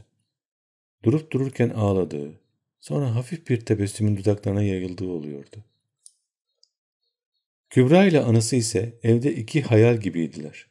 Kendilerinin lüzum olmadığı zaman yok oluyorlar ve arandıkları zaman sanki havanın içinden birdenbire beliriyorlardı. Onlar da sinirlerinin uzun süren bir uyanıklığını dinlendirmek için Selahattin Bey gibi manevi bir uykuya dalmışa benziyorlardı. Kübra biraz toplamış olmakla beraber yüzünün hasta sarılığını hala muhafaza ediyordu.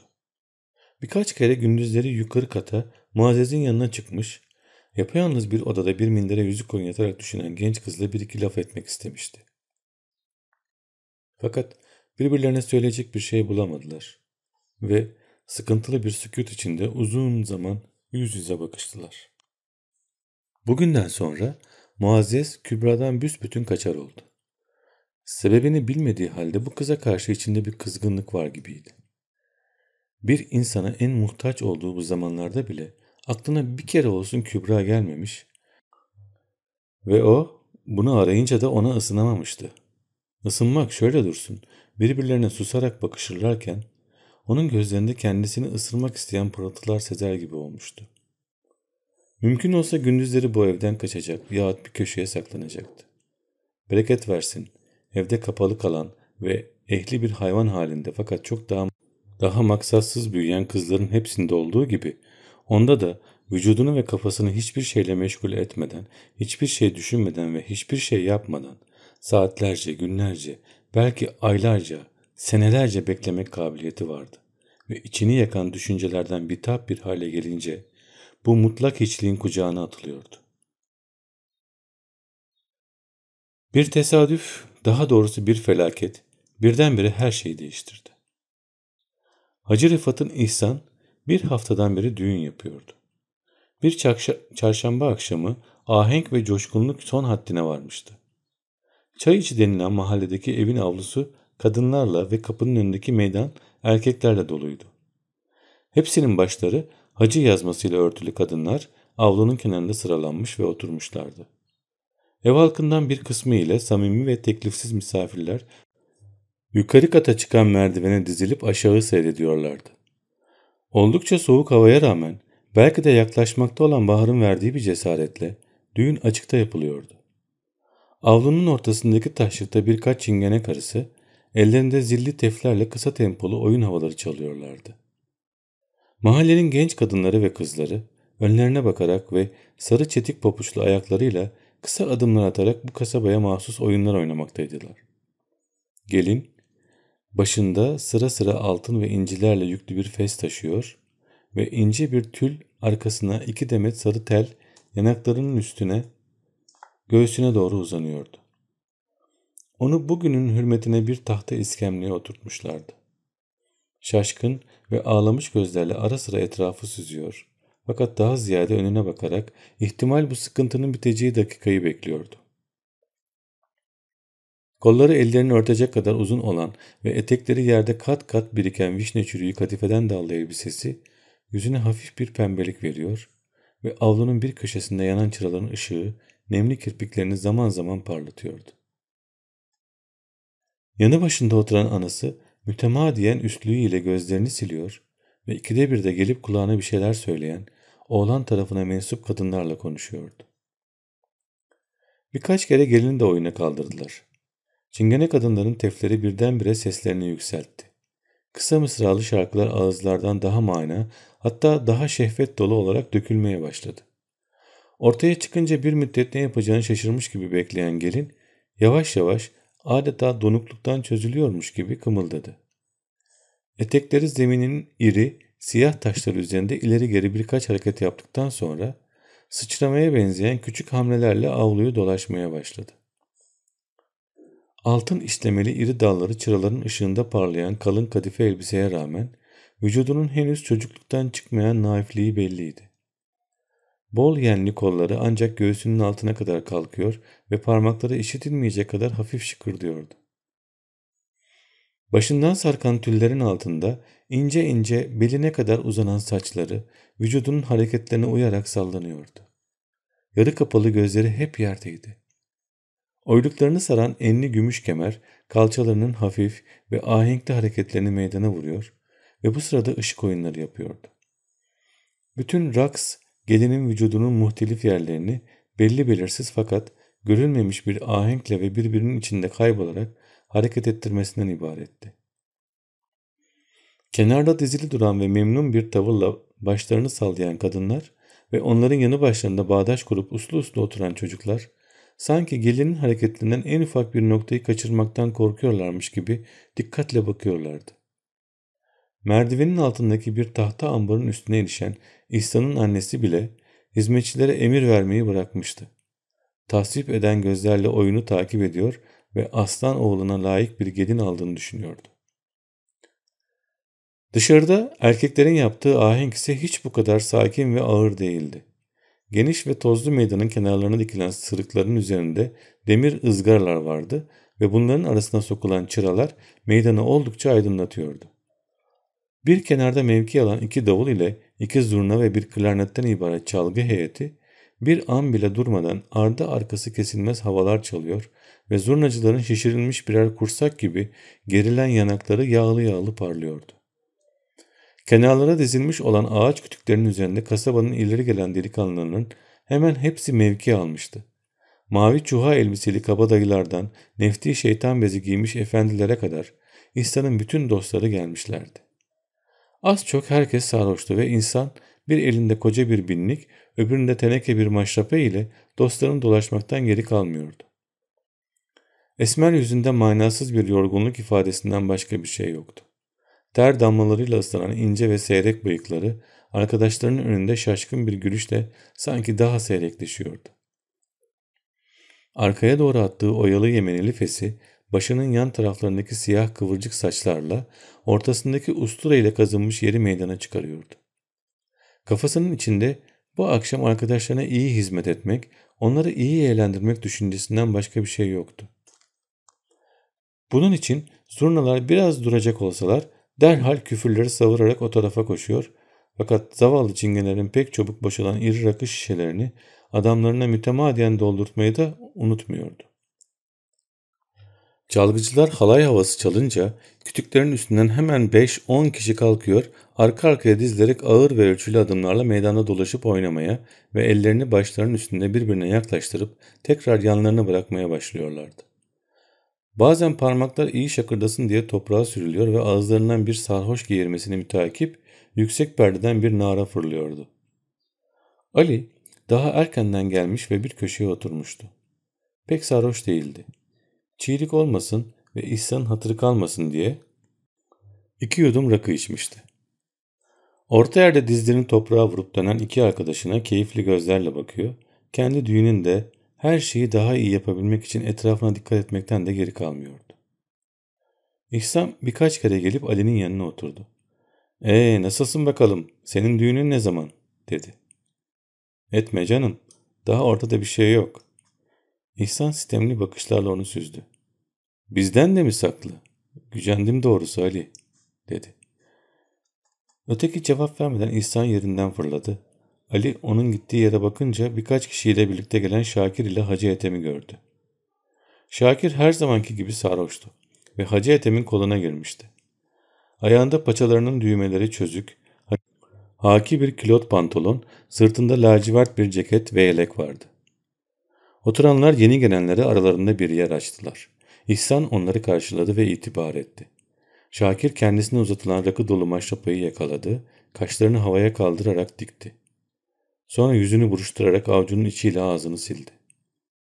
Hacı Ethem cebinden leblebiyle üzüm çıkararak uzattı ve İhsan'ın adamlarından biri büyük bir çinko sahanın içinde turşu yetiştirdi.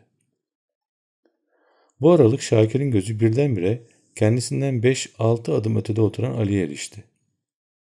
Derhal etrafındakileri dirsekleri iterek olduğu yerde ser serbestleşti. Sonra başını yukarıdan aşağıya ve sağdan sola gezdirerek müthiş bir nara attı.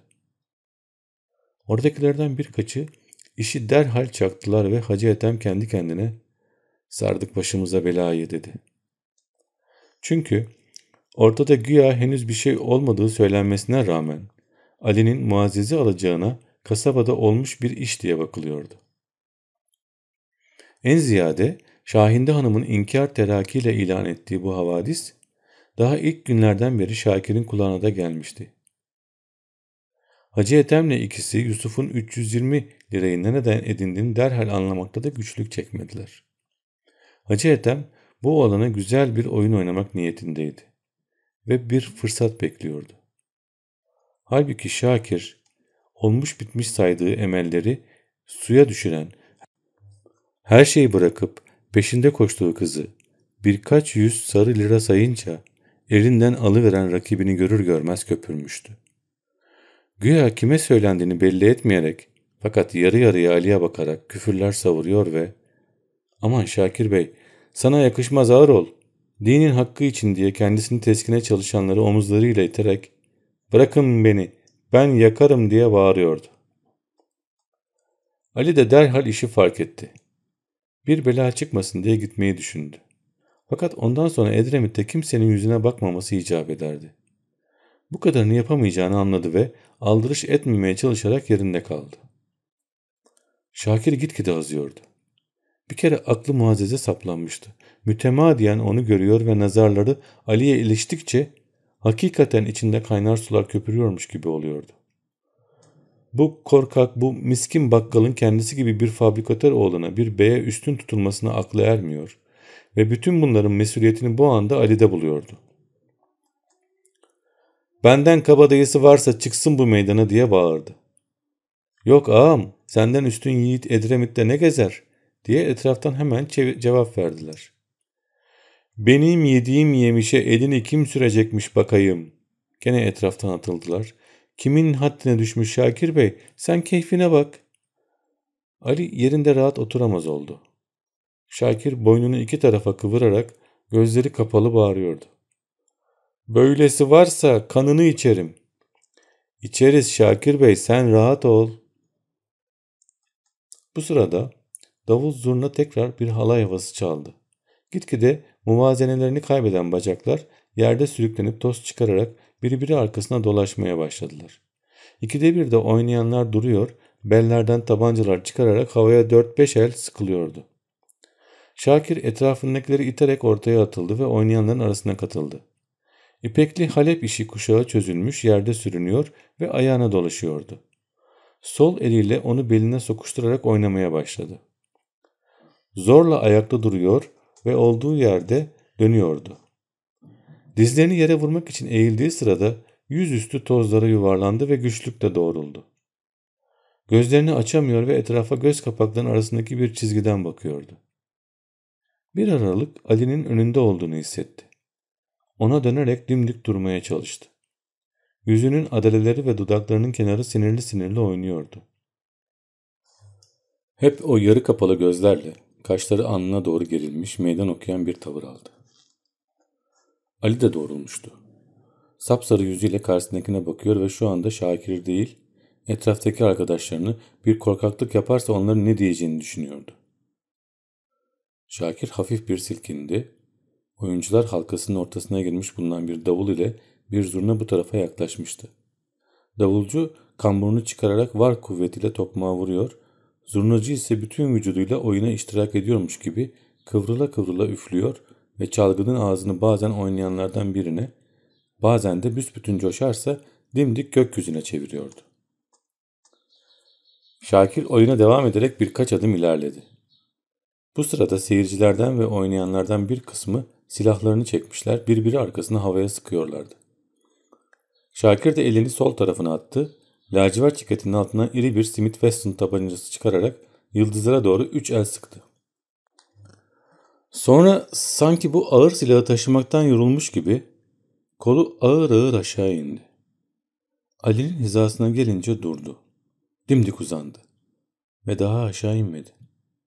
Şakir'in biraz evvel açılmayan gözleri şimdi yüz yuvarlaktı ve biraz dışarıya fırlamış gibi görünüyordu. Başı biraz sağa eğildi ve gözü namlunun hizasına gelince iki defa arka arkaya tetiği çekti. Bütün bunlar tabancanın çıkıp havaya sıkılması ve sonra Ali'ye doğru uzanması bir nefes alımı kadar bir zamanda olmuştu. Ve birçokları ancak silah sesi üzerine başlarını o tarafa çevirdiler. Ali kurşunları yiyince başını geri atmış ve oturduğu kütükten aşağı toprağın üstüne süzülüvermişti. Meydanda bulunanların hepsi oynayanlar, davulcular, zurnacılar, rakı içenler, artık sızmaya başlamış bulunanlar birbirine girmişti. Herkes yerde yatanın başucuna koşuyordu. İhsan diz çökmüş, Ali'nin başını ellerine almıştı. Yanında ayakta duranlardan birine başıyla işaret etti. O eğilip yaralının göğsünü açtı. Kurşunlar dört parmak ara ile sol tarafa girmişlerdi. Siyah birer delikten ibaret olan bu yaralardan pek az kan geliyordu. İhsan başını kaldırarak etrafındakilere baktı. Gördünüz ya, gitmiş demek istiyordu. Oradakilerden biri ilginç, bilgiç bir tavırla ''Bırakın yakasını gayri, Allah rahmet eylesin.'' dedi. Hep birden Allah rahmet eylesin dediler. Ancak bundan sonra akıllarına Şakir geldi. Başlarını çevirip baktıkları zaman onun hala orada, ateş ettiği yerde durduğunu, tabancayı tutan sağ elinin ölü gibi aşağı sallandığını ve diğer eliyle de kendisini götürmek, kandırıp kaçırmak isteyen Hacı Ethem'le diğer adamlarını uzaklaştırmaya çalıştığını gördüler. Sokağın başından iki jandarma ile genç bir jandarma çavuşu belirdi. Hürriyetin ilanından beri oldukça kendilerini gösteren bu devlet kuvvetlerine karşı halk eski zaptiyelere yaptığı gibi laubalilik gösteremiyor ve bir tanesi bir yerde görününce herkes işine gücüne gidip üstüne iş açmamayı tercih ediyordu. Bu sefer de onların görünmesiyle meydanın boşalması bir oldu.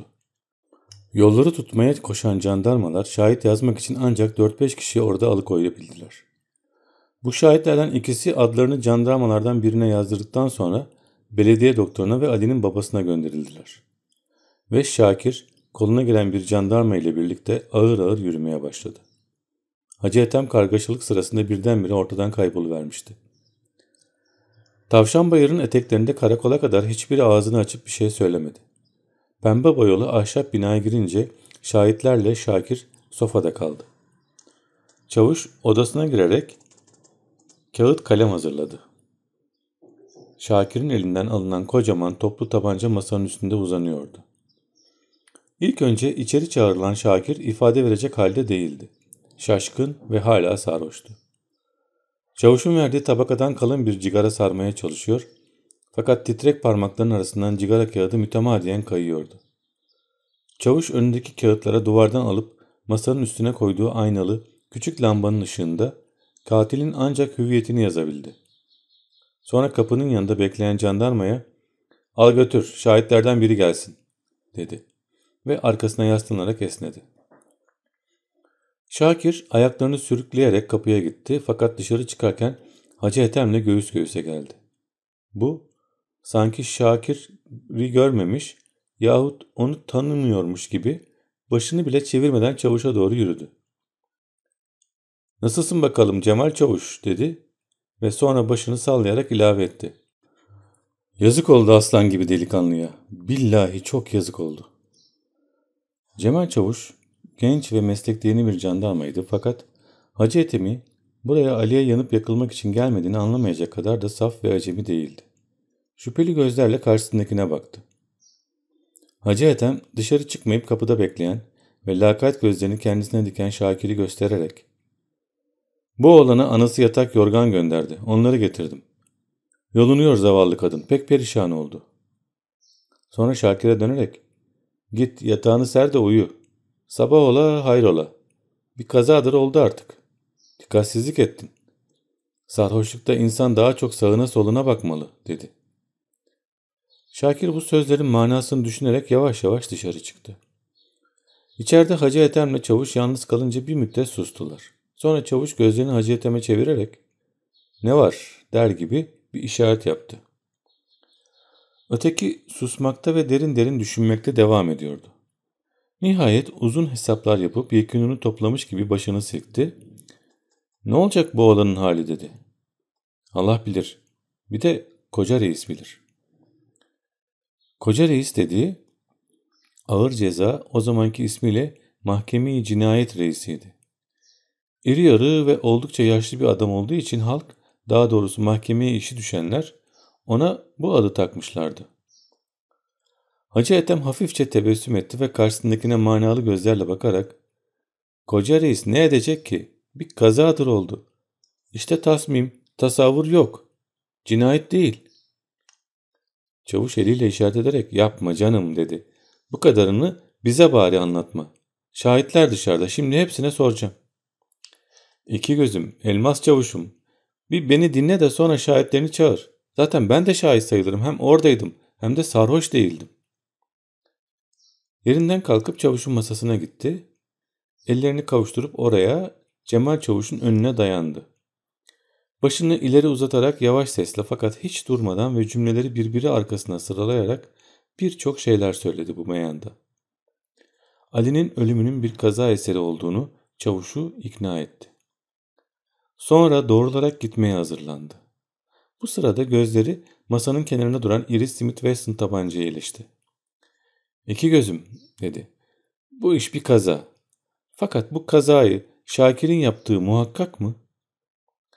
Cemal Çavuş bu kadarını anlamaya deminki mukavelenin ve onun sonunda masanın üstüne bırakılan ufak bir torbacığın kafi olmadığını bildiren bir baş sirtmesiyle cevap verdi.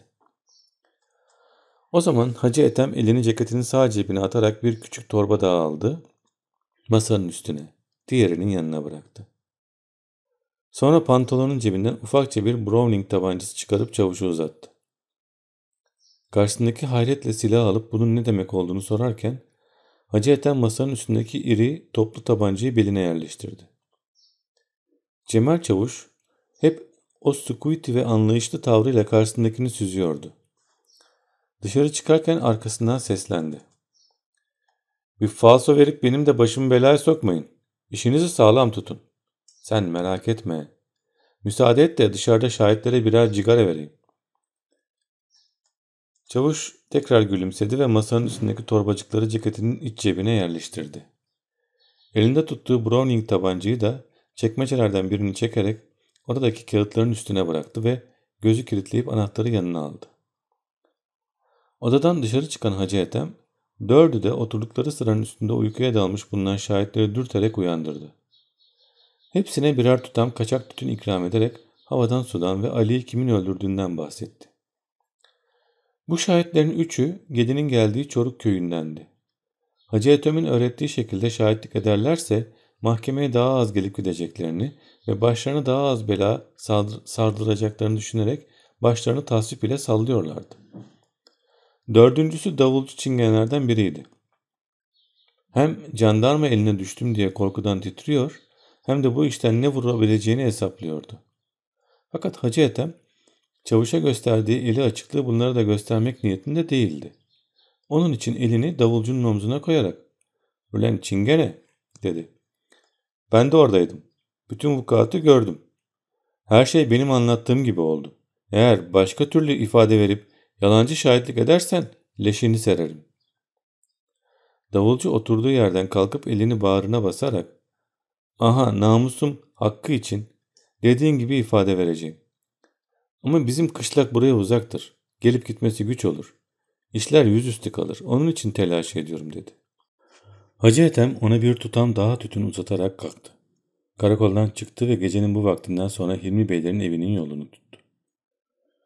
Çavuşun yanına giren şahitler hep aynı şeyi söylediler. Bir şey görmedik, bir şey duymadık. Herkes içip oynuyor, keyfine bakıyordu. Bir aralık Ali aman deyip yere yıkıldı. Melalliğim vurulmuş. Hepsi ifadelerin altına parmak bastılar. Sonra onlar da karakoldan çıkıp üçü bir tarafa, biri başka tarafa yollarına gittiler. Cemal Çavuş nöbetçi olduğu için geceyi orada geçirecekti. Odanın bir köşesinde duran yaylan bozuk kanepeye uzanarak kaputunu sırtına çekti. Şakir, jandarmaların koğuşundaki iki katlı tahta kerevetlerden birinin alt kısmına yatağını sermiş ve yatıp uyumuştu. O kadar derin bir uykudaydı ki ne saatte bir koğuşa girip nöbet değiştiren jandarmaların gürültüsü, ne de dışarıda kapının önünde dolaşan nöbetçinin, sokağın taşlarında çın çın öten nalçalı ayakkabılarının sesi onu uyandıramıyordu. Mahkeme uzun sürmedi. Zaten Şakir tevkifinin haftasında müstantik tarafından serbest bırakılmıştı. Bu bir haftanın da ancak gündüzlerini onu da müdür odasında oturup cigara içmek ve nizamiye kapısının yanındaki küçük bahçede aşağı yukarı dolaşmak suretiyle hapishanede geçirdi. Geceleri evine bırakılıyordu. Güya gizli olarak yapılan müsaadeyi kaymakam, müddei umumi ve ceza reisine kadar herkes biliyor ve bir şey demiyordu. Çünkü başka türlü olmasına imkan yoktu. Bu böyle gelmiş böyle gidiyor ve kasabanın başında bulunanların aklı bile hürriyete ve onun getirdiği birkaç musavat fikrine rağmen Hilmi Bey'in oğlunun sahiden hapsedilebileceğini kabul etmiyordu. Hapishane ancak serseriler, köylüler ve aşağı tabakadan insanlar içindi. Bir Hilmi Bey'in oğlu adam öldürse bile onlarla bir tutulamazdı. Değil böyle mahkum olacağı şüpheli kimseler 15 seneye mahkum edilmiş eşraf zadeler bile cürümlerinin cezasını çok kere yarı yarıya evlerine çekiyorlardı. Hapishanede kaldıkları zamanlar valinin veya bir adliye müfettişinin nadir ziyaretine münhasırdı. Bazen aksi bir karakol kumandan veya hapishane müdürü geliyor, birkaç gün o da kendini göstermek ve göz yıldırmak için sertlik yapıyor fakat bazı mahpusların dışarıdaki akrabaları gelip kendisiyle konuştuktan sonra her şey eski şekline avdet ediyordu. Zaten ilk yapılan sertlik de bir pahalıya satılmak manevrasından başka bir şey değildi. İşte Şakir içlerine düşeceğini sandığı mapusları iç avlu ile nizamiye kapısını birbirinden ayıran yüksek tahta parmaklığa yüzlerini dayayarak sessiz sessiz dışarı bakışırlarken gördü. Bu da ancak bir hafta sürdü. Sonra muhakeme safhaları başladı. Fakat müstantik Şakir'in bu katilde alakasını tespit edemedikten sonra muhakemece yapılacak iş kalmamıştı. Yalnız Ali'nin babasının uğraşması işi biraz uzattı. Şerif Efendi o gece düğün yerinde bulunanlardan 3-5 kişiyi şahitlik etmeye kandırmıştı. Bunlar ilk celsede vakayı gördükleri gibi anlattılar ve Şakir'in tabancayı Ali'ye doğrulttuktan sonra nişan bile aldığını söylediler. Fakat bunların bir kısmı sonraki celselerde kim bilir neden yavaş yavaş ifadelerini değiştirdiler. Pek sarih olmayan bir takım kemkümlere boğuldular. Diğer şahitler bu meyanda karakolda ifade veren ilk dört şahit bir şeyden haberleri olmadığını, o gece herkesin coşup havaya silah attığını ve bu gürültü sırasında Ali'ye kimin kurşun değdiğini kestiremeyeceklerini ileri sürdüler. Şakir'in avukatı Ham Hami Bey oldukça zengin ve Hilmi Bey'le de uzaktan akrabaydı. Meslektaşları arasında biraz tuhaf bir şöhreti olan bu adam, kasabanın en çok iş yapan dava vekiliydi. Keskin ve gür bir sesi, kandırıcı bir mantığı vardı. Aldığı davaların hemen hemen hepsini kazanıyor fakat bunun için bazen pek temizlenemeyecek yollara saptığı oluyordu. Onun fikrince nasıl harpte kazanmak için her vasıta meşru ise adalette kazanmak için de mümkün olan her çareye başvurmakta beis yoktu. İfade değiştirmek, cürmü başkasının üstüne atmak, yalancı şahit bulmak, 5-10 kuruş mukabilinde bir zavallıya bu işi ben yaptım dedirtip o işi asıl yapanı kurtarmak gibi şeyler. Hami Bey'in her gün tatbik ettiği ince usullerdi. Fakat Şakir'in davasında zekasının pek fazla sarfa vesile olacak vaziyetler zuhur etmedi. Hacı Ethem her şeyi yoluna koymuş ve avukata iş bırakmamıştı. Reis, Ali'yi Şakir'in öldürdüğünü biliyordu. Zaten bunu bilmeyen de yoktu. Fakat bu bilgiden daha mühim olan şeyler vardı. Şahitler, deliller. Bunlar hep Şakir'in lehineydi veya öyle tertip edilmişti. Kaymakam Selahattin Bey ise ileride anlatacağımız haller yüzünden bu işle hiç meşgul olamadı. Ali'nin babası muhakemede bağırıp davacıyım, kana kan isterim dedikçe reisin yüreği parçalanıyor fakat bir şey yapamayacağını düşünerek adaletten emin olunuz demekle iktifa ediyordu. Çünkü Şakir'in katil olduğunu ispat edecek delillere mukabil ortada daha büyük ve müsbet bir delil vardı ki bu bütün şahit ifadelerini, bütün ithamları çürütüyordu. Bu bir doktor raporuydu. Bu rapora nazaran Maktul Şerif oğlu Ali'nin sol göğsünden çıkarılan kurşunlar büyük çaplı ve ham kurşun atan bir tabancadan endaht edilmişti. Halbuki muhakemede mevcut olan ve zabıt varakasına nazaran vaka mahalline jandarma yetiştiği esnada Şakir'in hala elinde bulunan tabanca küçük bir Browning'ti. Bu rapor meselesi ortaya atılmadan evvel ifadeleri alınan şahitler Şakir'in Ali'ye sıktığını söyledikleri tabancanın cinsini tayin edememişlerdi. Şerif Ağa sonradan bunların ifadelerini değiştirtip biz Şakir'in elinde büyük, toplu bir tabanca gördük dedirtti ise de bu ifadeler bir işe yaramadı. Şakir kendisine o gece hakkında sorulan bütün suallere bilmem, sarhoştum, bir şeyden haberim yok diye cevap veriyordu. Ali ile bir geçmişin var mıydı? Ne gezer? Mahalle bir komşusuyuz. Ne geçmişimiz olacak?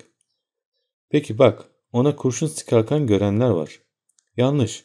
Ben kimseye silah doğrultmadım. Havaya sıktım. Bu cevapları verirken yüzü e, artık sıkıyorsun kes bakalım diyen bir ifade alıyor. Kaşının biri kalkıyor ve dudakları aşağı doğru çekiliyordu. Hami Bey bu kadar açık bir hakikati müdafaa mecburiyetinde kaldığından dolayı hayret ediyormuş gibi bir tebessümle söze başlayarak meseleyi bir kere daha hul hulasa etti.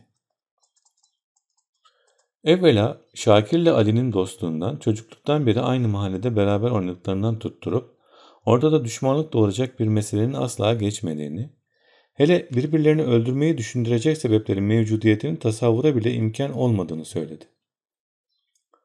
Hakikaten muazzez meselesi muhakemede bir kere bile ağza alınmamıştı. Çünkü hiçbir taraf kaymakamı işin içine karıştırıp kızdırmak istemiyordu. Sonra muazzezi istemek meselesi kadınlar arasında yayılmış bir iş olduğu ve Şerif Ağa bile karısını muhakemede şahit dinletecek kadar ileri gidemediği için hiçbir taraf bu noktayı eşelemiyordu. Bütün hadiseleri bilen reis, Hami Bey'in muhakemenin tavanını gürleterek Maktul ile müvekkilim birbirlerine düşman, düşman olmak şöyle dursun. Bir tehlike karşısında birbirlerini kurtarmak için ölmeye koşacak kadar samimi ve fedakar iki dosttular diye söylenmesini sonuna kadar dinlemek mecburiyetindeydi. Hami Bey, vaka gecesini anlatmaya başlayarak o gece herkesin sarhoş ve neşeli bir halde havaya tabancalar sıktığını, bu serseri kurşunlardan ikisinin zavallı Ali'yi yere sermiş bulunduğunu, ortada bir cinayet değil bir kaza mevcut olduğunu söyledi. Ve şöyle devam etti. Fakat bu kazanın faili Şakir Bey değildir. Çünkü hükümet tababetinin Fethi Meyit neticesinde verdiği rapor, sebebi katil olan silahın efsafını kati olarak tayin etmiştir. Ve bu efsaf, müvekkilimin kullandığı tabancaya asla tevafuk etmemektedir.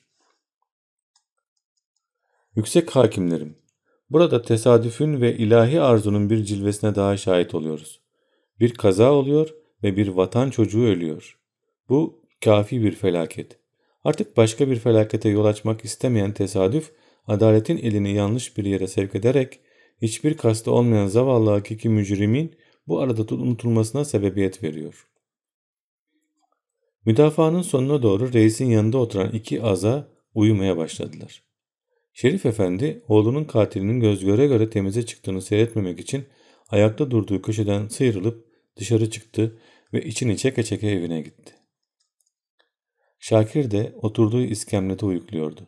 Hami Bey sözünü bitirdikten sonra reis muhakemeyi başka güne bıraktı ve o gün kararın okunacağını söyledi.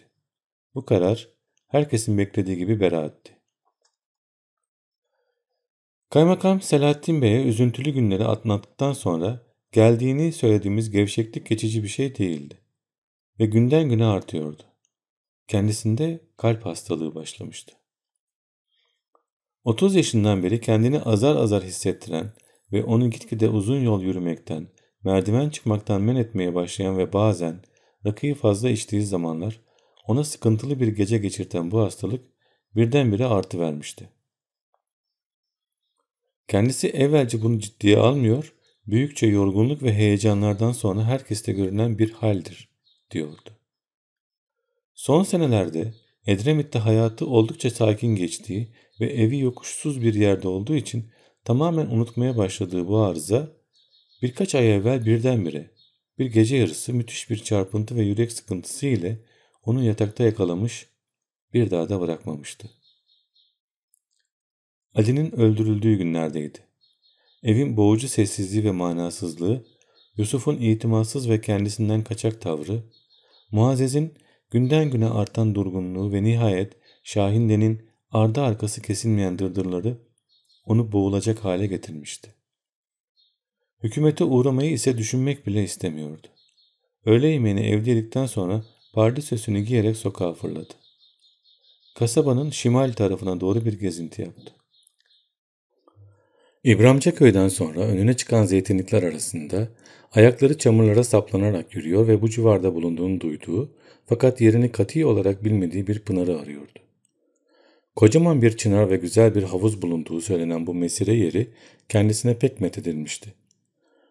Bu anda birdenbire içinde beliren bir merakla orayı bulmayı niyet etti. Zeytinliklerin arasında yükselen yamaçlarda ortalara doğru yer yer ağaç kümeleri vardı.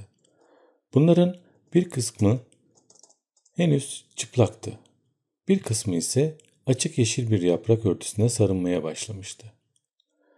Fakat söylenen pınarın hangisi olduğunu kestirmeye imkan yoktu. En yakın gördüğü birisine doğru ilerledi. Zeytinlerin arasında da tek tük erik ve kayısı ağaçları vardı. Ve bunlar da tatlı pembe çiçeklerle donanmışlardı. Yanlarından geçerken insanı emsalsiz bir koku kucaklıyor ve sarhoş ediyordu. Selahattin Bey, vücudunun her tarafından kalbine doğru bir mayin, gençleştirici, kuvvet verici bir şeyin koştuğunu hissetti. Ciğerlerinin en son köşesini şişirecek kadar geniş bir nefes aldı ve tabiatla beraber kendisinde canlandığını zannetti. Etrafında her şey hayata yeniden doğuyordu.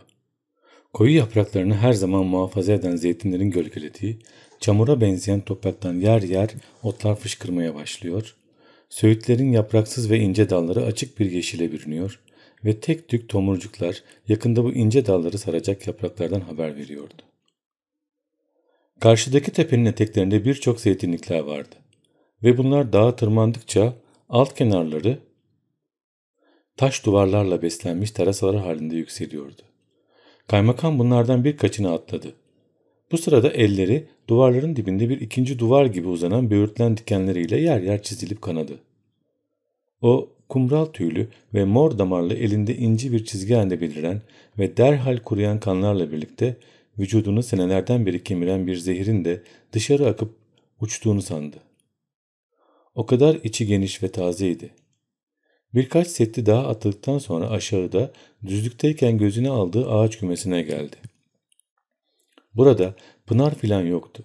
Kocaman bir ceviz ağacıyla nispeten genç iki çınar dallarını birbirlerine yaslamışlar, derin bir uykudan uyanmak hülyaları kuruyorlardı.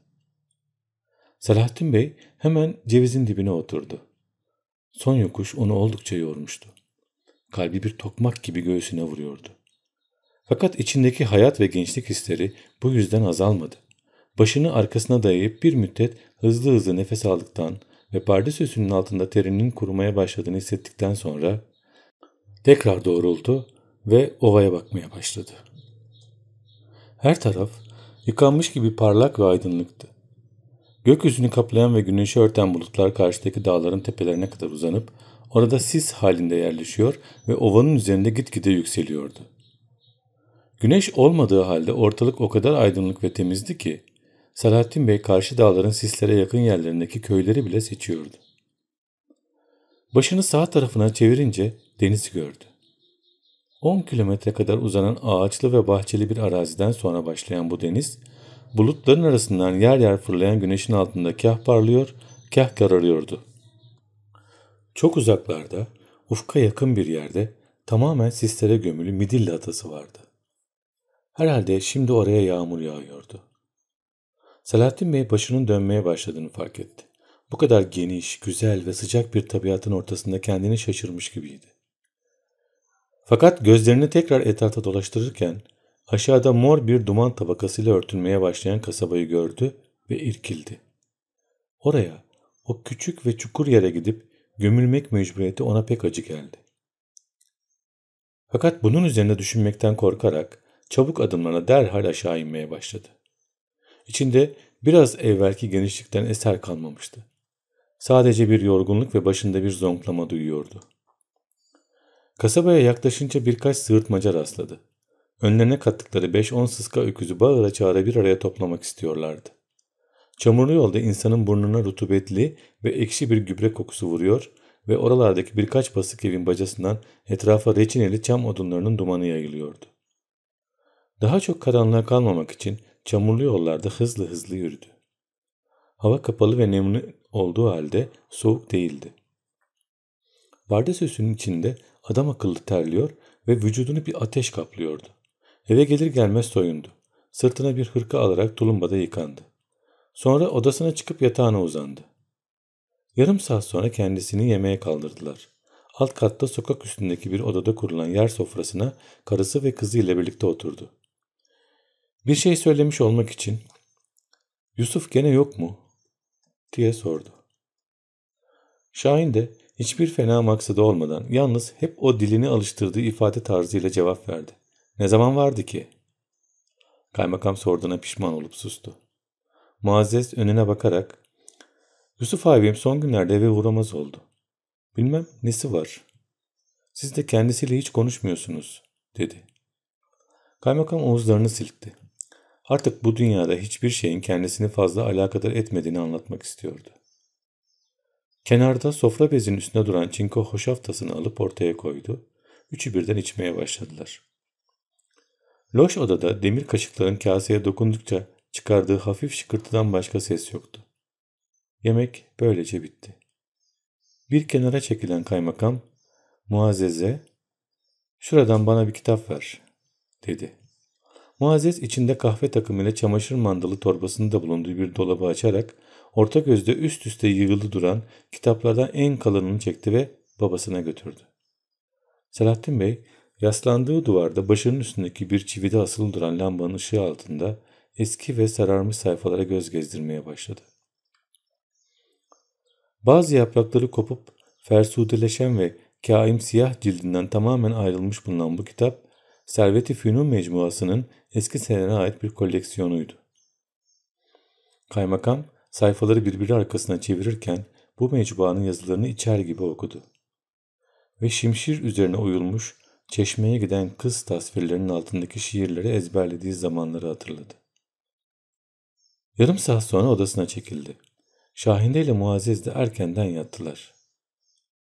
Gece yarısına doğru Şahinde yanı başındaki yatakta boğuk öksürükler duyarak uyandı. ''Ne oluyorsun bey?'' Bir inilti cevap verdi ve Şahinde sofradan idareyi almaya giderken kocası boğuk bir sesle ''Kolonya şişesini de getir'' dedi. Kadın ayaklarını terliklerini zor geçirip dışarı fırladı. Merdiven başından idareyi alıp baldır küldür aşağı indi. Sokak üstündeki odadan kolonya şişesini aldı. Hizmetçi kadını Kübra'nın annesini elleriyle tutarak uyandırdı. Kalkın ayol, beye bir şeyler oluyor diye bağırdı. Ve yine patırtı gürültüyle yukarı fırladı. Odaya girdiği zaman Selahattin'in yatakta oturmuş ve arkasına bir yastık alıp duvara yaslanmış buldu. Karısı içeri girince kaymakam başını kaldırdı. Üzgün bir yüzle ''Bu ne gürültü yahu? Sessiz sedasız bir iş yapmak bilmez misin sen?'' dedi. Onu doğrulmuş gören karısı oraya ayak ucuna çöküp hüngür hüngür ağlamaya başladı. Uyanan ev halkı kapının önüne toplanmışlar merakla içeri bakıyorlardı. Yalnız Muazzez uyanmamıştı. Kaymakam eliyle gidin diye bir işaret yaptı. Hepsi dağıldılar. Biraz durduktan sonra karısına döndü. Haydi sus dayat. Bir şey yok. Ver şu kolonya şişesini. Biraz çarpıntı geldi. Fenalaşıyorum sandım. Bugün çok yol yürüdüm de ondan mıdır nedir bilmem. Çok önce çok fena oldu. Birisi göğsüme çökmüş gırtlağıma basıyor sandım. Şimdi hafifledi. Yatsana efendim ne ağlıyorsun? Karısı sürünerek ona doğru sokuldu. Gözleri kıpkırmızıydı. Başını kocasının dizine koydu ve fasılı olarak hıçkırmakta devam etti. Kaymakam yorgun gözlerini önüne, kucağına yatan bu başa çevirdi. İçini hazin bir hatıra kapladı. Bu buruşmaya başlamış ve ağlamaktan kızarmış çehrenin arkasında taze bir genç kız yüzü görür gibi oldu. Ve o anda ilk evlendiği gecenin ümit ve sevinç dolu hislerini tekrar yaşadı. Bu belki bir saniye, belki de daha az sürdü. Ondan sonra içini derin bir merhamet kapladı. Bütün kızgınlığını ve uzun senelerin verdiği bir istihfaf duygusuna rağmen gördü ki karısı bu anda samimiydi ve kendisine bir şey oluyor diye sahiden korkmuş, sahiden telaş etmişti. Bu korkunun arkasında daha esnafça düşünce aramak bir insafsızlık olurdu. Uzun senelerden beri insanlardan bu kadarcık bir alaka bile görmemeye alışmış olan kaymakam, ellerini karısının ıslak yüzünde dolaştırdı. Sonra onun başını yavaşça kaldırıp yastığına koydu. Kendisi de uzandı ve hemen bir kuyu kadar boş ve karanlık bir uykunun içine yuvarlandı. Fakat bu nöbetler sık sık gelmeye ve bazen uzun sürmeye başladı. Belediye doktoru uzun senelerden beri Edremit'teydi ve ihtiyarladıkça pansuman yapmayı bile unutmuştu. Kaymakam ona hiçbir şey sormadı. Bu sırada Balkan Harbi'nde yaralanıp tepdili hava için babasının yanına Edremit'e gelen bir doktor yüzbaşısına kendisini muayene ettirdi. Bu genç uzun uzun düşündükten sonra sübaplarda iltihaptan, daimi sükunetten, tok karnına yatmamaktan filan bahsetti. Selahattin Bey bu tavsiyelere riayet ettiği halde kısa zamanda ve pek belli şekilde çökmekten geri kalmadı. Gözlerinin altı şişmiş, yanakları sarkmış, yüzü daima yorgun bir ifade almıştı. Konuşurken ara sıra durup bütün dişlerini gösterecek şekilde ağzını açarak sık sık nefes alıyordu. Şakir'in muhakemesi bu zamanlar tesadüf ettiği için kaymakam bu işle pek meşgul olamadı. Zaten pek dört elle sarılmadığı bu hayata karşı alakaları daha çok azalmışa benziyordu. Yoksa eline geçen fırsatı kaçırmak istemez, Kübra meselesini de ortaya atarak Hilmi Beylere tam bir darbe indirirdi. Kafaları ezilecek yılanlar dediği bu baba oğlu mahvetmek için daha münasip bir vesile zuhur edemezdi. Fakat o bunu yapmadı. hatta Yusuf'u çağırıp hiçbir işe karışmamasını, ortaya yeni meseleler çıkarmamasını ve kendisini uğraştıracak, heyecanlandıracak şeylere meydan vermemesini rica etti. Bunun için dört ay kadar süren muhakeme esnasında kaymakam ve ailesi bu işe yabancı bir şehir sakinleri kadar bile alaka göstermedi. Ailenin diğer üç ferdi hatta bu cinayetten içten içe memnundular. Şahin de bir bakkala kız vermediğine seviniyordu. Yusuf hem bir yürekten kurtulmuş gibi kendisini serbest sanıyor hem de derinden derine üzülüyordu. Muazzez ise artık gönlündekileri açığa vurabileceğini düşünerek memnundu. Halbuki Yusuf ona bu fırsatı vermedi. Vereceğe de benzemiyordu. Ali'ye karşı girdiği taahhüdü yerine getirmek için Muazzez'i feda etmiş ve Muazzez'in kendisine kimi istiyorum anladın mı dediği akşama ait bütün hatıraları kafasından silip atmaya uğraşmıştı. En küçük teferruatına kadar dimağına yerleşmiş olan bu hatıraları oradan çıkaramayacağını çabuk anladı. Fakat bunun üzerine düşünmeyecek, muhakemeler yürütmeyecek kadar kendisine hakim oldu. Hislerini uyuşuk bir körlüğe alıştırmak üzere olduğu sırada cinayet yapıldı. Yusuf bunu duyunca evvela inanamadı. Bu tesadüften korktu. Sonra yavaş yavaş eski donukluğuna döndü. Kendisini de vuzuhla anlayamadığı bir takım düşünceler kafasına dolaşıyor ve onu üzüyordu. Hem Ali'nin ölüsüne hem Muazzez'e karşı kendini müşkül vaziyette buluyordu. Nefsine karşı yaptığı bu büyük fedakarlığın gururu şimdi bir ölünün mirasına konmayı ona küçüklük gibi gösteriyordu. Muazzez'e gidip bana gel ben gerçi seni bir iş uğrunda feda ettim. Benim için bu kadar az ehemmiyetim vardı. Şimdi bu engel kalktı. Başka bir mühim mesele çıkıncaya kadar sana bağlıyım demek de herhalde pek kolay bir şey değildi. Bunları kendisine karşı da izah edemediği için eski kapalılığında devam etmeyi yegane çare olarak kabul etti. Eskisi gibi eve hemen hemen sade yatmaya geliyor, sahir zamanlarını dışarıda, zeytinlikte veya kırlarda geçiriyordu. Son zamanlarda kendi üzerinde düşüncelerini çoğaltmış ve gitgide bir çıkmaza saplanmıştı. Neydi? Ne olacaktı? Bugün babalığı ona bir şey söylemiyordu. Hiçbir zamanda söyleyemezdi. Fakat bu sükut kendisinin garip bir vaziyette olmasına mani değildi. Kaymakamın evlatlığı otuzuna kadar boşta gezip hazır ekmek yemekte devam edecekti? Ondan sonra hangi sanatı öğrenmişti? Hayatta ne iş tutabilirdi? Senelerce evvel mektubu bıraktığı sıralarda bir aralık zihninden çıraklığa girmek, kunduracı, terzi, helvacı olmak gibi şeyler geçmişti. Ustaların zulmüne dair dinlediği hikayeler, şahidi olduğu vakalar onu bu fikirden çabucak vazgeçirdi. Daha sonraları zeytinlik ve harman işleri, zeytinin yanındaki iki dönümlük tarlayı üç seneden beri Yusuf ektirip piştiriyordu. Onu oyaladı. Fakat işte bugün koskoca bir delikanlıydı ve bir baltaya sap olmak için icap ediyordu. Hangi baltaya? Bir de bu vaziyette muazzeze dair hayaller kurmaya kalkışmıştı ya. Ne yüzle? Babalığının ekmeğini iki kişi birden yemek için mi? Öyle ya. Muazzeze aldıktan sonra kızın nafakası tamamen kendisine ait olacak, babasıyla bir alakası bulunmayacaktı. Günlerce, aylarca düşünüyor, aklına işe yarar bir fikir gelmiyordu. Bu hal kaç sene sürebilirdi?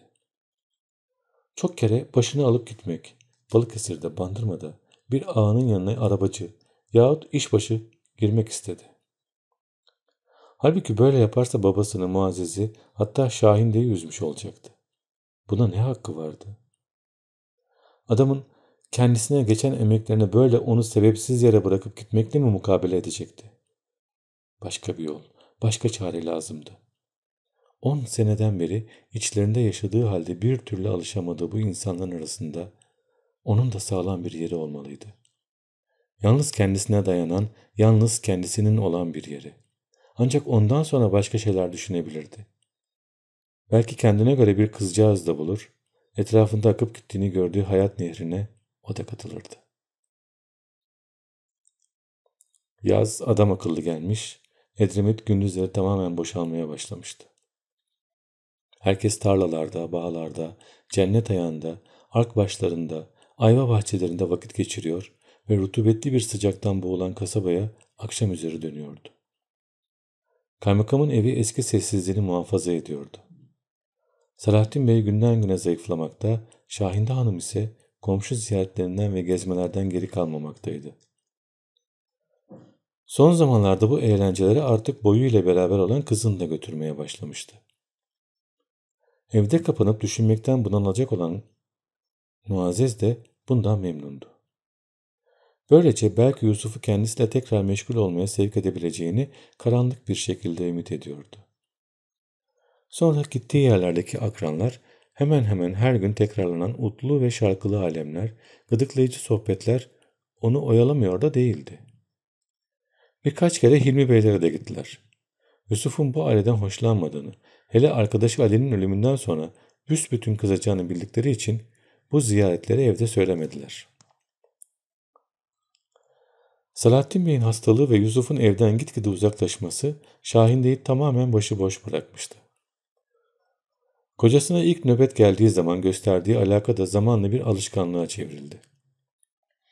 Artık onu senelerden beri hep hastadır sanıyordu.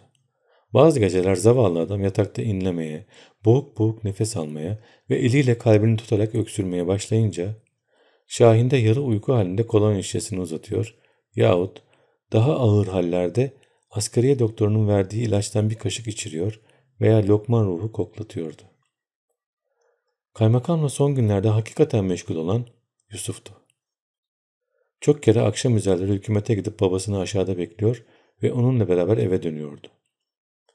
Bu esnada işlerden, kasabaya ve mahsul vaziyetine ait havadislerden bahsediyorlardı. Hiç konuşmayan Yusuf'un böyle tek tük de olsa söz söylemesi Selahattin Bey'i hayrete düşürüyor ve o Yusuf'ta bir değişiklik başladığını seziyordu. O kendine güvenen ve dünyaya meydan okuyan tavırdan Yusuf'ta eser kalmamış denilebilirdi. Konuşurken gözlerinin sana dikip sert sert ve söyleyeceğim bu manasız şeyler miydi demek isteyerek bakmıyor, hatta çok kere yarım bıraktığı bir sözü karşısındakini tamamlamasını, yani sonuna kadar götüremediği bir düşünceyi toparlamakta kendisine yardım edilmesini bekliyordu. Eskiden kimseye, kimseye bir şey sormaz. Sesini çıkarmadan sadece dinlerken, şimdi soruyor, birçok şeyleri öğrenmek istiyordu. Merakını tahrik eden şeyler daha ziyade günlük hayatta ve muhitindeki insanlara taalluk eden muallimattı. Yusuf da yavaş yavaş yabancılık kayboluyor ve etrafına katışmak temayülleri beliriyordu. Selahattin Bey bunları gördükçe hem seviniyor hem de içini garip bir hüznün kapladığını hissediyordu. Eski Yusuf'a çok alışmıştı. Onun mütehakkim, dik başlı ve söz anlamaz hali kendisine daha sıcak geliyordu. Boynu bükük, mütereddit mahcup delikanlıyı bir türlü ciddiye alamıyordu. Fakat kafası bu değişmenin sebeplerini araştıracak halde değildi. Bu söylediğimiz hisler aklından şöyle bir geçiyor ve derhal unutuluyordu. O kadar ki aynı şeyleri bir başka sefer düşününce ilk defa fark ediyorum sanıyor ve yeniden üzülüyor, seviniyor veya hayret ediyordu. Resmi işlerini uzun senelerin verdiği ihtiyatla yapıyor, bunların bir kısmını pek bunalırsa tahrirat katibine bırakıyor ve eve gidip sokak üstündeki loş odanın bir minderine uzanıyor ve hayatını teşkil eden boş seneleri gözünün önünden geçiriyordu. Gözünü yumduğun zaman bir sürü dağ, fundalıklı bayır, kerpiç, ahşap veya kagir evli kasaba ve bir sürü de insan görüyor. Fakat bunların hiçbiri onun alakasını çekemiyordu. Hayatının bütün hatıraları lüzumsuz ve manasızdı. Ömrünün her vakası olmasa da olabilir. Hayatına her giren insan girmese de olabilirdi. Bütün mazisinde kendisine ah neden böyle yaptım veya ah niçin şöyle yapmadım dedirtecek bir şey bulamıyordu. Ve bu ömrünün pek tatlı geçtiğinden değil, sadece ömrünün her kısmına şu anda pek lakayt olduğundandı. Hayattan ne isteyebilirdi? Doğmuş, büyümüş, okumuş, devlet hizmetine girip memlekete dolaşmış, ihtiyarlamış, evlenip kavga ve dırıltı içinde bir hayat geçirmiş ve nihayet bu hale gelmişti. Herkes başka türlü mü yaşıyordu sanki? Başka türlü nasıl yaşanabilirdi? Zevkse ömründe o da eksik değildi. memuriyetle dolaştığı muhtelif şehirlerdeki birkaç cana yakın dost ile yaptığı içki alemleri bugün bile tekrar istenilecek şeylerdendi. Bekarlığında fırsat düştükçe gönül eğlendirmekten geri kalmamış, bazen bir Ermeni hizmetçiyle, bazen bir zaptiyenin dul karısıyla da olsa tatlı günahlar işlemiş ve hele yolu İstanbul'a düştükçe Venedik ve Tümoni sokaklarının kaldırımlarını aşındırmıştı. Bir hayat başka türlü olacak değildi ya. Şimdi gözlerini kaparsa hiçbir şeye yanmayacaktı. Düşünüyor ve ayrılmaktan büyük bir üzüntü duyacağı bir şey tasavvur edemiyordu. Kızı bile onu bu dünyaya bağlamıyordu. Bunda bir lakaytlıktan ziyade mukadderata sessiz bir mutavaat vardı. Madem ki hiçbir şeyi değiştirme iktidarı yoktu, her şey evvelden çizilen bir yolda yürüyecekti. O halde aklı başında bir insan olanları tebessümle seyredip sırasını beklemeliydi. Yalnız Selahattin Bey'i azıcık düşündüren bir mesele vardı. Kendisi ölürse Muazzez'in hali ne olacaktı? Böyle bir vaziyette Yusuf'un Şahinde ile geçinip evde kalacağını tahmin etmiyor, ona şimdiden bu hususta vasiyette bulunmayı da istemiyordu. Ah, ölmeden evvel evladının namuslu birine vardığını görse ve gözleri arkada kalmasa, o zaman bu yorgun hayattan ayrılmayı hatta biraz isteyecekti de. Benim için yapılacak ne iş kaldı ki, diyordu. Yerimizi boşaltsak da dünya yeni geleceklere yer açsak. Fakat Şahinde'ye bir türlü güvenemiyor ve kızını onun elinde bırakıp gideceği için biraz da telaş ediyordu. Ne olurdu artık hiçbir işiyle alakadar olmak istemediği bu dünyadan bu işi de temizleyip gitseydi. Fakat nasıl? Muazzez'i kim isteyebilir, kim alabilirdi? Ona göz koyup almaya kalkanların hali meydandaydı. Şakir Bey ise elini kolunu sallayıp serbest serbest ortalıkta dolaşıyordu. Bir kurşunda kendisi yemek isteyen kabadayı her zaman bulunmazdı. Sonra ismi bu kadar çok geçen, uğruna avukat çıkan bir kıza pek iyi bir gözle bakılmıyordu. Burası ufak yerdi. Selahattin Bey dünya ile alakasını böyle erken kesmese ve hayata daha şimdiden biraz yabancı olmaya başlamasaydı, belki başka bir yere naklini ister, kızına orada münasip bir kısmet arardı. Fakat hasta adam her şeyin kendiliğinden gelmesini bekliyor. Hiçbir harekete geçmeyi düşünmüyordu.